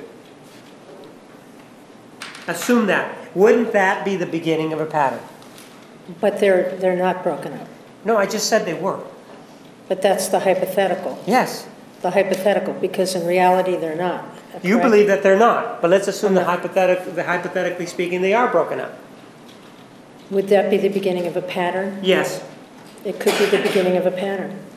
Let's talk about Matthew McCartney. You're familiar with the relationship involving the defendant and Mr. McCartney, correct? Correct. And in fact, uh, the defendant sort of went from Mr. Um, Juarez and started dating Mr. McCartney, right? Correct. And there came a point when they started dating that, for whatever reason, there was going to be a breakup, right? Correct. And it was the defendant who refused to accept the breakup, correct? She had a hard time with the breakup. In other words, he wanted to break up and she did not, right? Correct. And when they were going through this process, he believed that they were already broken up, right? When, Objection made. He, at some Sustained. point, they broke up at some point, didn't they? yes. And after they broke up, the defendant then confronted somebody by the name of Bianca, correct? Correct. Objection to states her testimony after the breakup. Overruled. And I don't think it was a confrontation. I didn't say uh, uh, the confrontation, but it's after the breakup that Ms. Arias, according to you, goes and talks to Bianca, right? Objection is characterizing the testimony.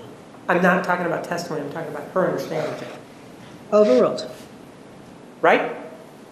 I'm not sure if they were broken up or not. I, I only know that, that she went and talked to Bianca. She talked to Bianca about the breakup. God, how many examples are we seeing of her lack of preparation, her lack of research, her lack of work on this case. Yeah, she's not done a th- fuller investigation, No. otherwise she would have had that information. She has done a half, she's not even done a half job of it. She's not even gone, you know, nearly as deep as she needed to in order to fully determine who she was, you know, going to represent and who she was going to defend and help defend. Yeah, but I don't think they actually properly uh, prepared, prepared her for it. No. I mean, you would think that, you know, the time she spent with Martinez would have kind of opened her eyes a little bit as to, you know, The what. kind of prosecutor he is. yeah, not just that, but what her client is capable of. Exactly. And it just boggles the mind that she still, even to this day, but certainly back here in this period, is steadfast, loyal, and true to her client. And I just don't get it, do you? It No, just doesn't make sense. It's not logical.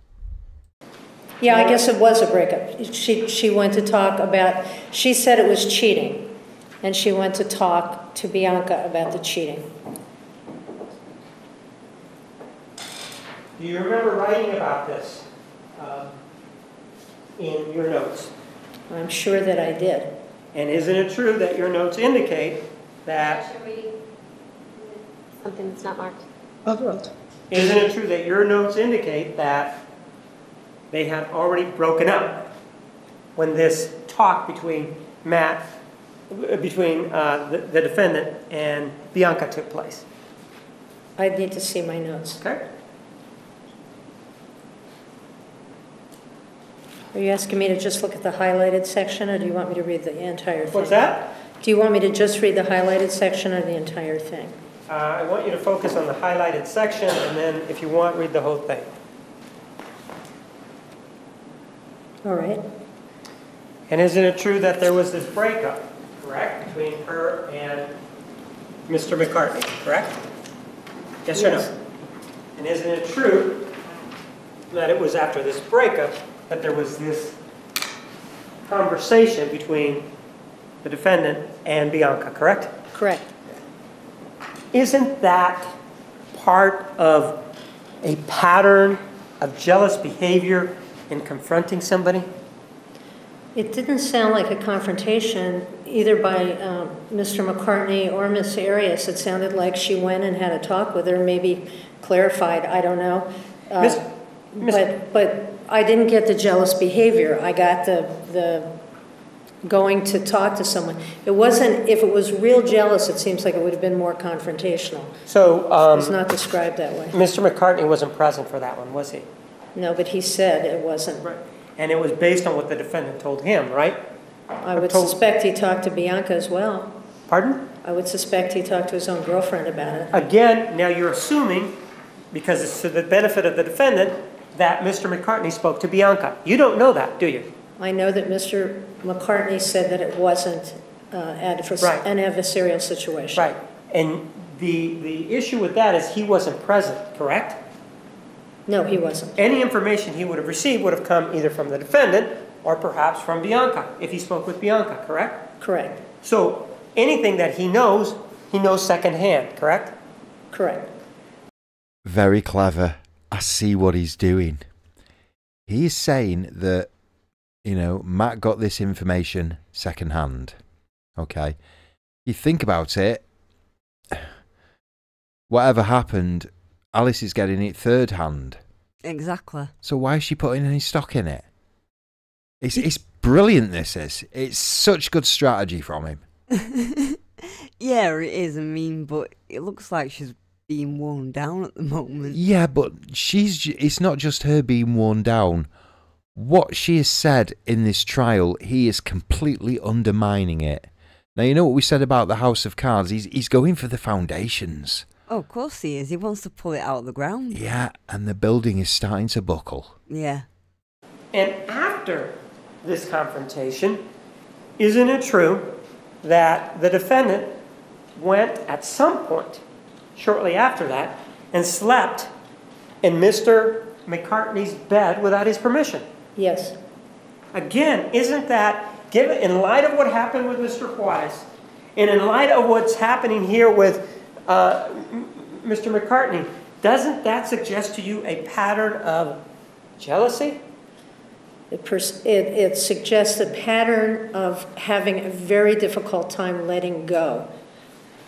What the bloody hell is the difference? That is jealousy.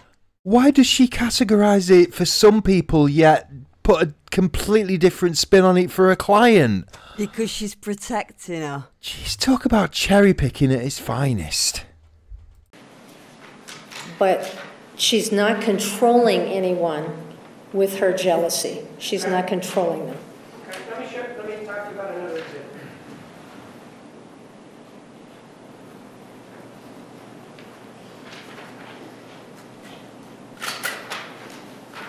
Take a look at uh, this exhibit, 614. You recognize it?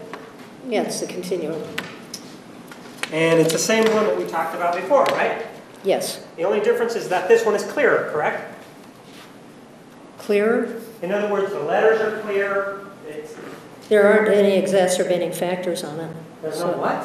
There's no exacerbating factors on Right, it. other than that, and that's the other change, but other than that, it's just a clear presentation of the um, items uh, in the up and down fashion, right? Judge Means she had the original exhibit to compare. Yes. Judge, I don't want her to compare to the original. I'm just saying, isn't this something that she present, that, sh- that she's familiar with? All right, overruled. Is this something you're familiar with and you put together, correct? Yes, it's incomplete. And That's not it. th- that's fine, it's incomplete, but this is something you put together, correct? Yes. All right?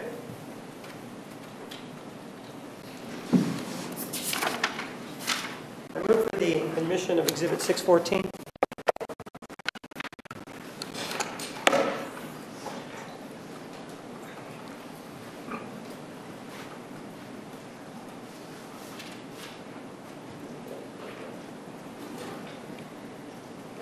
Judge, may we approach?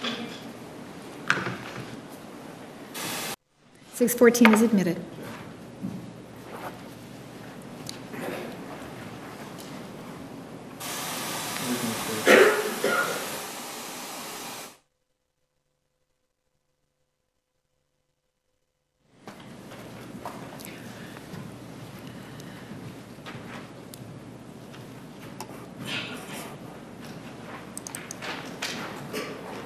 Now, you indicated that that was, in regard to the, what we've been talking about, the defendant, that that was not necessarily a pattern of jealousy, correct? Correct. Actually, what we're really talking about is that that's a pattern of stalking, isn't it? No, it isn't. Oh, yes, it is. Well, she's gone and contacted Bobby Juarez on the telephone two times after the breakup, right? She has. And she's left things at his door after they've broken up, correct? Stalking implies fear. Yes or no? Stalking implies Yes fear. or no? Incorrect. She's Stalking is about fear. Yes, what's the objection? The objection is she clearly cannot answer the question with a yes or no answer. All right. Overruled. Restate your question. Isn't it true that she, with regard to Mr. Juarez, she left things in, uh, at his doorstep, correct? I'm- Yes. And isn't it true that with regard to Mr. McCartney, one of the things that she did is that she went and spoke to the person that she believed that he was seeing, correct? Correct. And then she slept in his bed, right? She did. And with regard to Mr. Alexander, isn't it true that one of the things that you know with regard to the Reagan Housling uh, um, instant messaging was that Mr. Alexander was exceedingly afraid because of the defendant's stalking behavior? Overruled. You may, I don't know that he's exceedingly afraid. I don't get, J- Judge, may I then ask her the, what I think we'll need to approach. and- Yes, all right. Ladies and gentlemen, we're going to take the evening recess. During the break, did you have an opportunity to look at your schedules for the dates I indicated earlier? Let's start with this Friday, April 12th, from 9:30 to 12:30. Is there anyone who could not be here from 9:30 to 12:30 this Friday? All right, thank you. Please plan to be here. For April 26th, from 9 to 4, is there anyone who could not be here? Thank you, please plan to be here. Now, May 3rd, it appears we may not need that date, but is there anyone who has a problem with that date? Excuse me. All right, please keep that on your calendar as well. All right, please remember the admonition. Have a nice evening tomorrow morning, 9:30. Have a nice evening. Wow. Talk about an eventful day of testimony. Yeah, that was very eventful. Yeah. I mean, he picked apart. I don't think he's done yet. I don't know how long he's got to question her, but I'm sure he's savouring every moment and he's drawing it out as long as he can. Yeah, and he's bringing out little things every single time. Yeah. Picking one, an, another one of her lies. Yeah. And holes are just appearing everywhere. Her her testimony now looks like Swiss cheese. Yeah, with a load of holes. Yeah. Um it has been very gratifying to see, hasn't it? It has, yeah. Been great to see her tuck down a peg or two. Yeah, but not just that, the way it's done. It's just done so skillfully and just so methodically. And I tell you what, it's for a guy with no notes, it's almost surgical. It's it's wow. Yeah. It really it really has blown us away today, but um part 48 hopefully if we can do it next week, next Saturday, if not we'll let you know, but you know, we'll see a bit more from him. But Yeah, we maybe. we really enjoyed that day, didn't we? Yeah, we did. Yeah, it was uh it was a- it was fascinating to watch. Brilliant. Absolutely brilliant. We hope you guys enjoyed watching it with us. Um, we hope you enjoyed and, and you know, got something out of our comments on this. Um, thank you so much for staying with us if you're still here. I mean, this is what this is well over four hours, isn't it? This video. Yeah, it's a long one. this A long one, this one. So thanks for staying with us. Um, and thank you to all our new subscribers. We finally got over 6,000 subscribers. Thank you so much, yeah, everybody. Thank you very much, everybody. Um, here's to the next next thousand. um, but every one of you that subscribed to us, we really appreciate it. We're grateful for you. Thank you. Thank you very much. Uh, thank you for all the comments. Keep them coming. Um, we're trying to engage with you as much as we can. Uh, thank you for all the likes. Thank you so, so much to our Macclesfield mob for keeping the faith, staying with us, and believing in us. We love you so much, guys. yeah, thank you very much, everybody. We're going to do maybe a live stream exclusively for you guys. So uh, please do stay tuned for that, yeah? Yeah, and keep a lookout. yeah, keep a lookout for that. We're, we're planning on doing a live stream just for you guys.